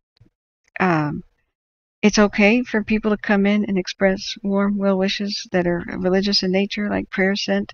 It is not okay for people to do doom saying, repent, you sinners, you know, that kind of stuff. Uh, you know, we, we keep it an, or, uh, an atmosphere where everybody can feel welcome here. But we, we don't want also people to use this channel to just further their own agendas or their own uh, non-fire related, uh, you know, uh, thing. If it is fire related, go ahead. If um, somebody's come in here and been awesome, like Budgie, you know, helping to moderate from the UK, uh, I, Budgie can link, you know, her own uh, video game channel. I, I like to help out the people that help out here, you know, as much as she wants. Um, but when you have link powers, in general, the uh, I, I can't even find anywhere to look at the windy. Look at all the cloud cover, guys, in the general area down there. That's that's kind of nice. It's a partly cloudy day. Where where's the uh where's the lookout tower? Bear Mountain, Fresno shows a whole bunch of stuff. Uh, I keep forgetting its name. Kenzie Ridge is completely clouded out. Um, Buck Rock 2. Let's do a uh, time lapse. Yeah, there's just clouds here. That's nice. That's that's why the humidity is is so great on the fires. It's it's cloudy. So anyway, the the, the general idea is um um you may be banning people who are my donators. you know what I mean? Like uh, be very very careful. Um to not do, to not do that. Uh, if somebody's totally out of line, they, they might need a ban and, and like a time to cool out. As long as I know who they are and they can uh, email me. If it's a misunderstanding, that's okay. Some people come in consistently with sarcastic humor. So like Illuminati confirmed is, uh, you know, sarcastic humor joking about me being a lizard person. Uh, sometimes, sometimes we we joke about that, but the people doing the actual lizard person uh, accusations should be thrown out. But the uh, the joke about it, you know, uh, make just kind of ask people, are you being sarcastic? If somebody says lasers confirmed, you know what I mean? Um, so let's go back up to, but we don't want this to be a dramatic cesspool like like many uh, online kind of forums can be.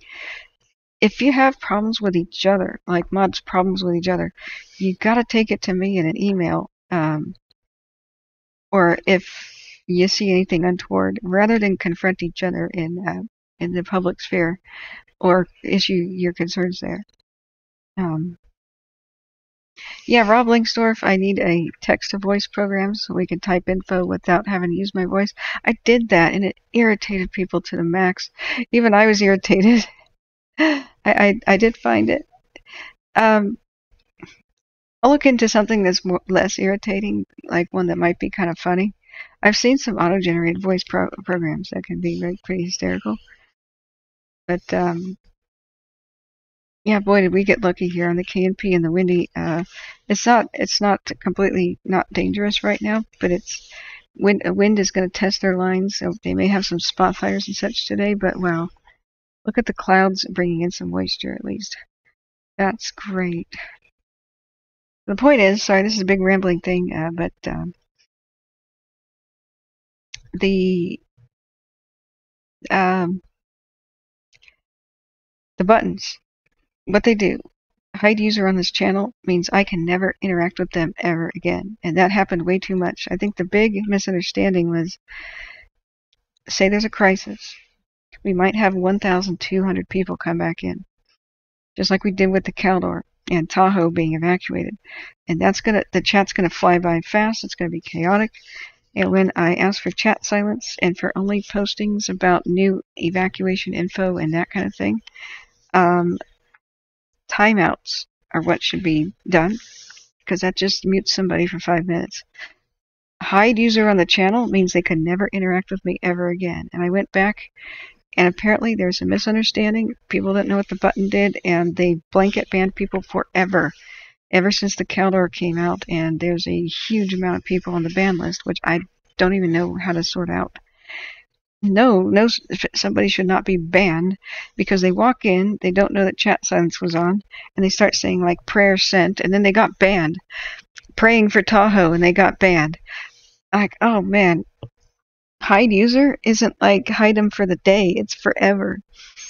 I wish it was called something else. But uh, that that's that's been a nightmare. Every single day I like unban like 40 people trying to go back to just what happened on that particular day. And uh, some of those people were my donators. And I, I'm on apology tour, like I'm typing up emails every day, like I'm sorry, I'm sorry, guys, that was a misunderstanding. Um, Hey, Dusty, how are you? Uh, so anyway, that's it in a nutshell. Um, if you have any questions, you know, bots, let me know. And uh, the the politics thing is about not blaming each other and other groups, like the left not blaming the right, environmentalists not blaming loggers, and vice versa. We don't allow people to come in and say this group and this group did this and this and this, it creates an us versus them mentality. And so you people can still speak about what might be the problem with fire uh, education and awareness in the public and what's causing fires. However, instead of saying Sierra Club sucks, you know, somebody's allowed to, to say, I think maybe we should have a letter writing campaign to the Sierra Club and other groups to change one of their policies. See how different that is? That's different than blame. That's going on the. It's finding a solution, a possible solution, and suggesting it. Like the 1964 rule uh, about roadless wilderness that was enacted by Congress should probably repeal, be repealed and updated, where the wilderness is still protected from development, but we allow fire access roads. Boom. That's positive. You know, that's like that's better than that rule sucks. you know what I'm saying? Big dog. Okay. Okay, big dog. We might want to be easy with that kind of comment. Um, I have no idea what you guys are saying. Now now I have to go back and look at chat. I'm afraid what what has been going on in chat since I've been looking at these cams, guys. Here's our smoke outlook for the day. Let me, let me go back. Um, the bear urine thing was pretty hysterical. But I don't know what you guys are talking about. With what what is a Russian nun? Like what's going on? Uh, Dusty was saying pine needles absorb relative RF. Never heard of that before. We were talking about dew. I think they reached dew point. Uh, Dusty. Um, is that what somebody else was saying? Are you correcting me? Or I don't know what's happening at this point. Um, have you ever been camping in the mountains and you have a very dry sleeping bag? and then you don't bag it. You don't put it in the plastic bag, and you go around and you come back. Uh, like you go over to a campfire, your sleeping bag's elsewhere, and then you go back to where your sleeping bag is, propped up against a tree late at night, and it's soaking wet. That's because of the humidity, the cloud cover in the mountains. That's what they can do, and that's how pine needles can also get wetter because of cloud cover. Just like my sleeping bag that night that I almost froze to death in the Sierras. Um, we're talking about cloud cover relative humidity, 80%. So, yeah, I don't know what RF is, but um, were you talk was it, were you meaning FRH, Dusty, or am I totally off about what you were saying? Um, the back up there. And going back to the chat, I have no idea what the Russian nun joke is. I don't know that I'm comfortable with it. I don't know what you're referring to, Smitty. Um, J Cat says, "Hold on, I thought Smitty was here for us to harass." Oh wow, wow, J Cat. Uh, okay, looking back at chat. And we're going to look at the monument and river complex next. Fawn fire looking great so far. Um, Windy and Caldor looking better than we ever expected. Uh, uh, Windy and KNP. Caldor's looking great. Um, this is our smoke outlook. Look at the nice air quality. We have red flag conditions in the northern valley, and just hopefully nothing starts in the valley. But flatland is easier to contain a fire uh, in general. Just knock on wood. Um, I just need to catch up with chat. We're about to make Ellen uh, mod. That'd be pretty cool uh, to have you, man. You're one of the, the good team players here. Bear Mountain Shasta Cans back up, says Teen Homesteader. Cool, let's check it out real quick. Sarah Tahoe, let's check it out. Wow. We got so lucky. Even though there was fierce winds, it was very rainy. Uh, well, not very rainy, but just moist enough, and then the cloud cover brought a lot of moisture. Let's look. We have a uh, Highline Trail Cam. Look at all the retardant over there, ready to help with the north wind situation today. Whoa, there's a helicopter on the on the helipad at Bear Mountain. Thanks, Team Homesteader. Isn't that cool, guys? What is that little guy? Sea probe. Malcolm, what's that? It's a little neat little helicopter. Maybe that's why the camera's alive. Uh, did somebody just land to fix it? This camera we thought was a goner. We saw huge flames roaring up to it uh, during the whole bonfire. The flames were licking at the camera's lens, and then splash! All of a sudden it goes out, and we saw a helicopter's belly uh, veering away from it. That was cool. But you could see how many bushes they allowed to grow up right next to the cam and the critical infrastructure of communications. Uh, that should never have happened. We were like, what? What? So, um, seriously, guys, what was the nun thing? I don't understand this private joke. Um,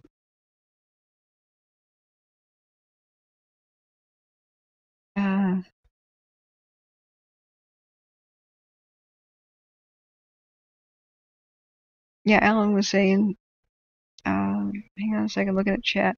Radio frequency. Okay, then I don't. Yeah, Dusty, I, I went back up and I was quoting you, uh, because you said I'd never seen RF. I've never known RF to absorb uh, something about pine needles. Uh, um, maybe I misunderstood your what you were saying. Let me go back up and uh, can't uh, copy it. Um, it's kind of far up there. Back in when we were talking about the uh, the presentation of, um, I think it was, I think it was um, Oh, JECAT. Cat. Okay, that brings it perspective. What makes cell and Wi-Fi in remote softwood forests is the pine needles and the frequency used. The pine needles absorb a lot of the radio frequency, and digital is far worse than analog in the pine forest. Oh, you were talking about radio's uh, interference. I thought you were talking about relative humidity and said F and typed F instead of H, Dusty. So that's what I was saying. Uh, that's why I was saying, yeah, they can. so sorry, I thought you were making a typo. You were actually talking to JECAT about radio uh, frequency interference. Okay, okay, we got it. Um, let's look back to.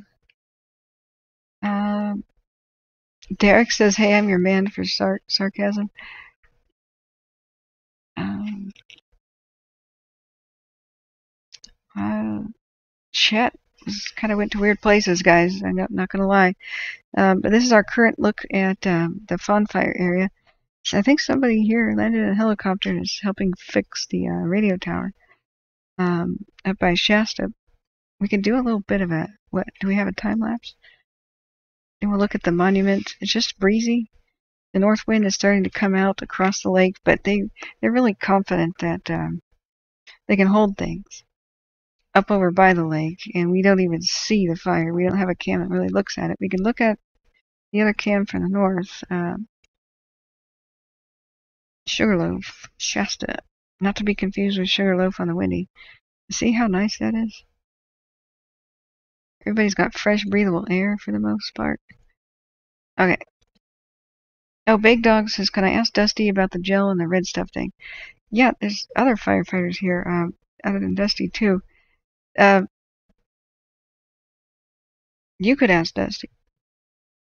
Uh, what was your question exactly, Big Dog?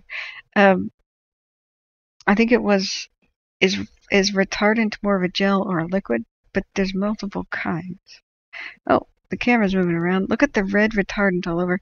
Look at the thick brush and trees growing up around the radio tower. Like, come on. This is what we're so critical of. This shouldn't be allowed. There should be a defensible space around the critical comms. If this radio tower had burned up, firefighters wouldn't be able to communicate with each other, and they'd lose the the fire watch cam. They ne- they dang nearly did. The fire probably did chew through the wires, which um, brought down the cam since the fire the fun fire began. They had to go rescue this cam with a helicopter instead of rescue the neighborhood. That's just gross. That's just wrong. That's why we're uh, pretty critical about this. Ah, okay. Is the gel and the red stuff one and the same? Oh yeah, the the fire retardant gel is red. Uh, but there's different types. Some of it's more liquidy, and some of it's more of a gel because there's different types of flame retardant. Maybe maybe Frank, uh, who's firefighter Dusty, could explain uh, the differences, or anybody who's bought it for their home. We know Phos-Chek was kind of he almost did like an advertisement for it. Uh, blancolirio channel.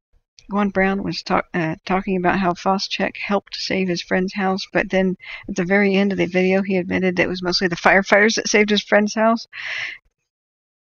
But well, he put Phos-Chek on the bushes in front of his house, and those didn't burn. But well, the firefighters were there the whole time. But, um, okay, Alan, are you ready? Are you ready? Your mission? Do you choose to accept it? Um, drum roll, please, Alan. Use your powers for good. But you definitely deserve it. You've been a, a great, helpful person here. You are knighted. Left shoulder tap, right shoulder tap. Rise, Sir Alan. You are now a moderator on the channel. Thank you. Okay. Now, guys, banning people's okay if they're super out of line, like for obvious reasons. But please, do you do you know how to take a screenshot? Please screenshot with the timestamps on the video and email that to me the moment that the banning takes place. My email and Twitter is in link in the description. Kathryn.davidson.wildfires at gmail.com. Now, anybody who feels like they were banned on accident or for a bad reason, a couple of my mods got hacked in the past. A couple of them didn't know what the buttons did. Um, some of them were pure accidents. Uh, please email me. Tell me what your username is, and I'll try to uh, what day that might have happened, and I'll try to uh, figure it out. So it's an honor to harass Smitty. Ooh, shots fired, Helen. J.E. Cat says kneel before me. Man, what a power trip. What have I done? Okay. And also, please write me an email with your contact info. Phone number helps in case there's a problem. And uh, at least so I can email you. So email me immediately. Give me your contact info. Um, and then I can ask questions like, hey, what happened Saturday night? You know, that kind of thing. Even if you're not around. Private messaging within YouTube is kind of non-existent. So, um, Dusty says, not sure. I'm a few years behind in the latest retardant in uh, commercial uh, retardant technology. If they have some special ground use gel they can spray it on things, wouldn't surprise me. Yeah. Um, we, we could look into that later. Right now, we want to check on the river complex and the monument. Uh, I think that one was Shasta Trinity is the monument. What do we have new? Uh, there's a new photo at. Uh, that's not a photo. That's a update thing at Lassen National Forest. It, want to make sure that's not a video. Hey, we do have a video. Okay, let's go with the Dixie West Zone video. It uploaded 36 minutes ago. Buddy, my name is Casey Cheeseborough, Operations Section Chief with Rocky Mountain Team Black. I'm here to give you the morning operational update for the Dixie Fire West Zone uh, for September 28th. Uh, no additional growth on the fire yesterday, still sitting at 94% containment. Uh, really good day yesterday for the crews. We had that critical weather coming in with the dry air mass, uh, windy weather coming in, and everything continued to hold. Had an increase in smoke throughout the fire area, but uh, crews were able to hold on to uh, any any uh, contained edge that we had out there. So no slop overs, no spot fires, just a really good day. We were helped out with the weather a little bit early. The uh, the rain came in about four to five hours earlier than, than what we thought it would. And uh, reports are, are showing that we received rain across the entire fire, although the amounts do vary. It had up to a half inch in certain areas and as low as about four hundredths of an inch in other areas. So crews are out there today uh, assessing kind of what that rain did for uh, our future operations. But uh, good news all the way around there. We'll just start over here uh, down at the very south end of the zone. Everything continues to look really good up here through Butte Meadows. Uh, no issues there yesterday. Any smokes that people were seeing were well interior of the line, no threat uh, to our containment. And then coming up here uh, into our Division Kilo and Lima towards the national park, things looked uh, really good in that area. Still continuing a lot of our suppression repair efforts within the national park. That's all going really well. We're getting more equipment in to help clean that up. So uh, some of that equipment will be working out on the highway today, cleaning some of the debris up out there. Uh, so really, really happy that we're getting that equipment here to, to keep making progress on that operation. Coming up here near Old Station, no issues there yesterday. Again, increase in smoke, but everything well interior, nothing that was identified as a, as a threat by any of our crews out there. As we come up around uh, near Fall River Mills, around the north end of the fire, again, everything looked really good. I uh, had crews spread out here yesterday just monitoring everything, but with the increase in wind, uh, we did back some of the crews out to the main roads just due to the snag hazard with some of the burned trees there. Had an increase in trees coming down, so for crew safety, we did pull those folks out to uh, out to the main roads just to keep them safe.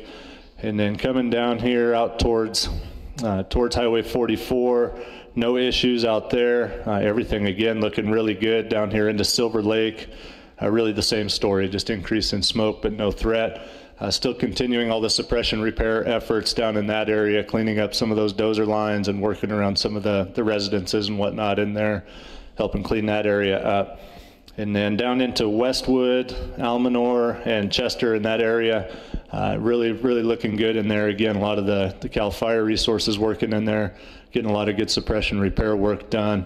and then uh, just dealing with some of those smokes that are, are near the line, making sure we don't have any issues. But uh, that would be the area where we got the least amount of rain was down around Lake Almanor, so we'll really be focusing some efforts in there to make sure that things are looking good.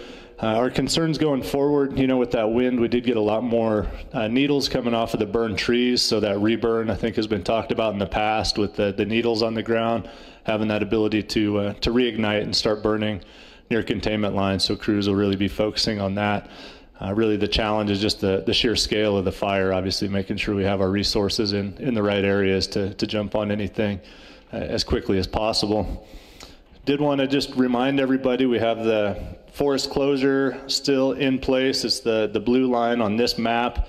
I believe on the Lassen National Forest webpage, you can, can find a map also with that closure. And then uh, all of Lassen National Park is closed as well. So just want to remind the public that those areas are closed. That's for the safety of, of both the public and the fire personnel as well. So just ask that you guys stay out of that area for now and, and be patient with us on that. Uh, that's all I have for today. Uh, thank you. Look at the stay. look at the enormity of that map. Just that was all kinds of telling. Uh, wow. People out, people back east may not understand how gigantic this entire region is. This is if you were to zigzag around in your car, um, this would take many days, many days to drive around. The perimeter of that is like the distance from like Seattle to uh, almost to LA. The the dark brown, the previous burn scars, so you don't count them, but all this peach is the enormity of the Dixie fires. So if you you measured, this is a 58 miles. I think this is 62 miles. Um, as the crow flies, if you went up and down and up and down, um, that would be way, way longer. That'd be hundreds of miles uh, if you count the actual terrain. Um, if they hammered this flat, it would be the size of Texas. That's what one of the comments was, and it's true. And even, even uh, not counting the up and down nature of the terrain, the the massive, you know, peaks and valleys, um, that still is larger than the state of Rhode Island. That that the Dixie Fire is almost a million acres in size, um, square. That's five different counties. You've got Butte County, then it went into Plumas, went into Lassen, Tehama, and Shasta. And uh, it really wasn't far away from Nevada. So this fire is completely optional, started by Pacific Gas and Electric's uh, shoddy maintenance uh, procedures, presumably. Their equipment is what they took responsible responsibility for. They had tree lean over on it, and this keeps happening again and again and again.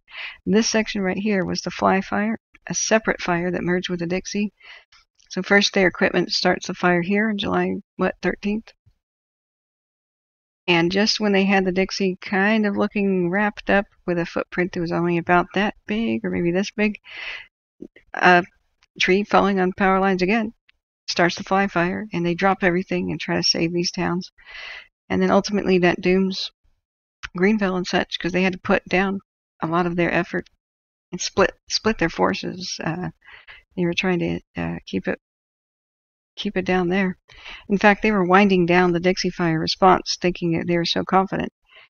Um, they were shutting down some of the um, command posts because they had different ones, places like Quincy and Westwood and other places. And so they're like, oh, we don't need this one anymore. And we only need community updates like once every other day and uh, not every day. Then everything went to hell. Uh, everything changed for the worse when PGE equipment again started a fire and uh, started the fly fire. And uh, it's it's a repeating thing. Uh, Shasta County Sheriff's Office just charged put criminal charges on PG&E because last year they started the Zogg fire with the same thing, trees falling over on their lines, and um, their equipment just falling, uh, faltering and failing. They um, the criminal investigation into them for um, when they started the uh, Paradise Fire uh, was that uh, they were they were guilty of manslaughter and they pled guilty. With the Zogg fire, they just uh, got they were just charged with manslaughter again last year. And uh, the tree that leaned over onto the Zogg fire lines and, and started that by by Redding um, was half broken apart and leaning, and they had made note for its removal uh, for two years, and so they knew for more than two years that it was a hazard.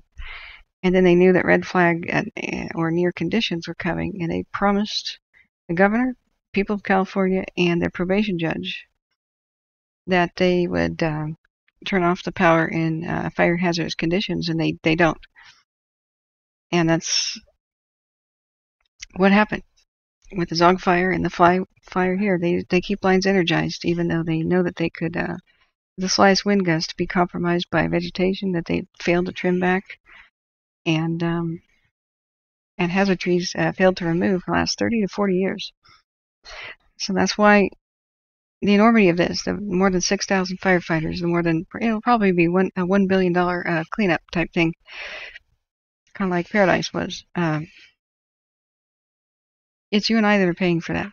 All the other fires in California got bigger after this because they didn't have enough firefighters in all the state to um, respond to this. They pulled them in from the entire country.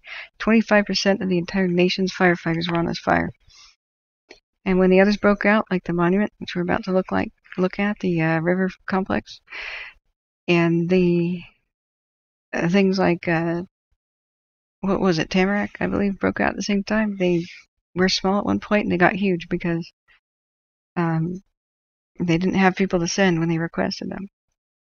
Same same deal with uh, Windy and the KNP. There's still thousands of firefighters on the Dixie that the fire that didn't need to happen, and uh, it was really small for a couple of weeks, and then boom, exploded. They just didn't have enough people to respond to it. So hopefully one day that company is reined in and they stop killing people and burning up, uh, you know, five counties at a time.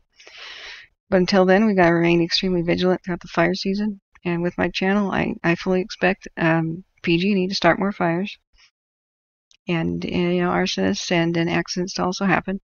We are just now entering California's worst fire season, which is the Santa Ana and Diablo wind season. So we are not uh, exiting it. We, everything is not looking good. We're having a reprieve right now. But the mountains are not really safe until there's snow on them and the hills and the foothills and the valleys are not safe at all during winter. October, November, December, January. That's the craziest, worst fire season for the foothills and the valleys and the coast range. Santa Ana's and the Diablo winds usually occur at the same time. So we can celebrate that the end of this one is near, but more will come. And mark my words, I think PG&E will start more fires this year. This is a grim prediction. I really hope I'm wrong. But last year we saw it, you know, just when the glass fire is cooking up, the uh, Zogg fire goes. So they have to stop everything and uh, on the um, August complex, drop everything, go respond to the Zogg fire. August complex grew to the California's biggest wildfire er ever as kind of a result. So that's what's repeating here, the pattern, but hopefully one day we can break it. Let's go to let's see, was it uh, Siskiyou, uh, Shasta Trinity National Forest? That should have the monument updates. Hopefully they have a video.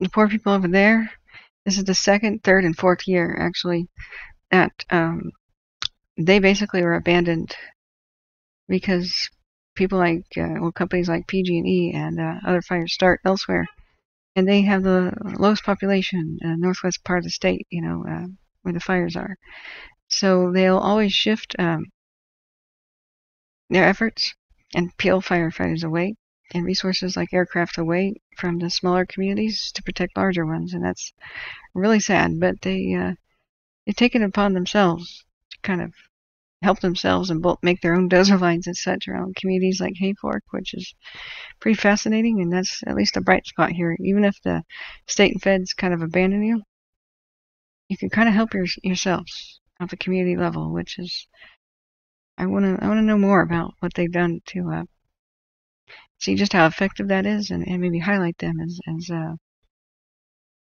you know s- slave rolling up uh, heroes to save their own community.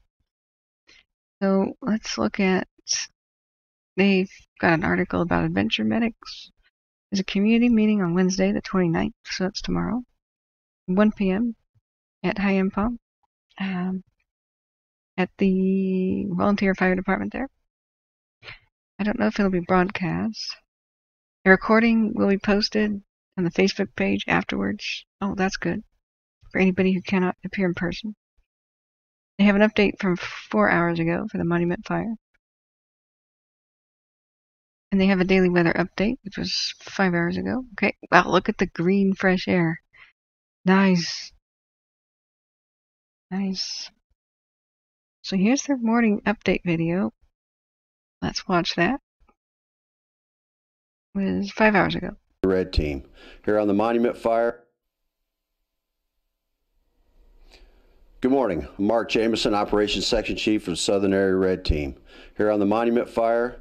So for today, I mean, last night we got some pretty good rain over almost all the fire area, especially on the west side over there. They got it pretty much all day, light rain yesterday, and last night down here in in, in Hayfork. They got a good rain last night, so it's all good. But with it, with that rain, roads are slick, hazardous conditions, rocks are more likely to roll, trees are more likely to come down. So they'll be going out slowly this morning, making sure things are safe. Up here in the uh, Shovel Lake Gap area and Backbone Ridge, they'll be out there doing some more mop up, making sure everything's looking good. Starting to pull the hose if they think it's good, easy. If they think everything's well enough, they'll start pulling the hose out of there. And patrolling, doing the structure um, defense, making sure everything's good on the way. Down here from uh, Hayfork on around, there'll be uh, also pulling hose, doing some mop up. They're starting to rehab some of the hand lines and looking at rehabbing and, and repair, suppression repair activity on some of the fire lines. In uh, India and Kilo around uh, Trinity Village area and up toward Derry, they'll be looking at the uh, also, but real slow out there. They got the most rain. The roads are slick, but uh, they'll be doing some mop up where they can get in and, looking at uh, further um, mastication work and chipping work up toward Derry. So that's the plan for today.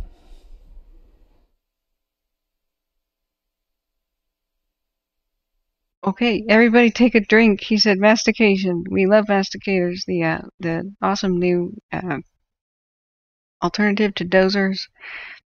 Um, new technology that's helping to make a new era of firefighting. They're like a, a wood chipper on steroids at the end of a tractor arm, and uh, it goes and will kind of destroy trees instantly or bushes by the side of the road, making a quick fire line. And um, that's way better, more environmentally friendly, and faster than dozers. And it has a uh, buzz saw, a grabbing claw, and a wood chipper at the end. So it can grab a tree's trunk, cut it off at the base, lift it up off the ground, and wood chip it. And so only wood chips hit the ground. That's way better than felling a tree and crushing everything in its path and, uh, you know, dragging it around like the old uh, type of thing, or or making a having a bulldozer push over everything and destroying everything in its path.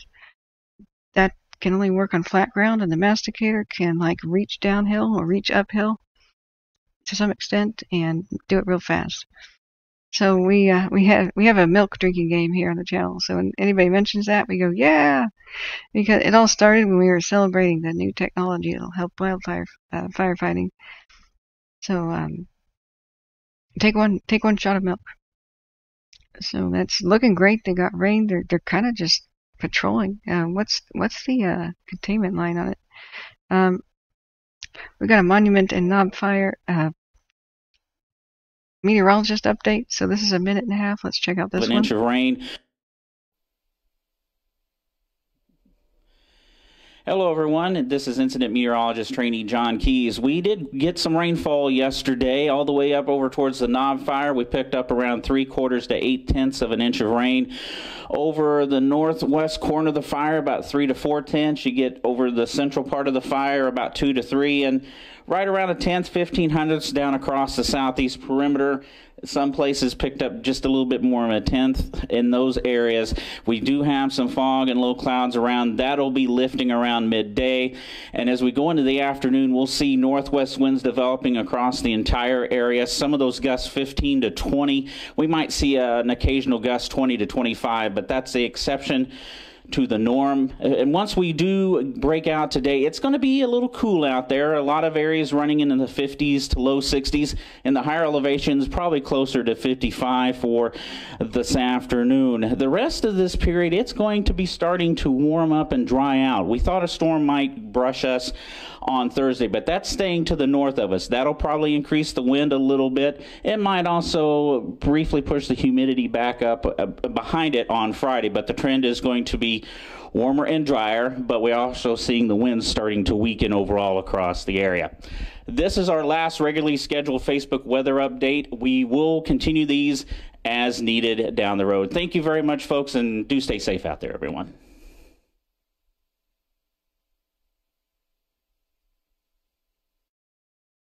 All right, that's um a short little video there explaining the weather. I love the little chart, and uh, let's go back to where let's go back to where it was shown clearly. Okay, here we go.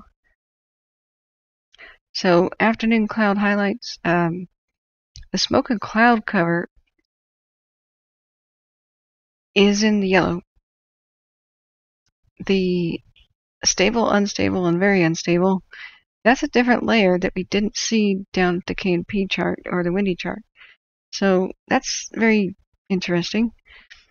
Um, the ridge winds are very low, so they're all green across the board all the way through Sunday. But looking at the Friday, they have an unstable wind uh, and the weather pattern. 80 degrees is a high. I can't believe it's going to be 84 and 85 again. I mean, that's that does happen in September in the uh, northern section of the state. It's kind of a special spot where there's a lot of heat that uh, that happens from the uh, the desert that comes in every once in a while. The desert winds, the north winds can sometimes bring heat. It depends on where they're coming from. Max temperature, uh, and then minimum humidity uh, 19% and 19% again is still pretty low. But recovery, 95% in the morning, this morning, that's awesome. That's starting to look better and better just as the seasons change. So, precipitation chances zero really sucks for the rest of the week. But um, still, that's um, overall looking looking pretty good. It's going to get drier. It's not a done deal. Let's see what their containment percentage is at the moment. Um, Monument Fire update. Current situation started July 30th because of that lightning thing that happened. Um, it's now 223,000 acres and one and 72% contained. The increase in acreage today is due to better mapping, so it's not like it all um, increased in one night. It's just that they weren't able to fly around in, uh, in the storms. Rain cloud cover and 90 to 100% relative humidity greatly reduced the higher behavior yesterday.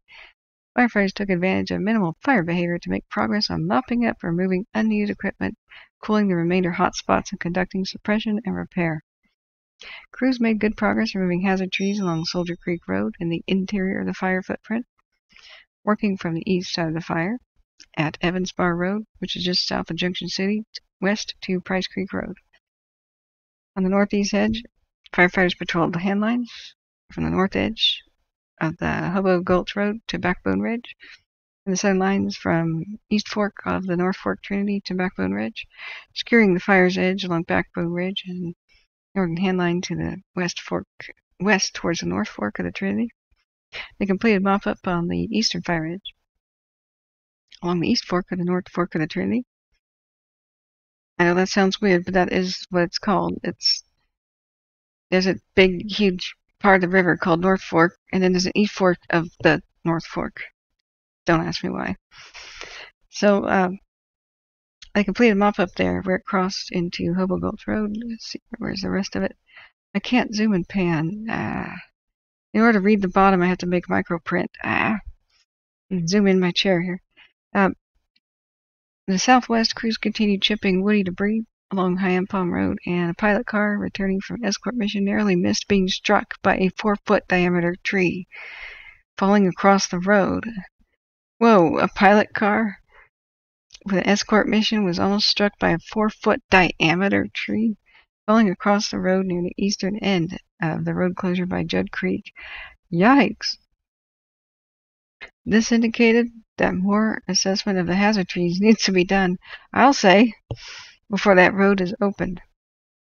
Crews continued to make good progress chipping up slash along the uh, 08 Butter Creek Road. I hope that they had a GoPro or a dash cam or something. Northwest side, firefighters patrolled, mopped up, and assessed what equipment is in excess. Crews scouted roads up to Jim Jam Trailhead to see what work needs to be done to reduce fire hazards and widen the defensible space along the roads. Um, is there page two? Let's see.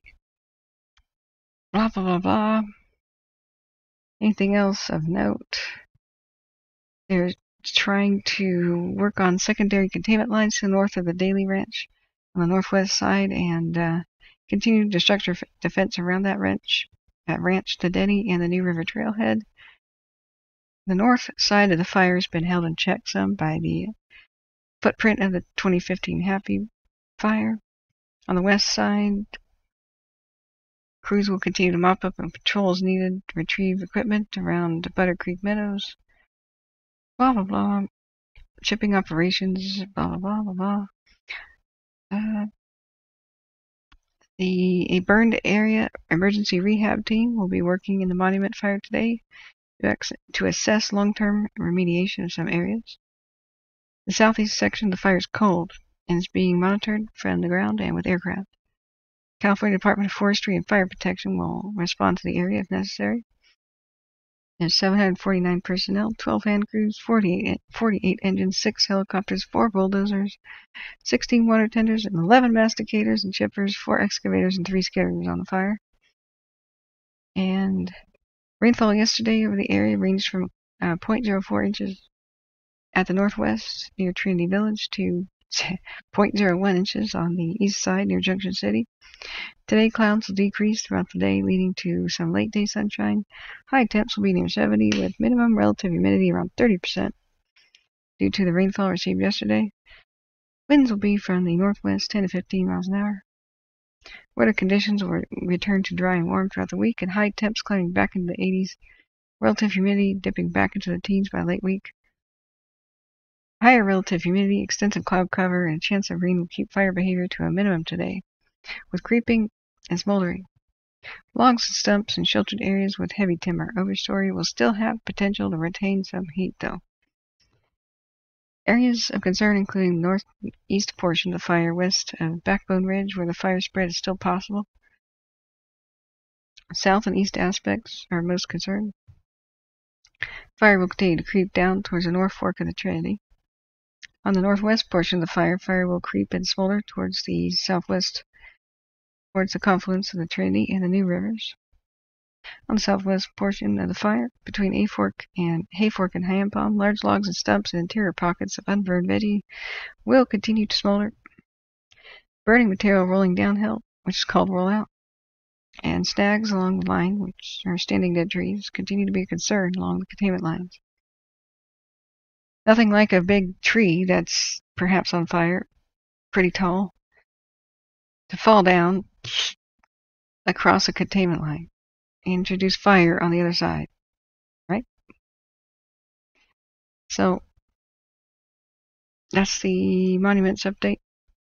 Let's see if we've got something for cache and whatnot.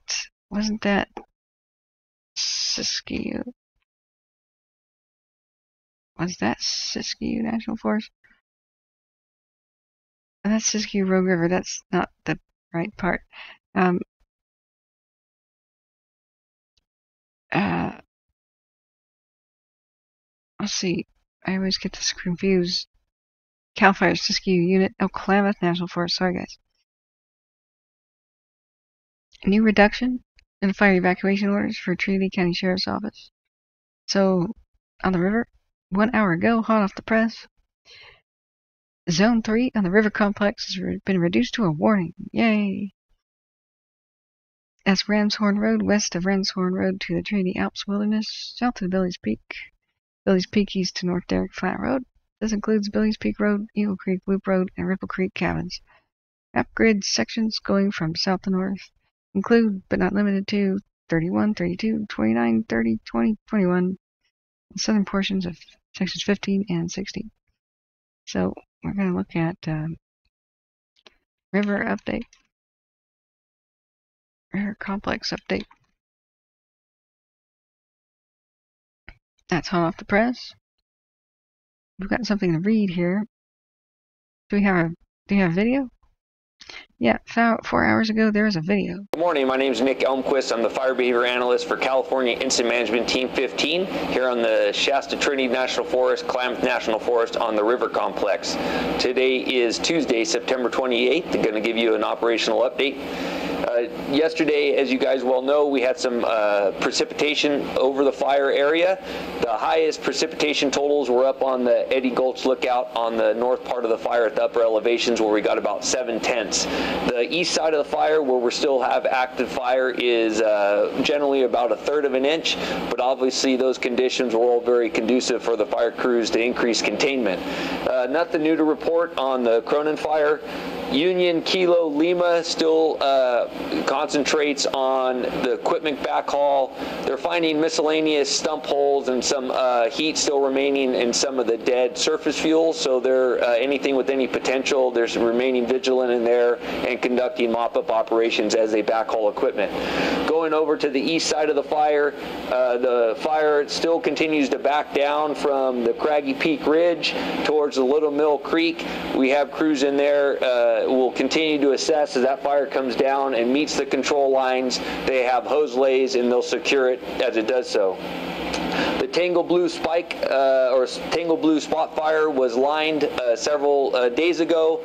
They continued to secure that. It's about 300 acres, um, so we're feeling pretty confident after yesterday's rain that they'll be able to uh, show that um, and leave it unstaffed. It's actually black lined on today's map. Those crews are going to walk out to the west and pick up the fire's edge and then start uh, constructing direct line uh, where safe to do so.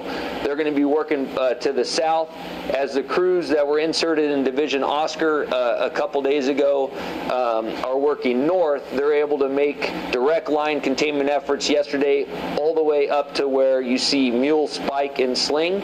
So that's where they slept uh, last night. They're being supported remotely with helicopter operations that uh, sling in their gear, food, and saw gas. And so the, the plan is they'll continue their direct line efforts to the north as the crew from Division or the crews from Division Mike work south. There's some of this area up there that they're not going to be able to get into just due to terrain, but uh, we're feeling pretty confident that they're going to be able to access and get direct line on any areas of concern. So that's going to be the emphasis the next couple days. The fires in uh, Minnehaha Creek in Division Oscar, that's old direct line. Um, we're still going to have a presence, uh, crews in there mopping up, taking advantage of this uh, weather that we currently have. The, uh, the main concern, and it's not that big of one, is just roll out. There's very steep slopes, so any sort of burning material or trees that uh, burn out that are holding heat could potentially cross the line. So they'll continue to uh, secure that portion of the fire the next next several days. Everything looks good uh, down on the south side of the fire. There was an unburned uh, island that was holding heat up uh, Upper Coffee Creek Road, kind of near the North Fork of Coffee Creek. There's going to uh, be a crew that goes in there today. It's well interior, but it does have uh, several acres of unburned fuel around it, so they're going to look to cut that piece of heat out to make sure that there's not any issues uh, moving forward. Everything continues to look good on the south end of the fire. Uh, there's still a few unburned islands up here in the Sugar Pine Butte area that'll continue to consume, but there is very good uh, granite ridge here, so we don't have any concerns about that moving out or moving around too much. Um, everything is still looking good on Division Romeo and out in Division Sierra and Tango. That's out in the Trinity Alps Wilderness, and that'll continue to be monitored by air. And uh, last night we weren't able to get an infrared flight like we normally do due to the cloud cover, so the perimeter remains as it was before at 198,555 acres. We plan on getting one tonight, and that will identify the remaining hotspots. That's the end of my report. Appreciate you listening. Thank you. Well, very happy that they got that. Um, they got that spot fire contained, and they're so confident about it. They're like, "Well, we don't need to be there anymore," and we have to appreciate how these these crews just slept outside in the wilderness. I wonder if they have tents or whatever. Maybe Dusty or, or Frank can let me know. What do they do when they have to camp out? Do they carry around tents on their backs, or they sleep under the stars, or does a helicopter come and bring them tents? Um, how does that work when they um, when they hike into an area and have to sleep out there? I'm kind of curious. Um, that's looking much better. The river complex uh, is uh, finally starting to turn the tide on that one as well. We've got some good moisture and some rain. It's awesome that the evacuation um, evacuations uh, are being reduced to a warning in some places. The bulletin release for today um, will illuminate on what he said. Although light, yesterday's precipitation combined with below normal temperatures extended a period of high humidity will keep fuel moistures up for the next several operational periods. Yay! Next several days.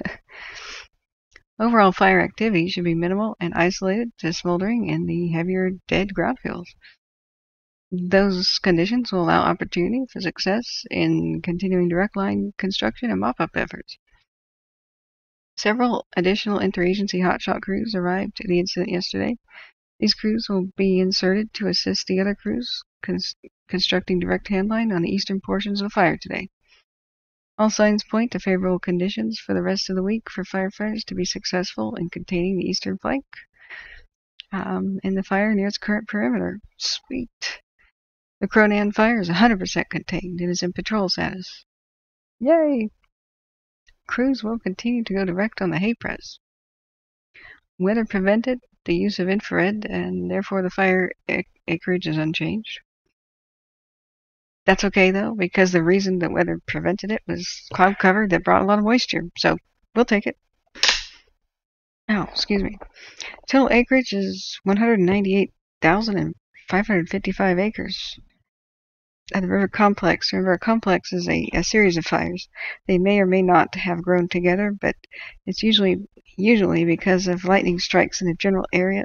When they all start at once, they'll just call that a complex. They many of them do merge together over time, but not all of them. Like the Cronan was was out by by itself there. So the Haypress in the summer is 192,000 uh, 615 acres. The Cronan itself was 5,940 acres. Containment in general is 67%.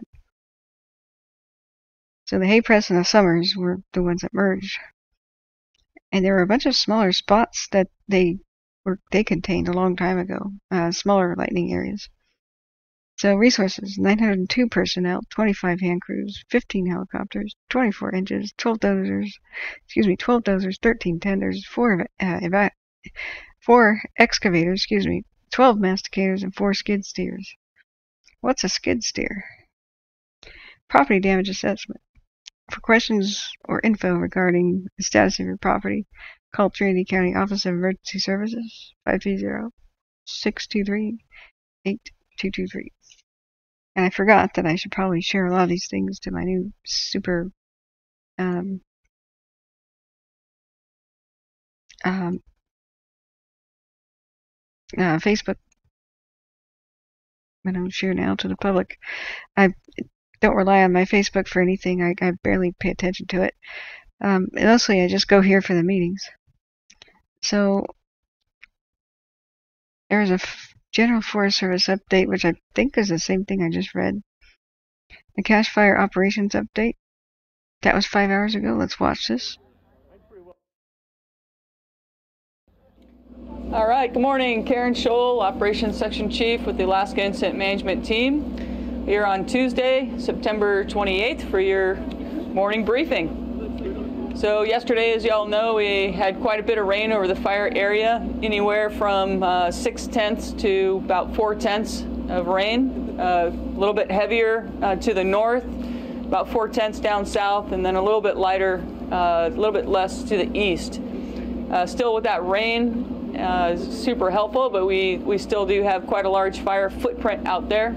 And as the days start to dry over the next week, can anticipate some smoldering of uh, fuels again. So the rain helps, but it's not over just quite yet. Yesterday we did, we were able to get some folks off the blacktop, basically working off the blacktop, uh, pulling structure protection up and around some uh, campgrounds to the north, and then up in the Happy Camp area, few folks uh, out in China Grade area uh, staying on the blacktop because you know how the, the roads get really slick out here. So just trying to keep everybody safe with all the rain, but some work was being accomplished. Uh, as you can see, we did blackline this the other day, so today's plan is for those uh, folks that are up here is to continue and do another walk walk through grid basically of uh, of the line as it comes down towards the uh, Buck Mountain area. And we're anticipating this will be blacklined uh, by the end of shift today. Uh, that's the extent of our intention of going into the wilderness to do suppression activities. So we're going to hold it up there. Uh, the reason we don't need to or feel we're, we're not going to go into this area uh, on the eastern portion is all the natural barriers that are out there. The rain's taken a, a big um, punch out of the fire. And during our time here, really, we haven't had any forward progression. We've had some areas close in, but we haven't really had any forward progression to the east. Uh, that with the extended uh, distances and lack of ability to support people out there, uh, we just don't feel that it's necessary uh, to get boots on the ground all the way around the rest of this fire. As we uh, move to across uh, today's plan up in in uh, the northern portion is to get people as able. we have to let the, the, roads dry out a bit, but have folks back into the Elk Creek Road area assessing what they can do. Our resource advisors are with them, advising on uh, what types and when uh, and where the repair work is going to happen. And again, the repair work is suppression activities uh, taken to suppress the fire. So putting bulldozer lines in, putting hand lines in, um, masticating roads, uh, hazard trees uh, removal, all of that has to be dealt with and that's all considered repair. So those are the types of activities that are being assessed uh, and when we can start engaging, we'll get in there and do that. We've done quite a bit already, mind you, but we're uh, continuing to, to consider the conditions uh, before we commit people. So over the next day or two, we'll be really moving forward on that. We'll have folks up in the chicken ladder area, Bishop Bowl, taking a look at that um, and uh, ensuring that everything is good. I mean, obviously with the rain, that's super helpful, uh, but we will have folks in uh, putting the heavies out. And the rain doesn't generally put the heavies out uh, for quite a while just because of the dryness of those fuels. So folks will be in here mopping that up and then also assessing the work areas for uh, the repair. Uh, our structure group talked about them already pulling a lot of the pumps and hose out of the out of the um, uh, communities to the north as well as Independence Ferry area. As we move back down around to the west side of the fire, a lot of the same activities are happening down here. As you can see, there's a lot of repair that needs to occur in the uh, south of the uh, lookout.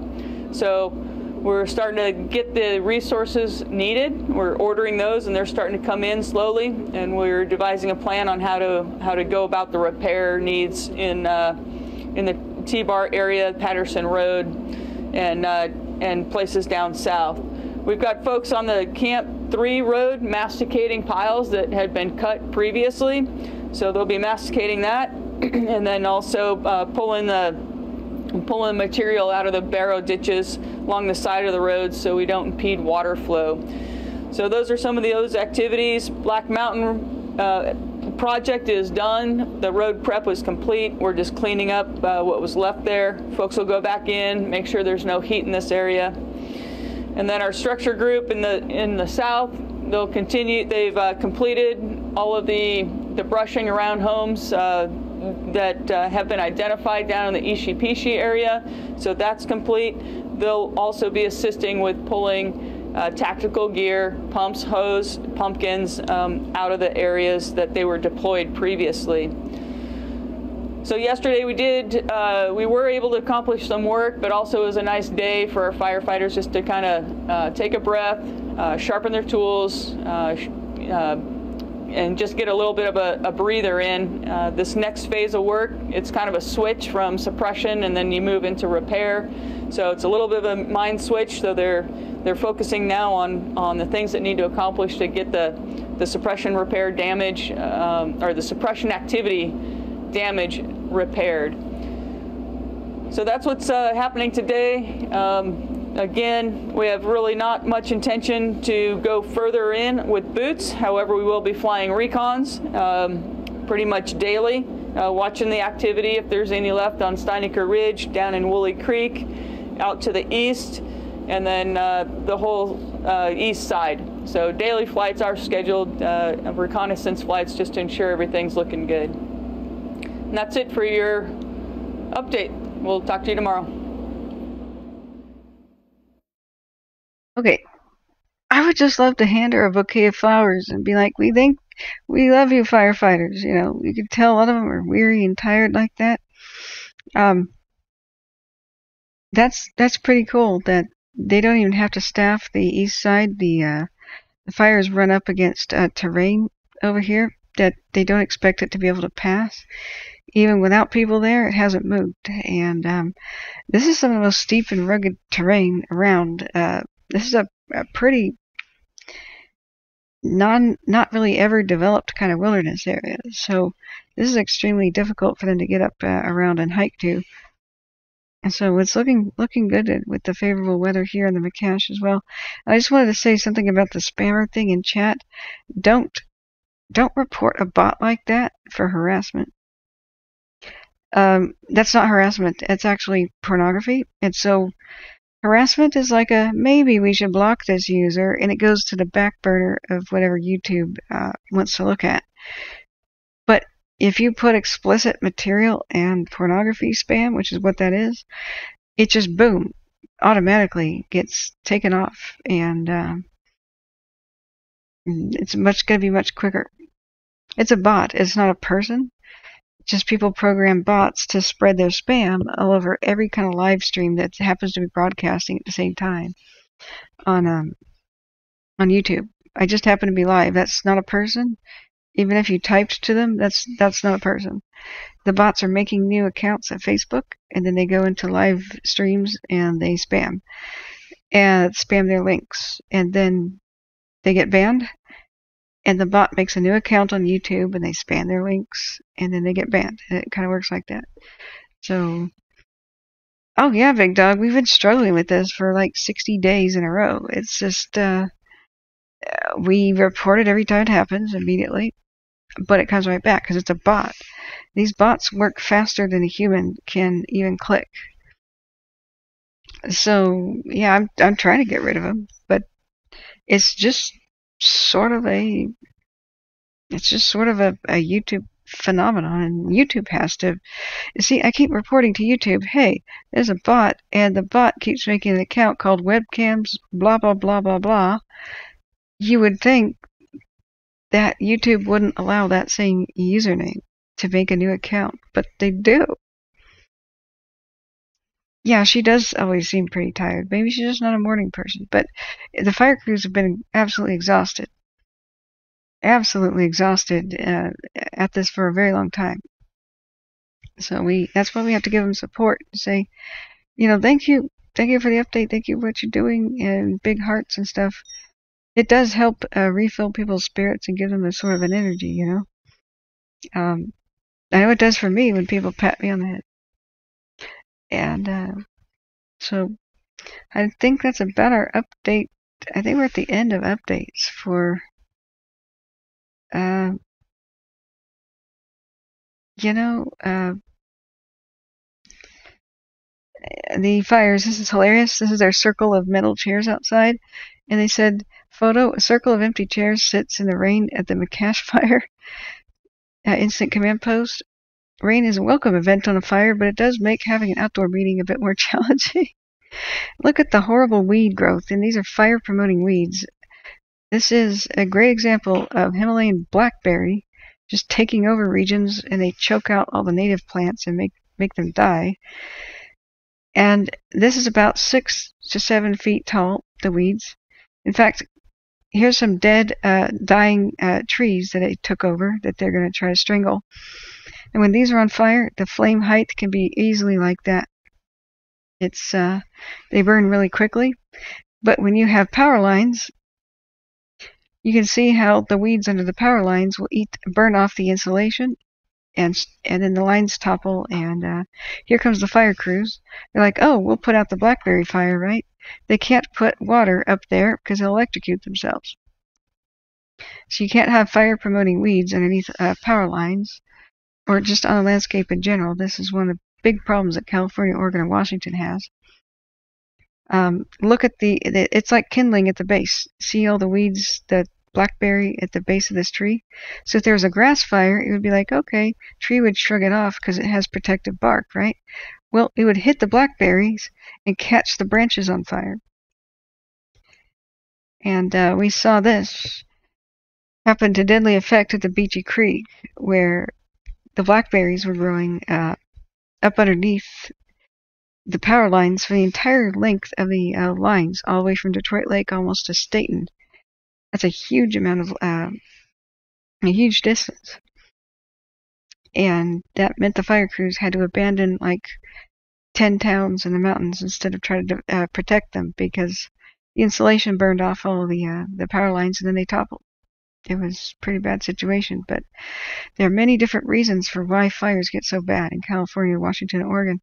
And Himalayan blackberry, these horrible weeds and fire promoting weeds like uh, Scotch broom and non-native grasses that promote fire and burn uh, hotter.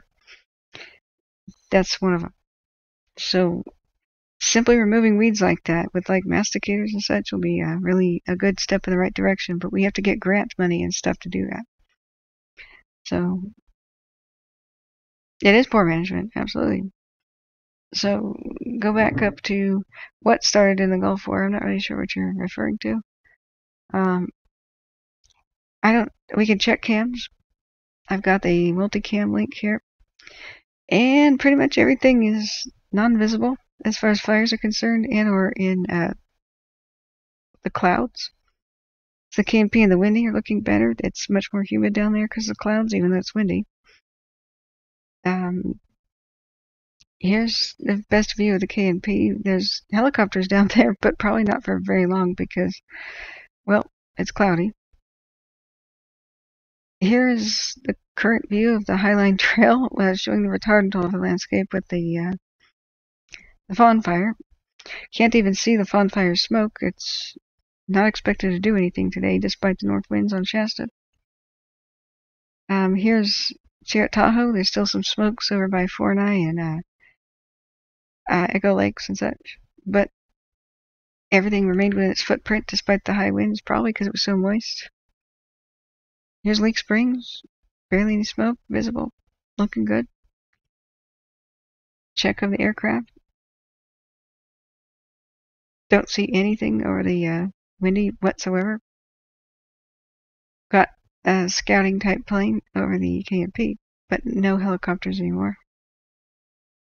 It doesn't look like we'll have VLAT action today, period, because of the weather. Um, a helicopter is flying around Tahoe just looking at things, but it's pretty pretty uh, cloudy down there too and windy.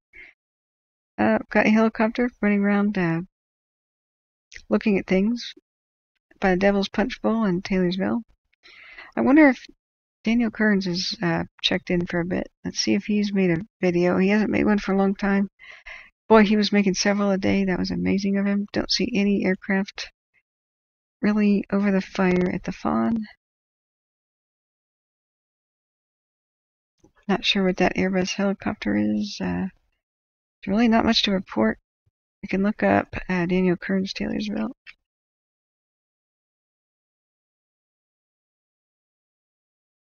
Funny, he probably has no idea who he, who I am, but I've been showing his videos almost every day for almost 70 days. probably around 60. Um, let's see, he's promoting rebuilding of the Greenville Resource Center. Cool. Um, they have meetings. He's hosting meetings and, and stuff for people. Five days ago, he had an update. Uh, not sure what he's talking about. Uh, did he shave? No. Haircut? Maybe. Uh, September 20th, he was live, so like eight days ago. Um,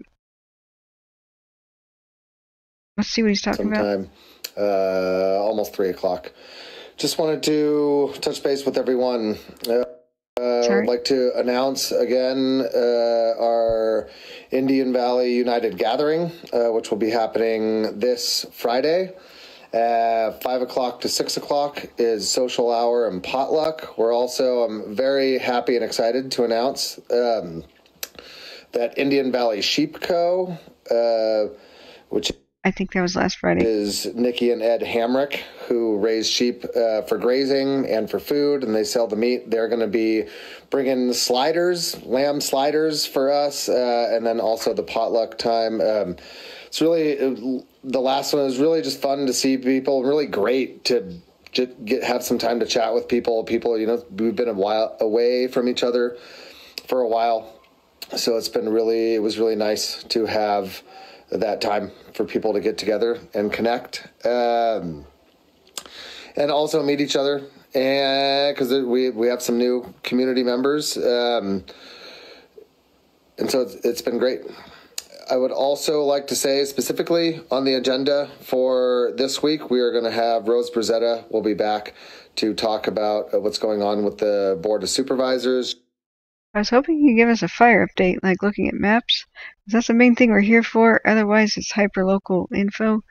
He's not really uh, talking about the fire, so um, here's a link to his page if you want to go check out what he's saying. Um, we can look at Lassen uh, National Forest for an East Side update video I don't know if we had one of those. Uh, we just have their press release things. The West Zone. And evening update. So, I guess we don't have an Zone video today for the Lassen, uh, the east side of the Dixie. So, yeah, I think that's basically it. And I think I should probably perhaps get a little bit of uh, R&R time in for myself because my voice is going to falter and die if I uh, if I uh, don't take care of it. So let me look back at chat. I haven't really looked up for a long time. Sorry guys, I'm going to go up here. Um, let's see. Going up towards it. Does anybody have a question on the current fire situation? There's almost nothing to hear, see, or do anymore. I was thinking of taking a break until like 7 p.m. or so. Um, and then we do a video roundup and see what's going on. I can kind of monitor the fires from my armchair here and come back live, of course, if there's some sort of a some sort of a you know, happening.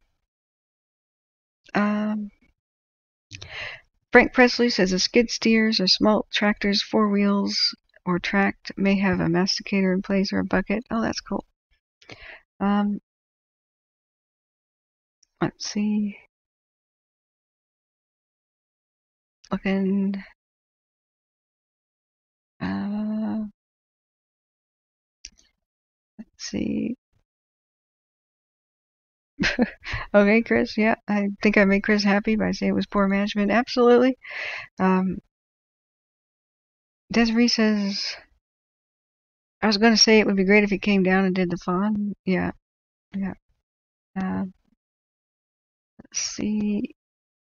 Uh, Chris W5CMP says was watching the Santiago Peak live stream, but seems to be looking uh, looping.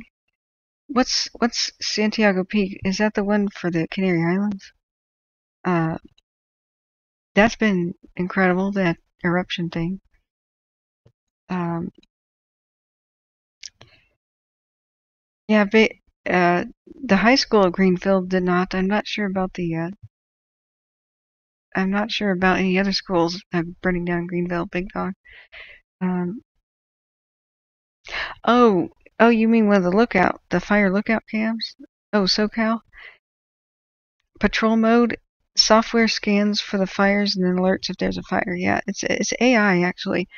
So when the cameras pivot around and constantly turn, that's patrol mode and it's looking for smoke and then AI technology is looking for a smoke column.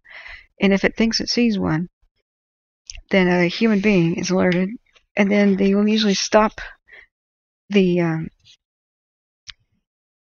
the, um, the the pivoting, the turning around, the rotating is what I meant. Yeah, looping in a video means the same video is playing again. Yeah, that's what looping means. But rotating, I think, is the word you're looking for, where the camera just looks around and around and around. The, the a lot of them are in that mode. Uh, if there's two on the same tower, there'll be one that looks generally in one direction all day, and the other one's in patrol.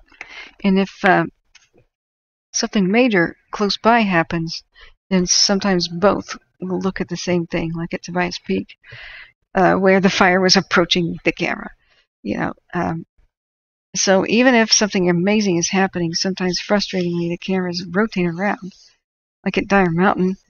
Even though 600 tall flames were coming over the top of uh, Dyer Mountain with that firestorm and pyrocumulus cloud, so they still look out for other spot fires and other fires, even though there's the one to look at would be like, wow, you know, in the in the, view. Oh, it jumps from day to night mode. That's weird. Let's take a look at it. Actually, that sounds weird. Um, the Santiago Peak in LA. Let's take a look. So there's the Bear Mountain Shasta one. Uh, LA in orange. Um, Santiago. So glad that uh, we still have the Wilson Observatory. Last year's Bobcat fire, we uh, thought we might lose it. I we spent a lot of time on the cam last year here for the Wilson Observatory. There's too many dang trees up there. Half of them were dead. I was hoping they reduced the amount of trees so that we don't lose it again this year, but well, who knows? Let's go to Santiago. Santiago Peak 1 or what? We could do a one hour. Wow, that's cool.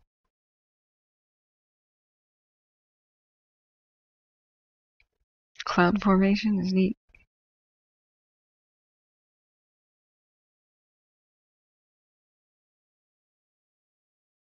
Does anybody have a question about any of the fires right now?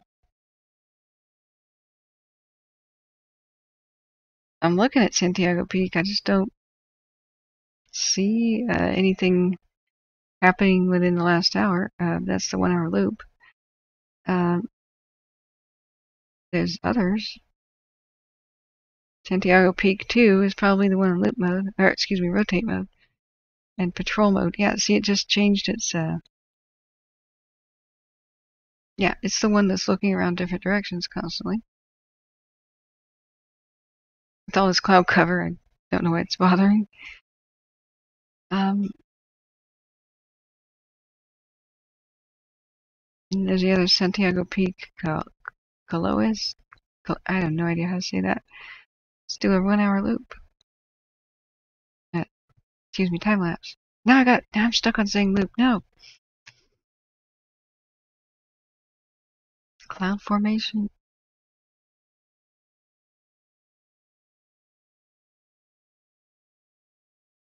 the way that can help fires is shading the ground. You know, even that helps them to not dry as dry helps the vegetation to not dry dry out as as much.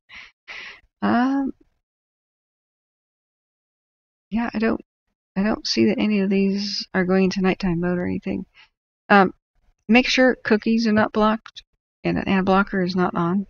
Otherwise, it can really screw up your connection to alert wildfire cams.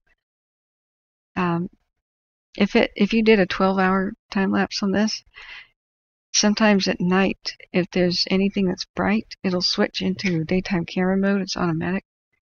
Um, sometimes you just screwed up, but that's nighttime. Uh, this is the 12 hour.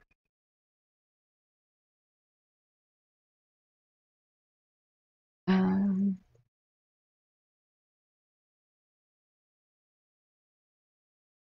SoCal broadcast engineer, it says Cam. Okay. How neat is that? That's dawn in the clouds. It's almost like an ocean.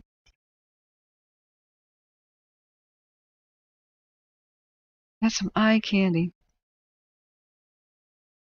Now, some of the Southern California cams and the like Monterey Bay type cams can show you some amazing sunrises of the ocean and sunsets too, with gold colors on the uh, early morning fog. Big Dog says Santiago Peak, another cam with lots of brush at its base. Yeah, what is that about? Do they just want to lose critical infrastructure? I mean, that would be the best way to go about it. Can you imagine, like, in World War II, uh, Japanese saboteurs were, they had plans to land them on the beaches, and they would blend in with society, and they would go and light uh, fires and commit arson, especially in the Pacific Northwest, where they knew that the Tillamook burn was devastating, and were they were going to try to repeat it. They abandoned those plans when uh, the Japanese were uh, taken to camps. That's basically why they were taken to camps. We intercepted, uh, United States intercepted their coded messages and learned about their plans and removed any people they could blend in with. Which, not defending it, just explaining it. Can you imagine if, if right now we were at war with Japan, if World War II was happening right now, they'd just walk up and be like, wow, this is so easy. Flick a cigarette and walk away and destroy all of our critical infrastructure, uh, comms, just because we let bushes grow up right next to them. Just like, what is this? This is very expensive to replace. Weed whacking is not very expensive, though. Ah, we see this time and time again, and now we're losing historical fire lookouts because we're not maintaining them and we're letting uh, brush to go right up next to it. We lost Mule Peak last week. We almost lost Tobias Peak last night, and we all, and we did lose one of the uh, lookouts that was made out of stone in Lassen County. That's the thing that gets me. The one in Lassen County was made out of stone. It had a wooden walkway, a wooden staircase, but this is how I feel. It's like, come on now. What's going on? The public should be able to sue whoever's in charge of that for just getting uh, hazardous conditions that result in the destruction of our heritage. We're giving them money to take care of it, take care of the forest, and take care of our history. When they destroy it and neglect it, uh, sometimes they bulldoze it on purpose. They should be held accountable. So in Lassen County, the one that we lost was, uh, but to the Dixie, was the, uh, can't remember which one it was. The, not Peg Leg. Did we lose Ladder Butte? Nope, that one was already gone. That's where it used to be. Um, Dixie Fire, Dixie Fire destroys Fire Lookout. It was 91 years old. Classical. It's made out of stone. All you got to do is wrap that stuff, secure it securely, wet it down, put it on the uh, put it on the roof, and then weed whack the vegetation around. It's at the top of a hill. It just, I don't get it. It's made out of stone. It's just really sad. I don't get it. They needed shutters, of course, of some sort to, uh, if the if the windows break, then of course embers can go in there. But it lasted 94 years for a reason. Uh, in the past, they kept vegetation away from it. Um, just really sad. But anyway, maybe one day they'll learn. If they don't, it's our tax dollars at work. So nice to see that we don't have too many heat detections today on any any of the fires. So, um, Teen Homesteader says clouds are getting dark, Brian. Cool, cool. We want rain. We want rain. Let's look at the current radar.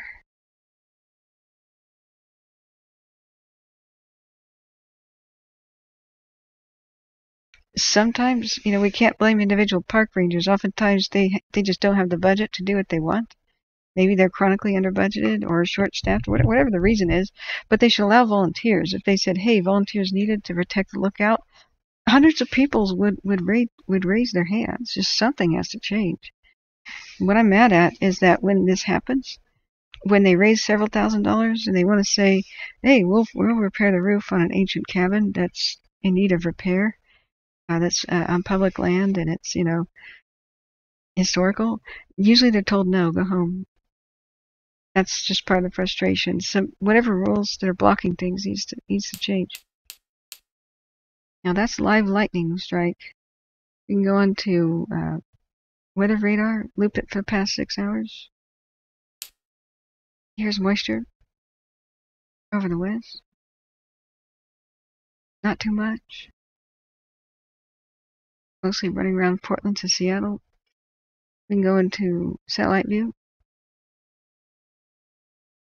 This last two hours.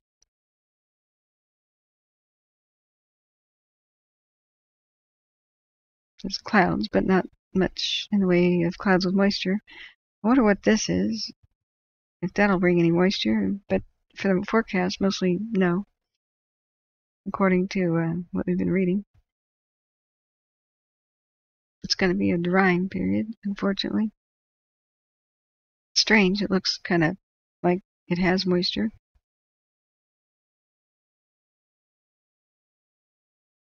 Let's go to visible spectrum. I like the look of that, it's pretty.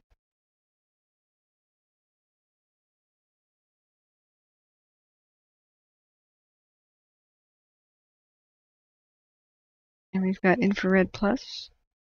It does seem to have some moisture in it.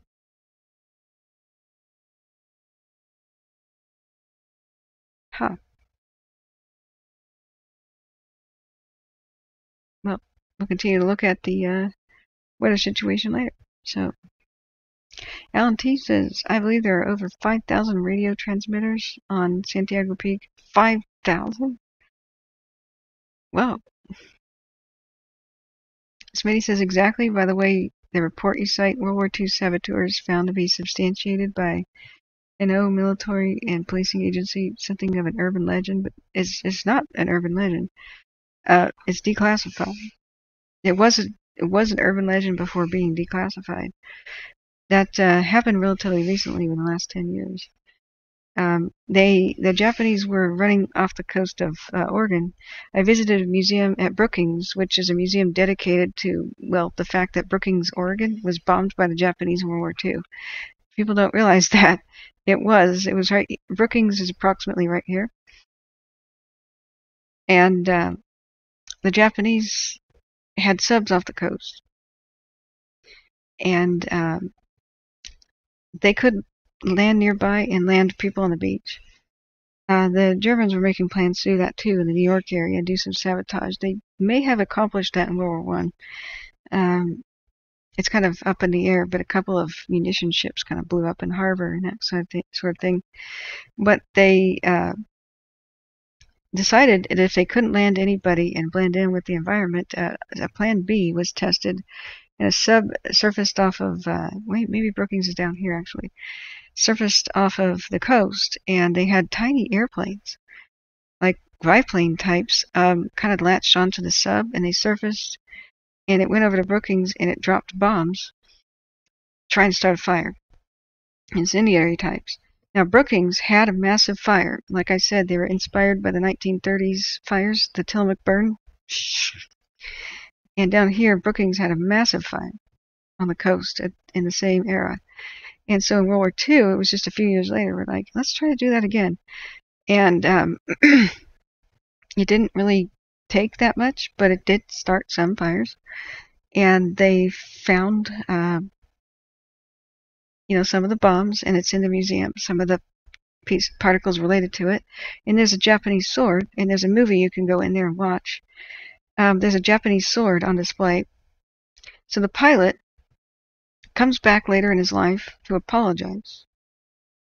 I don't know the particulars about how he felt about the situation, but I think he felt that it was a cowardly type of attack. It was against Bushido or some something similar.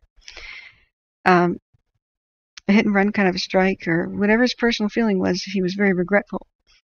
So he offered his sword to the city or to the museum, and they were kind of bewildered and were like, sure. And they accepted it. And he felt very relieved and thanked them very vigorously and explained he was going to commit suicide if they did not accept the sword. He was going to fall on it in seppuku. And that was like an oh. We, we can't forget the massive cultural differences, but uh, he was going to do that to retain, regain his honor after committing what he thought was something dishonorable. It was, it's quite a muse- uh, quite an eye-opening museum to visit, um, and it has quite a lot of uh, interesting things there. So the next plan C, if they couldn't do sabotage and they couldn't uh, effectively launch aircraft after the subs surfaced, there was a massive a response was to build massive blimp, uh, blimp hangars all over the coast, and the blimps were on patrol uh, looking out for the subs. Um, and they were like, okay, Plan C, launch the balloon bombs all the way from Japan. Uh, they would go with trade winds, uh, pretty much. You see how in this loop, winds are coming from the uh, across the ocean and going mostly, mostly to the Pacific Northwest. So off of Japan, they released balloon bombs, and they were on an altitude timer. They crossed the entire ocean and they went all over the country, but mostly landed in the Pacific Northwest. And they were incendiary devices meant to start wildfires. So it was classified until somewhat recently, like we're talking last, you know, 15, 20 years. Um, they even approached the press, the uh, State Department, Department of Defense, military, whatever, said to the newspapermen, you are not to report on this. Every time a fire starts in wartime here, that could be these balloon bombs, you are to report in the back section of your newspaper as if it's unimportant that a cigarette, lightning, whatever started these fires so as not to cause a panic. And they complied.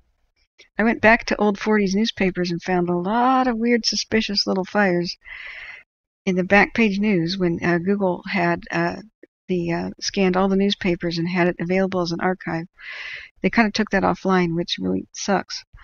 Um, but I found tons of uh, articles like that.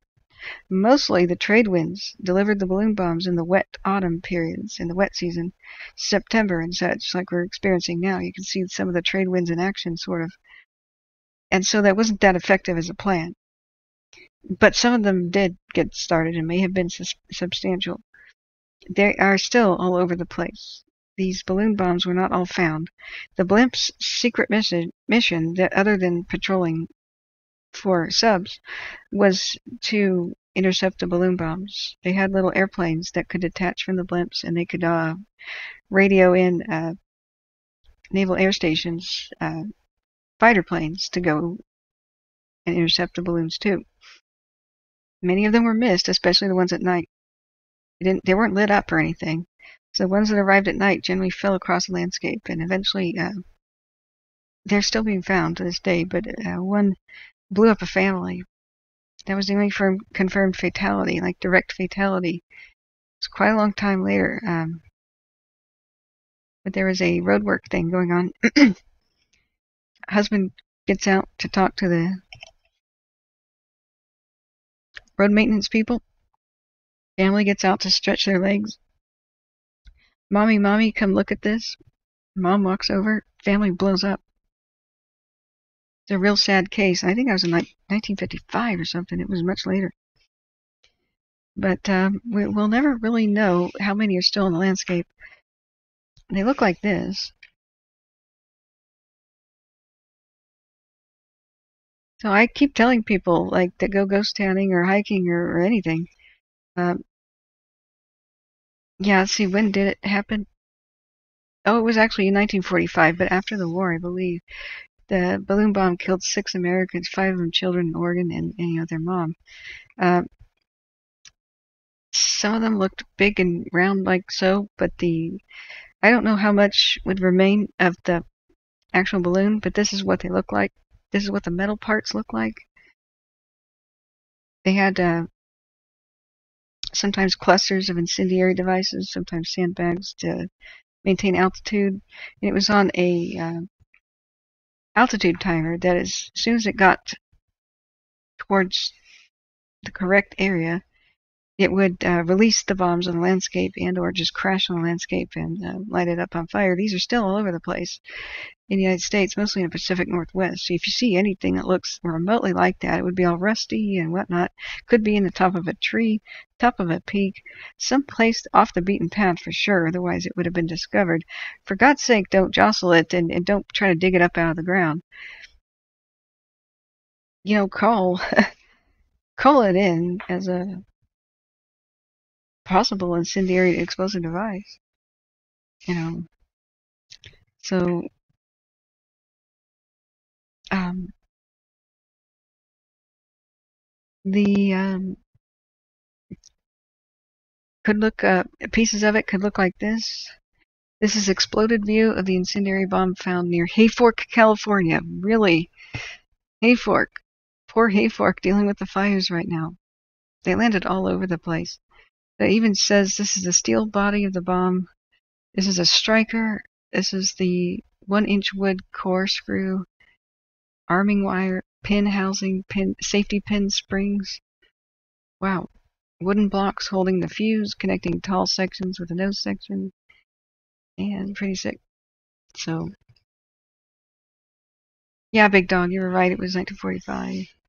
So, I try, I try, Chris. Uh, uh, basically, my channel is supposed to be about history, um, especially of the West, but ghost towns in particular are my specialty uh, worldwide, meaning not paranormal, you know, like abandoned. Uh, tumbling tumbleweeds, Wild West, you know. So, the kind of things, though, that I come across researching ghost towns can be pretty insane. Like looking at old newspapers and research researching the old fires and such. Uh, things like this. so, uh, but they're out there still. Every once in a while, they still find something. Um, going back up to the chat. Exactly. Anybody with an axe to grind in America, that's vulnerable, and that's just kind of strategically stupid to have uh, flammable vegetation growing up next to our fire lookouts and our radio towers. It's just like really oh, and our priceless uh, observatories like like the Wilson Observatory. The firefighters had their work cut out for them and barely saved it because they allowed all over the place overgrowth, bushes, and dead trees everywhere. Just whoever is in charge of that should be reprimanded. Um, ah, a lot of times it's like, do, do you want things to burn down? But it's one of those easily things we can easily fix. People think that oh we're helpless because the climate's going to make some fires worse. Actually, the fires are mostly worse because we've been stupid with um, uh, you know, introducing fire promoting weeds in the landscape and, and just in, in every kind of way, not just uh, not, not just that. So even in this bad climate change event, we see that even on the Windy and the KNP, they have really awesome results where they've done fuels reduction. So we're not doomed by any means. We should get to work. The, the climate change means that we should work harder to prevent mega fires. It doesn't mean that there's nothing to do and we should cry in our beer. It means we should work harder than ever to prepare the landscape for fire because climate change makes it a little bit more difficult to deal with. Not impossible, though. Some can't think outside the box. Well, yeah. Um, let's see.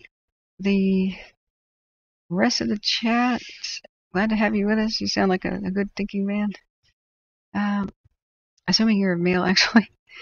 Wyoming has some pretty cool ghost towns. Yeah, if you have ideas about places that I could visit, anybody, my email is in the description of the video.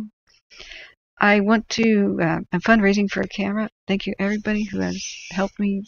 I'm getting closer to that goal every day. Um, I want to travel around, especially the West, but other parts of the U.S., to film these ghost towns in our history before it disappears. We've lost so much this last three years. I'm just absolutely sick to my stomach. Half the places I wanted to film just burned up. In Plumas County, I was supposed to do a, a scouting mission to pre-film with a cell phone all the places I wanted to film with like real gear. Uh, in Plumas County's ghost towns, and Rich Bar just burned to the ground, and so did Seneca, and probably many other ghost towns and mines like Engle Mine. I'm absolutely sick to my stomach. And the previous year, I wanted to make a documentary on the Dogtown Nugget, the 54 pound do- uh, Dogtown Nugget, made out of almost pure gold. Well, high percentage of gold in Butte County. That Nugget Museum burned to the ground in Paradise. And the ghost town of Cherokee barely made it, but everything else around here, like many of the, the Honey Run covered bridge, just burned up. And then, uh, you know, we almost lost Pollock Pines and, and uh, got very close to uh, losing places like Placerville this year. In Volcano, it's just making me twitch. We lost Grizzly Flat and a lot of the history here in the Caldor. And I thought, well, at least down south, I can go down to the Sierras and film the Sequoia. Oh my God! And we just lost a whole bunch of the history here too. And of course, the landscape and the trees. It's just, I got to get on this. Like immediately, just start making road trips. And so, thank you everybody who's donated to that fund. I have a PayPal link in the description of the video. Um, I'm just looking for the camera gear, gas money, and I can go. And of course, the WAM money, the walking around money, to actually, you know, make uh, reservations. Uh, maybe rent a trailer to tow around or, or something of, the, of, that sort. Um, what do I think of the idea of in-make work crews doing brush removal around communication sites? I've been favorable. Uh, I have a favorable opinion of the whole in-make uh, work crew kind of system. I I know almost nothing about it. I don't know if it's corrupt or anything of that nature, but on face value, the idea of prisoners, like the white collar especially, um, becoming volunteer firefighters and maybe making that a career for time uh, for reduced sentencing, I think that's excellent. I don't want people to rot in jail. I want people to redeem themselves and pay back society instead of being in a cage. I think that's a better justice system than the whole cage system that we have right now, where they sit around and don't have anything to do except discuss crime with other criminals and get new ideas about crime. Um, I like the general concept of that. But of course, it, it can't be corrupt. So um, that's volunteers also. Just allow volunteers to help. I, I would think that they should pay our farmers and ranchers to graze around the communication equipment too, where where applicable. It uh, depends on the situation, but our farmers and ranchers could use help economically, and instead of just a just a subsidy or bailout, maybe just pay them to do a good service. You know. Um, yeah, Jay Cat is saying the problem with anyone doing work on public land, if it, anyone got hurt, the lawsuit would be huge. Well, that could be changed with a um, with a bill. In fact, that's why history is being bulldozed. Oh, somebody might get hurt on the dilapidated building. As long as there's a sign saying at your own risk in three different languages, French, English, and Spanish, which are neighboring countries, uh, make it not possible for them to sue. Did you trespass and walk past safety barriers and fall into a mine? That's your problem. Sorry. In fact, you you you get billed for the uh, being rescued. you don't get to sue somebody for falling into a mine because you went past uh, the barriers. You know, because you played around on them.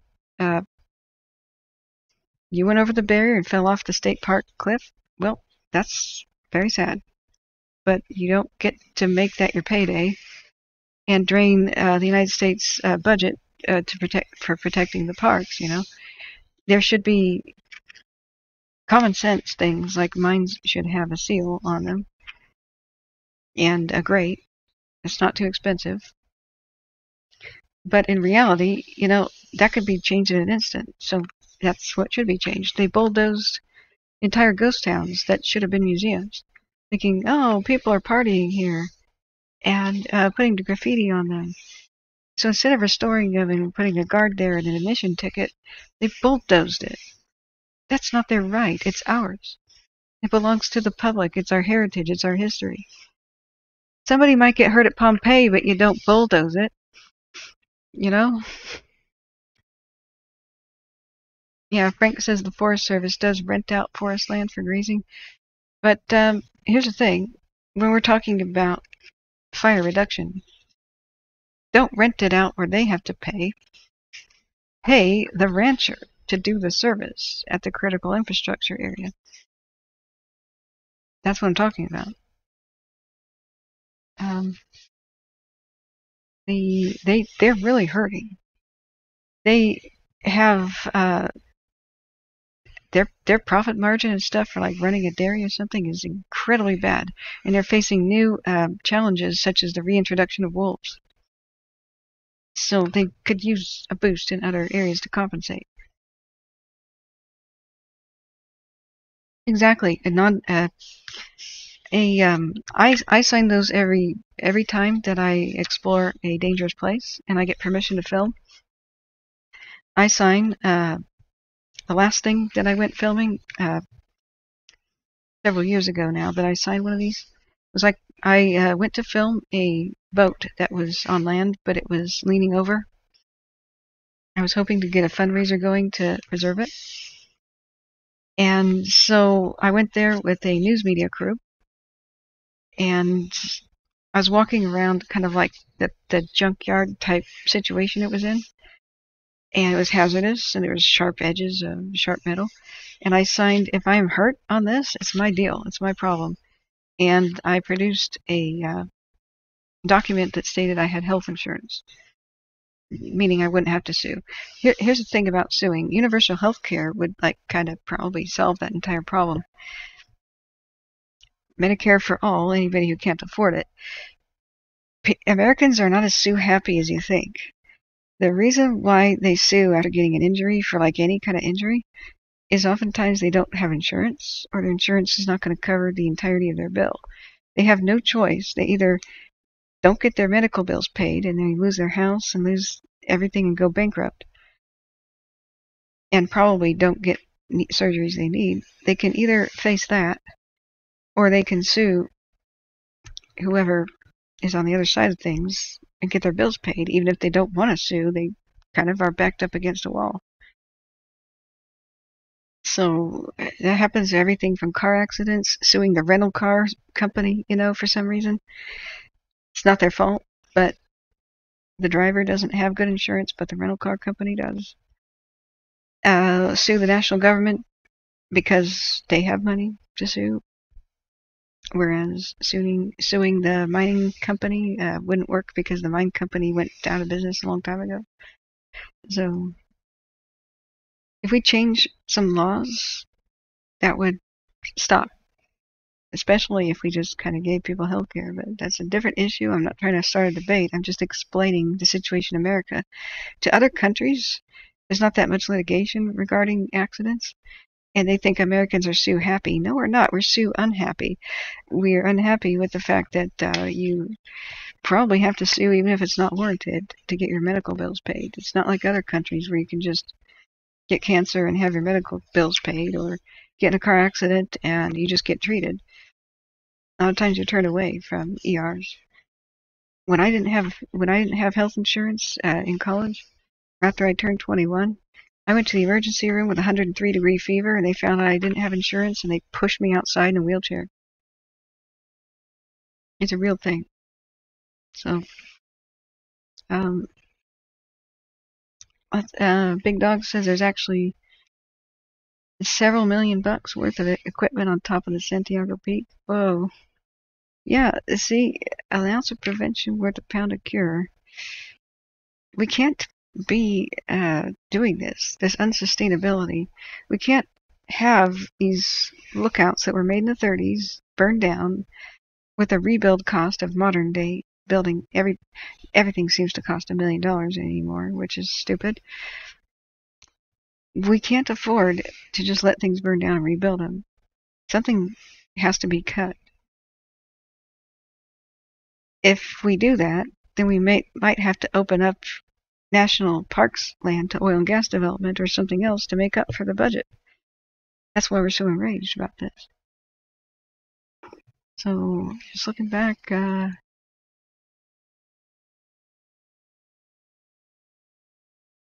yeah, exactly. Uh, Australia is worse, actually. In Australia, um, if somebody breaks into your house and uh, is there to rob you, and you either shoot them or stab them with a kitchen knife, they the criminal can sue you. And it'll come down to this argument. Was it did you have a right to defend your home with deadly force? Could you have fist fought him instead? Could you have shouted and clapped your hands and scared away the robber instead?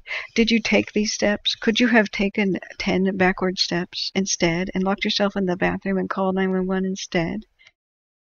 Was using the knife overboard? It's just Australia's insane. The criminal has the right to break into your house, threaten you, threaten your life, take your stuff, and you had better not so much as hurt his feelings. Otherwise, he can sue you and go go to the bank.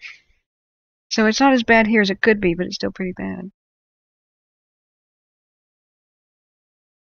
But uh, we we take some things for granted, but doesn't mean we couldn't improve just because some places are worse. Yeah, Big Dog says, and you can replace the wooden shake roofs with a modern day green metal roof like you see on a new log home. Absolutely. Or just put copper on there. Copper would last, it'd be initially expensive, but copper roofs can last for a thousand years. The copper roof on the Parthenon is still good. The Parthenon of Rome, as in Caesar Augustus built that. Well, it burned to the ground a, a year later, but they rebuilt that.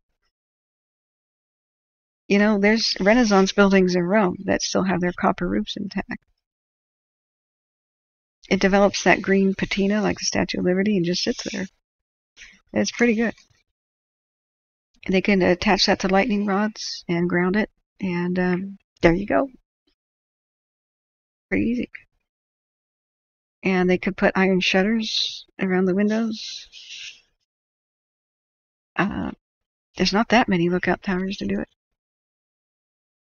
LMT says, I know somebody who spent 10 years in jail and prison for shooting a robber in his own house. The judge ruled the homeowner could have left. Wow. That's just all kinds of wrong. Okay. Let's see. Looking back up. Um, oh, Helen said something I missed. Let's go back up to Helen says I got permits to take down snags and remove live trees of a six inch diameter from BLM along my boundary with them. Well, that's good. Six inches doesn't sound very big, but that's good. Did you did you find out if if it was easy? Uh, was it easy to get the permits? Um, I think there's a lot of red tape we just have to cut through. Like, why would you need to get permits to take down anything in your yard that's a fire hazard, you know what I mean? yeah.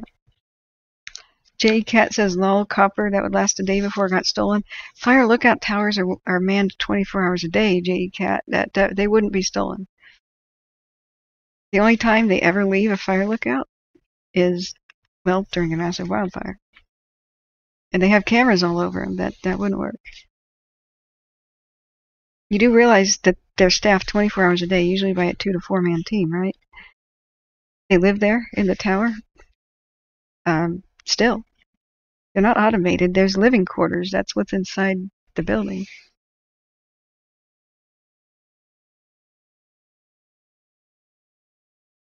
Besides, you can batten it down pretty dang well. It would it would it would be pretty elaborate to the sheet. It's extremely heavy, by the way. The sheets of copper for the roof tiles. Um, you would it would need a crane. Uh, JE Cat. Uh, that's what I'm talking about. Um, you can't just lift that off by hand. It will be one-stop shopping. You never really need to maintain it. Uh, it, they're they're pretty ding deluxe. Um, with their pay rate, they they would be the ones that would steal it. Oh, shots fired. I thought they were paid pretty decently. They, basically, it's free housing. Um, there was a couple of blogs I read about what it's like to be a lookout person, and it's uh, pretty cool. Um, but where where would they get a crane? but that's a pretty funny joke. Um, this is sad. This is the one that burned down, and it's made out of stone. I just, I don't know. The main thing is if they had weed whacked, you wouldn't even need a special roof.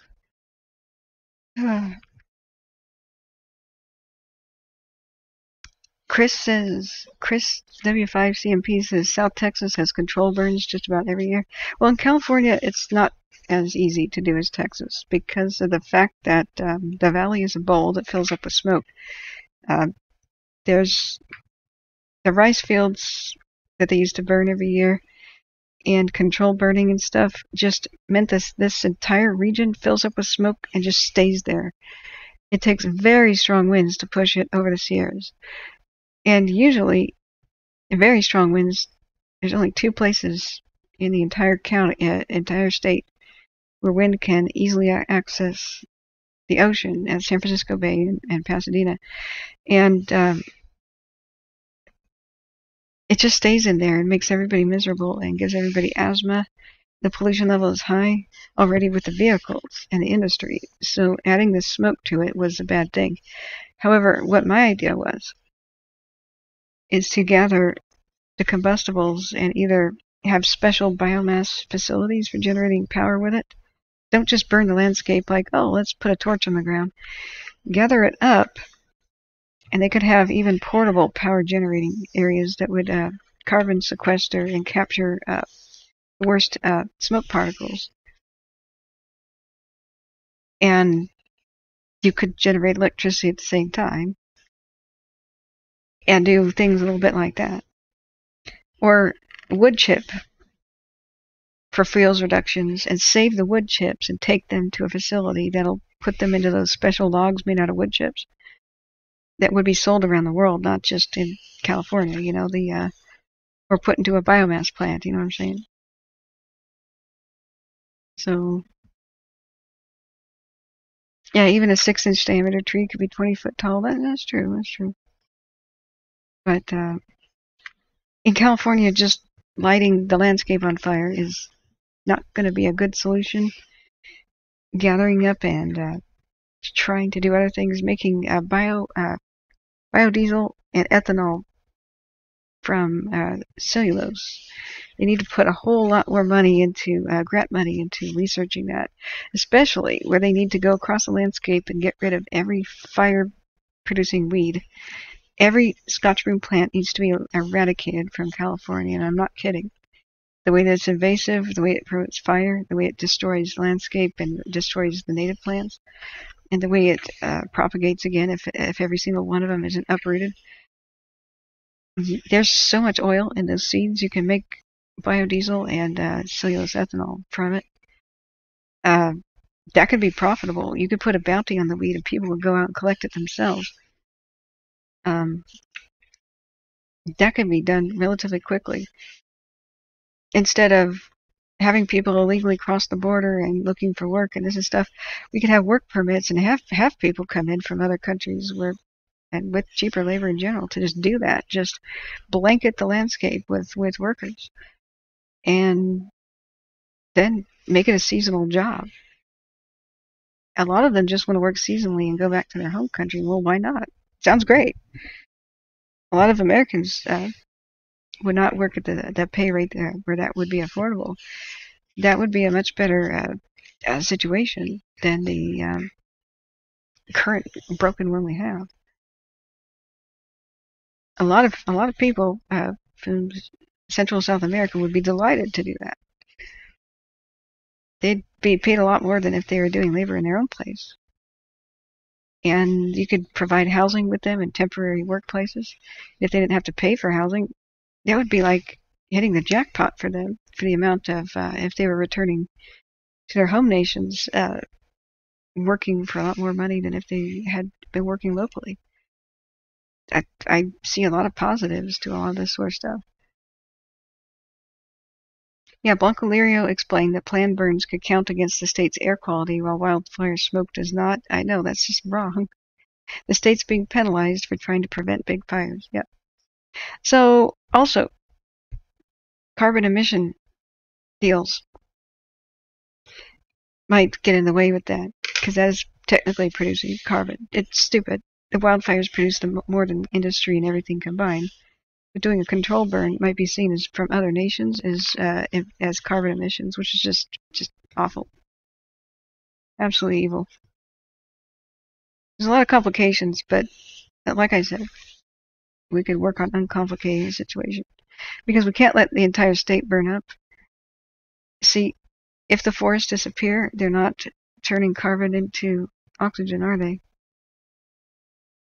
How much is that as an offset? See? There should be an allowance for that.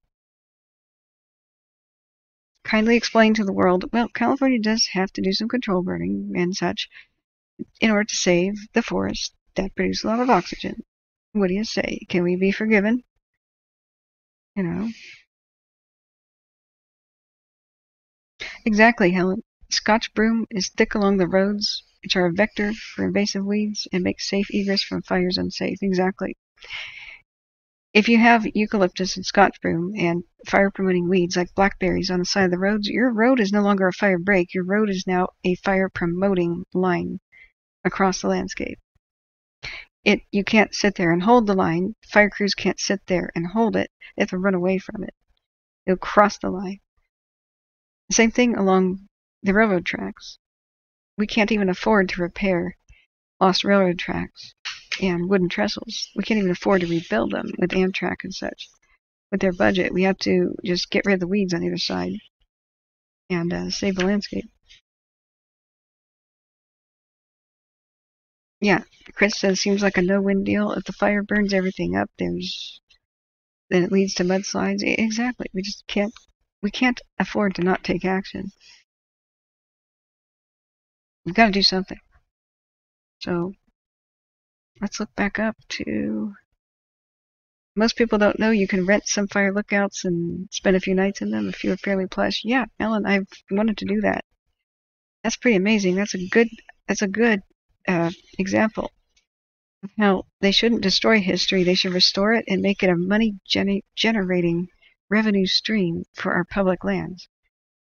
Rich people love to spend time in uh, fire lookouts, and sometimes they're affordable. Um, instead of selling off uh, public lands to oil and gas development, they could, and destroying our history, they could revitalize it and make tourist attractions. They they did down here at Mineral King and Silver City. These fire lookouts, even if they're not even useful for fire lookout later, they could be a bed and breakfast. And some of them are doing that, and uh, thank goodness, there's some people are getting a brain about the situation. Norman Elliott says in the 80s, Oregon tried to remove Scotch broom. Should have tried harder and should keep trying. The thing that uh, keeping it around is not an option. That's the thing. We have to find a way. Excuses can cannot be accepted. It's going to strangle the economy. It will make it'll decrease property values, make it impossible to graze animals because it's poison. It uh, promotes fire. It would make massive blazes. It'll destroy our railroads. It'll destroy our roads. It'll destroy uh, native plants. It'll make some plants extinct. it's taking over entire forests. People don't realize, oh, well, maybe it's just taking over the roadside. No, it's taking over entire forests, making it so no baby trees can, can sprout and live, and destroying meadows and making species like the Oregon meadowlark extinct because the meadow is gone. It just becomes a Scotch broom uh, field. Scotch broom taking over field. It goes as far as the eye can see. I don't know. I should have clicked on uh, it's that thing, that horrible plant. There's a couple of similar species that look like it. Uh, I was looking for a good, a good. Uh, it's this. It's this. So whenever there's a meadow, no trees can grow in it and no native plants. It just takes over. It's highly toxic. If you walk into that, your eyes swell up during the bloom, of course. You can't see. It's one of the biggest allergens. It gives people asthma. It that mustard yellow thing, just the pollen of it is insanity. And it's taking over much of the landscape, especially in the Pacific Northwest, but in California too. And Home Depot, excuse me, I whacked the mic. Home Depot still sells it as an ornamental, and people are planting it on their yards and they don't realize they're going to destroy their entire property. When fire gets into the plant here, let me change the color pen. Say the fire gets in the plant here, you could put it out and the fire crews go home. Well, four days later, a fire erupts here in a high wind event because the colony root system, it went all the way that distance in the root system, and then all of a sudden the entire thing is on fire because the roots were on fire. It has to be stopped. It's not an option. Native plants can't grow underneath it. It strangles them. An entire grazing fields and everything, uh, it's taking over it. Instead of when they replant our forests, if Scotch broom gets there, kiss it goodbye. All the little replanted trees disappear under that and are strangled to death. It's absolutely horrific it'll grow up at the base of trees and start killing the big ones. You see this thing, you get rid of it. It's really bad. Oh, here's some right up underneath power lines. No longer could you access the power lines under the fire access road. Oh my god. You should see this and see an emergency. It's not always yellow, but when it blooms, it's bright yellow. You can spot it from the air. We can map it real quick. We can get it off the landscape. But it's not an option to keep it around. Kind of looks like that. But with a little bit of elbow grease, they, they made new tools, new technology. It was almost impossible to remove with the old kind, but that guy is using a weed wrench. And it's now easy as pie with minimal effort um, I wish the entirety of the tool was shown, but you just stick the weed wrench in the ground and it uses leverage, and you just push on it, and it wrenches it right out of the ground like this. It's pretty awesome. In the future, I'm sure we could use robotics to do this uh, for free, but for now, you know, we can hire people from uh, out of the country. Oh, sorry. Guys, flag me whenever there's something in chat that I need to attend to like that. Dang bot is back.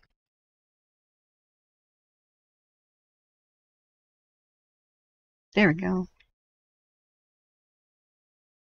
Helen says need to develop a market for small saw logs, high-tech fellers, feller bunchers, and certain techniques prevent soil and root damage. Do not require roads. Absolutely. In the future, robots will be doing this, and it'll be so much easier. Maybe even remote control. But for now, we could still hire people to do this. Put a bounty on it. This is the, this is how easy it can be. Just like when you scrap metal. If you go to scrap metal yard, you fill up the back of your truck or your trailer with metal like steel. You go up on the way. Uh, it's like a weigh station. Uh, the uh, something you drive over.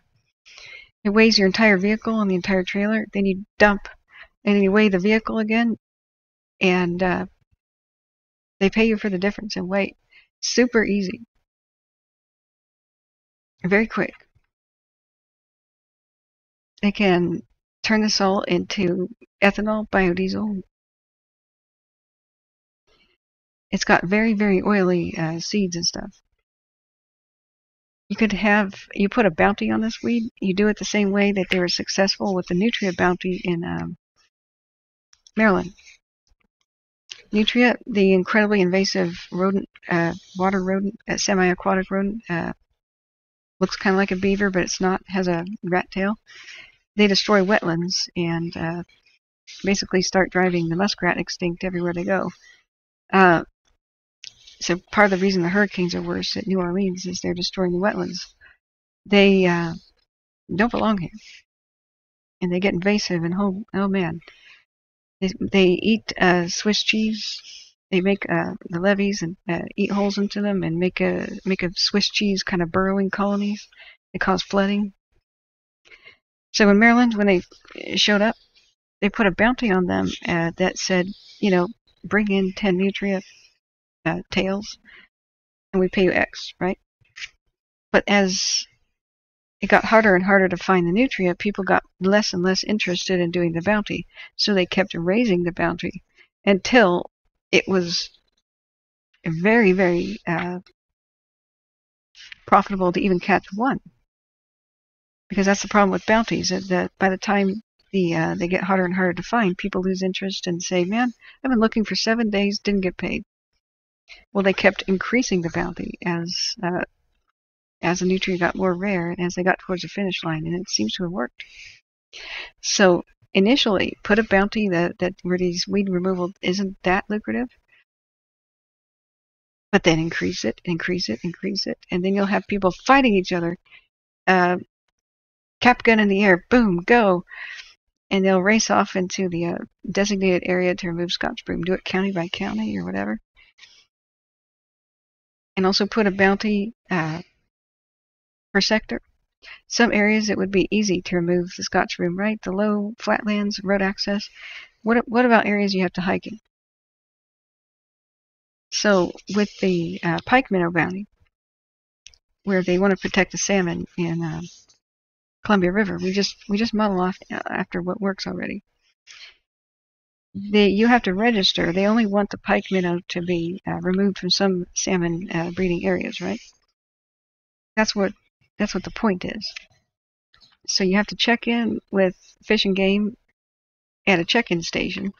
They take your license plate and your number and all that, and uh, then by the end of the day, you have to check back in with what you have um, gotten from the area.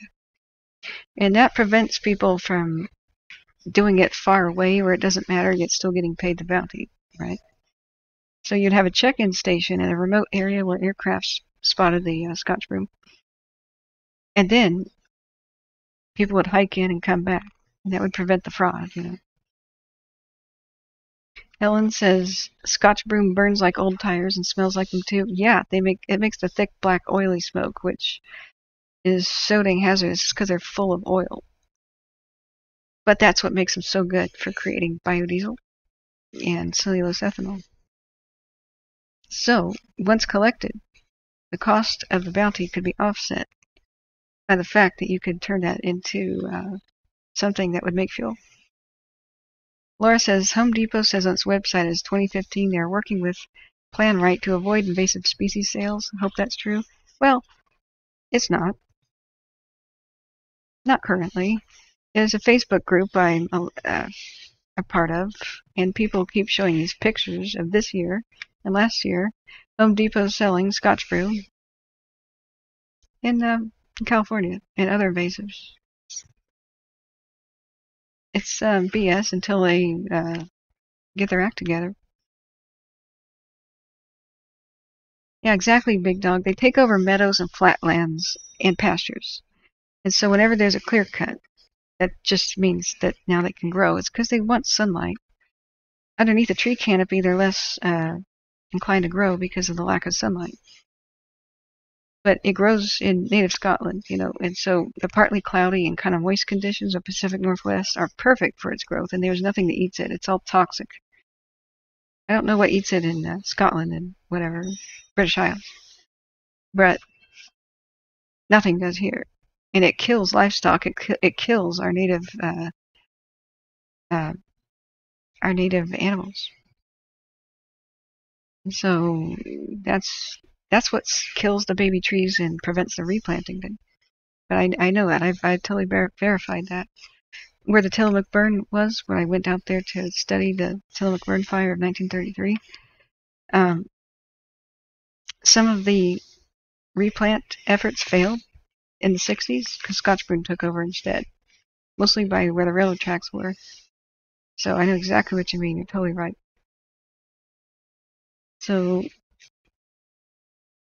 but a lot of citizens could get together, just like Solve, you know, beach cleanup, school groups. When I was in school, we um, got together and did extra credit for our class if we would do community volunteering. And we went out to uh, stabilize beach dunes by, by planting uh, beach grass and stuff. And I don't know now if those were native beach grasses. I hope they were. But we were uh, trying to save uh, habitat for like snowy plover and save a neighborhood. One day I'll tell that story. But you see this? Don't buy a property that's um, it's got that stuff on it. Oh my god.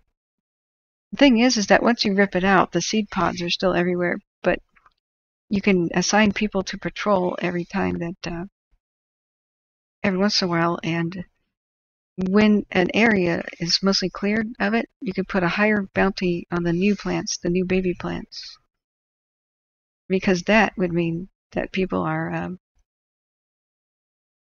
preventing the regrowth, you know. So check out the link I just sent. Uh, what to my email or? Yeah, deer and elk know not to eat it. Well, the ones that are alive know know that, but what about the babies? Yeah, here's Oregon. That's got to be Astoria right there. Um, this is how bad it is. It grows underneath the power lines because that's where they trim back the vegetation. Or cough, PG, that's where you're supposed to trim back vegetation because of the uh, sunlight right there. And we have to start fining uh, people that allow it to grow on their property. Here's the thing. There's a carrot and a stick method. Carrot. Here's a financial incentive to get it off your property. We will help you. We will give you tax breaks if you remove it. Stick. We're going to fine you if you don't remove it, including you, power company. Are you going to allow invasive weeds to take over the, the land and then start polluting public land nearby? We're going to fine you. I mean, that's a shot of uh, British Columbia, but you get the point. Carrot and stick. Use both liberally, you get the problem solved. As Mike Wink was saying, there is, what was his quote for motivating his fire crews? There is no such thing as impossible, only try harder. Yeah, it's not an option till it does happen. Kiss, like all of our native environment, goodbye. Kiss many species goodbye. Welcome new megafires and devastated landscape. It's not an option to not do it. And if anybody's trying to say, oh, we can't pull up weeds, yeah, we can. We can go to the freaking moon. We can eradicate a weed. Yeah, you just sent it to my wildfire email? Okay. I was going to sign off, actually, because I need to rest my voice. I've been, actually should have done that two hours ago, and I forgot, I skipped lunch on accident, so. I think we're good on the fires. Has there been any new development? What is that? Is that frost? On the lens? Wow, Nevada has frost? It almost looks like snow. Nice. I hear it's snowing at Timberline Lodge. That's awesome. But I'll check I'll check the email tomorrow, guys. I kind of got to sign off. Unless something new is happening with the fires, there's nothing to look at. Maybe we'll reconvene at 7 or 8 p.m. or something to uh, watch the uh, videos and do a checkup. But I have things to do before 5 p.m. closures at uh, businesses and such. So, um, yeah, that's frost on the lens. That's cool. Um, can't even see fires on any of the cams, so. Going once, going twice. Anybody have a fire question?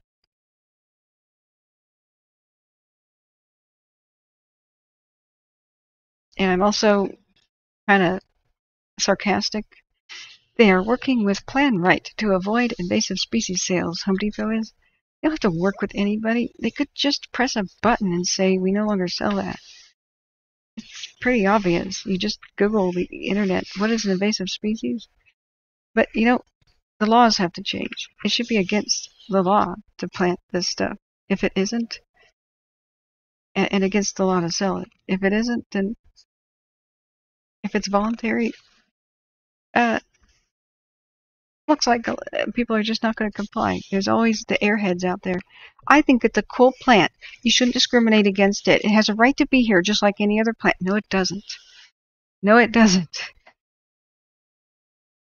You know, there's always going to be some stubborn idiot that says, I'm going to put it in my garden just because I'm a rebel. Well, make them financially pay for that. Make the people who are polluting pay, right? They should finance the mess. Or we could put it to it like this Home Depot, hey, go ahead, sell Scotch Broom all you want, except you get the bill for its removal from the state. Would you like to donate half a billion to that effort? Because that's probably going to be the cost. They'd probably be like, oh, never mind, we're not going to sell that anymore. Yeah, we could do it like that. Yeah, Helen says broad acres areas can be covered to prevent regeneration by covering it with black polyurethane sheeting after removal, but that is a plastic on a landscape. That's okay for somebody's backyard. But when the polyurethane stuff gets tattered by the wind and gets crunched up, it's putting micro, uh, not micro, but smaller bits of plastic all over the landscape, uh, which is going to be bad for the wildlife. Uh, I can't tell you how sad it was to watch birds just rip the, the plastic up and consume it. I went chasing after a bunch of birds trying to get them to stop, and I couldn't. And that's real bad. But but on this small scale, basically the idea is deprive the plant of light and nothing will grow back. But with the, the amount of time the seeds could uh, sit there underneath the soil, I think that's more appropriate for Japanese knotweed. But Scotch broom, Scotch broom, you just gotta pull up by the roots and then keep pulling it up and uh, kind of keep at it and monitor it. Um, later, when we have robotics, AI will probably pick up every seed off the landscape with little robotic octopus arms. But that'll come down the pipe later. Check my Twitter messages? What? Is there something? I was supposed to sign off. What? We... Fine, I'll check the email then. Um. All right, I'm checking my email. What? What's going on? I'm getting the most interesting kind of trophy spam. I'm, uh, oh, guys, did you know that there's a princess in Nigeria who wants to leave everything to me? Her entire fortune and her palace? If only she had my bank account information in order to donate all of her gold reserves to my bank account. um, um, okay, let me check the spam folder.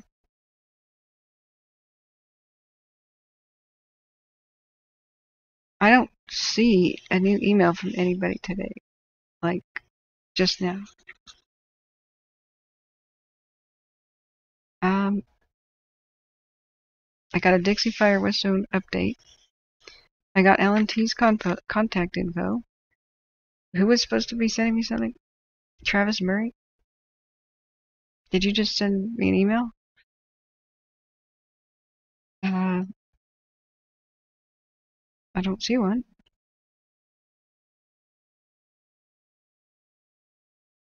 You do a search for your name.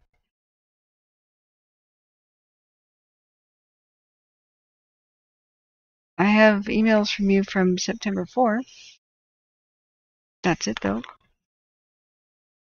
Did you send me an email just now?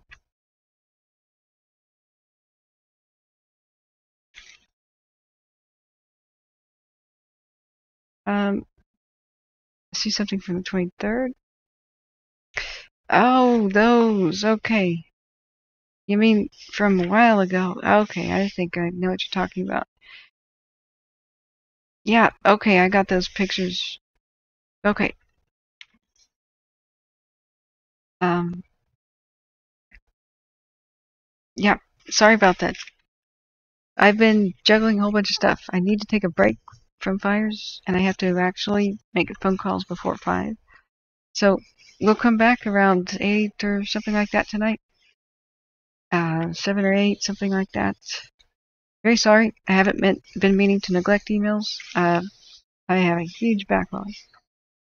And I have not been sleeping well, and I had the flu all last week. So I have a huge backlog. Very sorry. Haven't been meaning to neglect anything. Um, yeah, true, Helen, but I, what I'm trying to say is that birds tear it up and consume portions of it. They do that of their own volition. Like they see it, and they think it's food. So, but it's it's good on a small scale, but like covering an entire um, forest meadow with it wouldn't particularly be practical anyway. But anybody, last call. Anybody have some sort of a fire question? You're mostly looking good right now.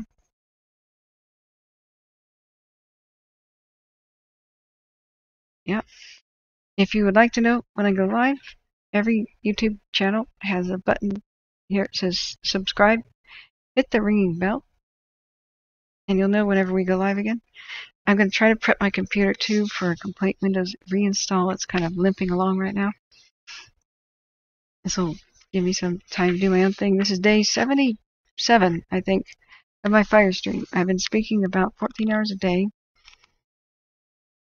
since for for 70 days, mostly in a row, covering the fires. Thank you everyone who has donated to keep me going. It's with your kind donations, it's the only way I can take off work and keep going, uh, monitoring the fires every day. Um, I thank everybody who's done that. Uh, from the bottom of my heart, thank you, mods, for keeping keeping chat alive when I'm asleep. But every once in a while, I do have to take the stream down and uh, start my own computer work. I'm going to back up and prepare it for complete Windows install because it's kind of crashing every once in a while and interrupting the stream. And I have to order some parts. I have to, uh, well, I haven't really been outside more than nine times, I think. I literally mean outside, as in opening the door, stepping outside, since July 14th. I'm kind of going insane with stir craziness. And every once in a while, I have to do something that's not fire related. So, thank you guys uh, for being mod volunteers. We'll come back around 8 ish p.m. I'll get on Twitter and let you know if there's some other problem if I can't. I have Twitter link in my uh, description of my video.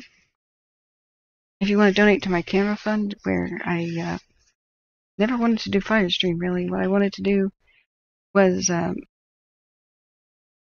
what I wanted to do was make boring history videos. Well, actually, kind of cool history videos, actually. Boring compared to wildfires. Uh, about ghost towns of the American West and well, the world. And um, that takes money, though. I've got the time, but not the money. It's kind of a ironic thing.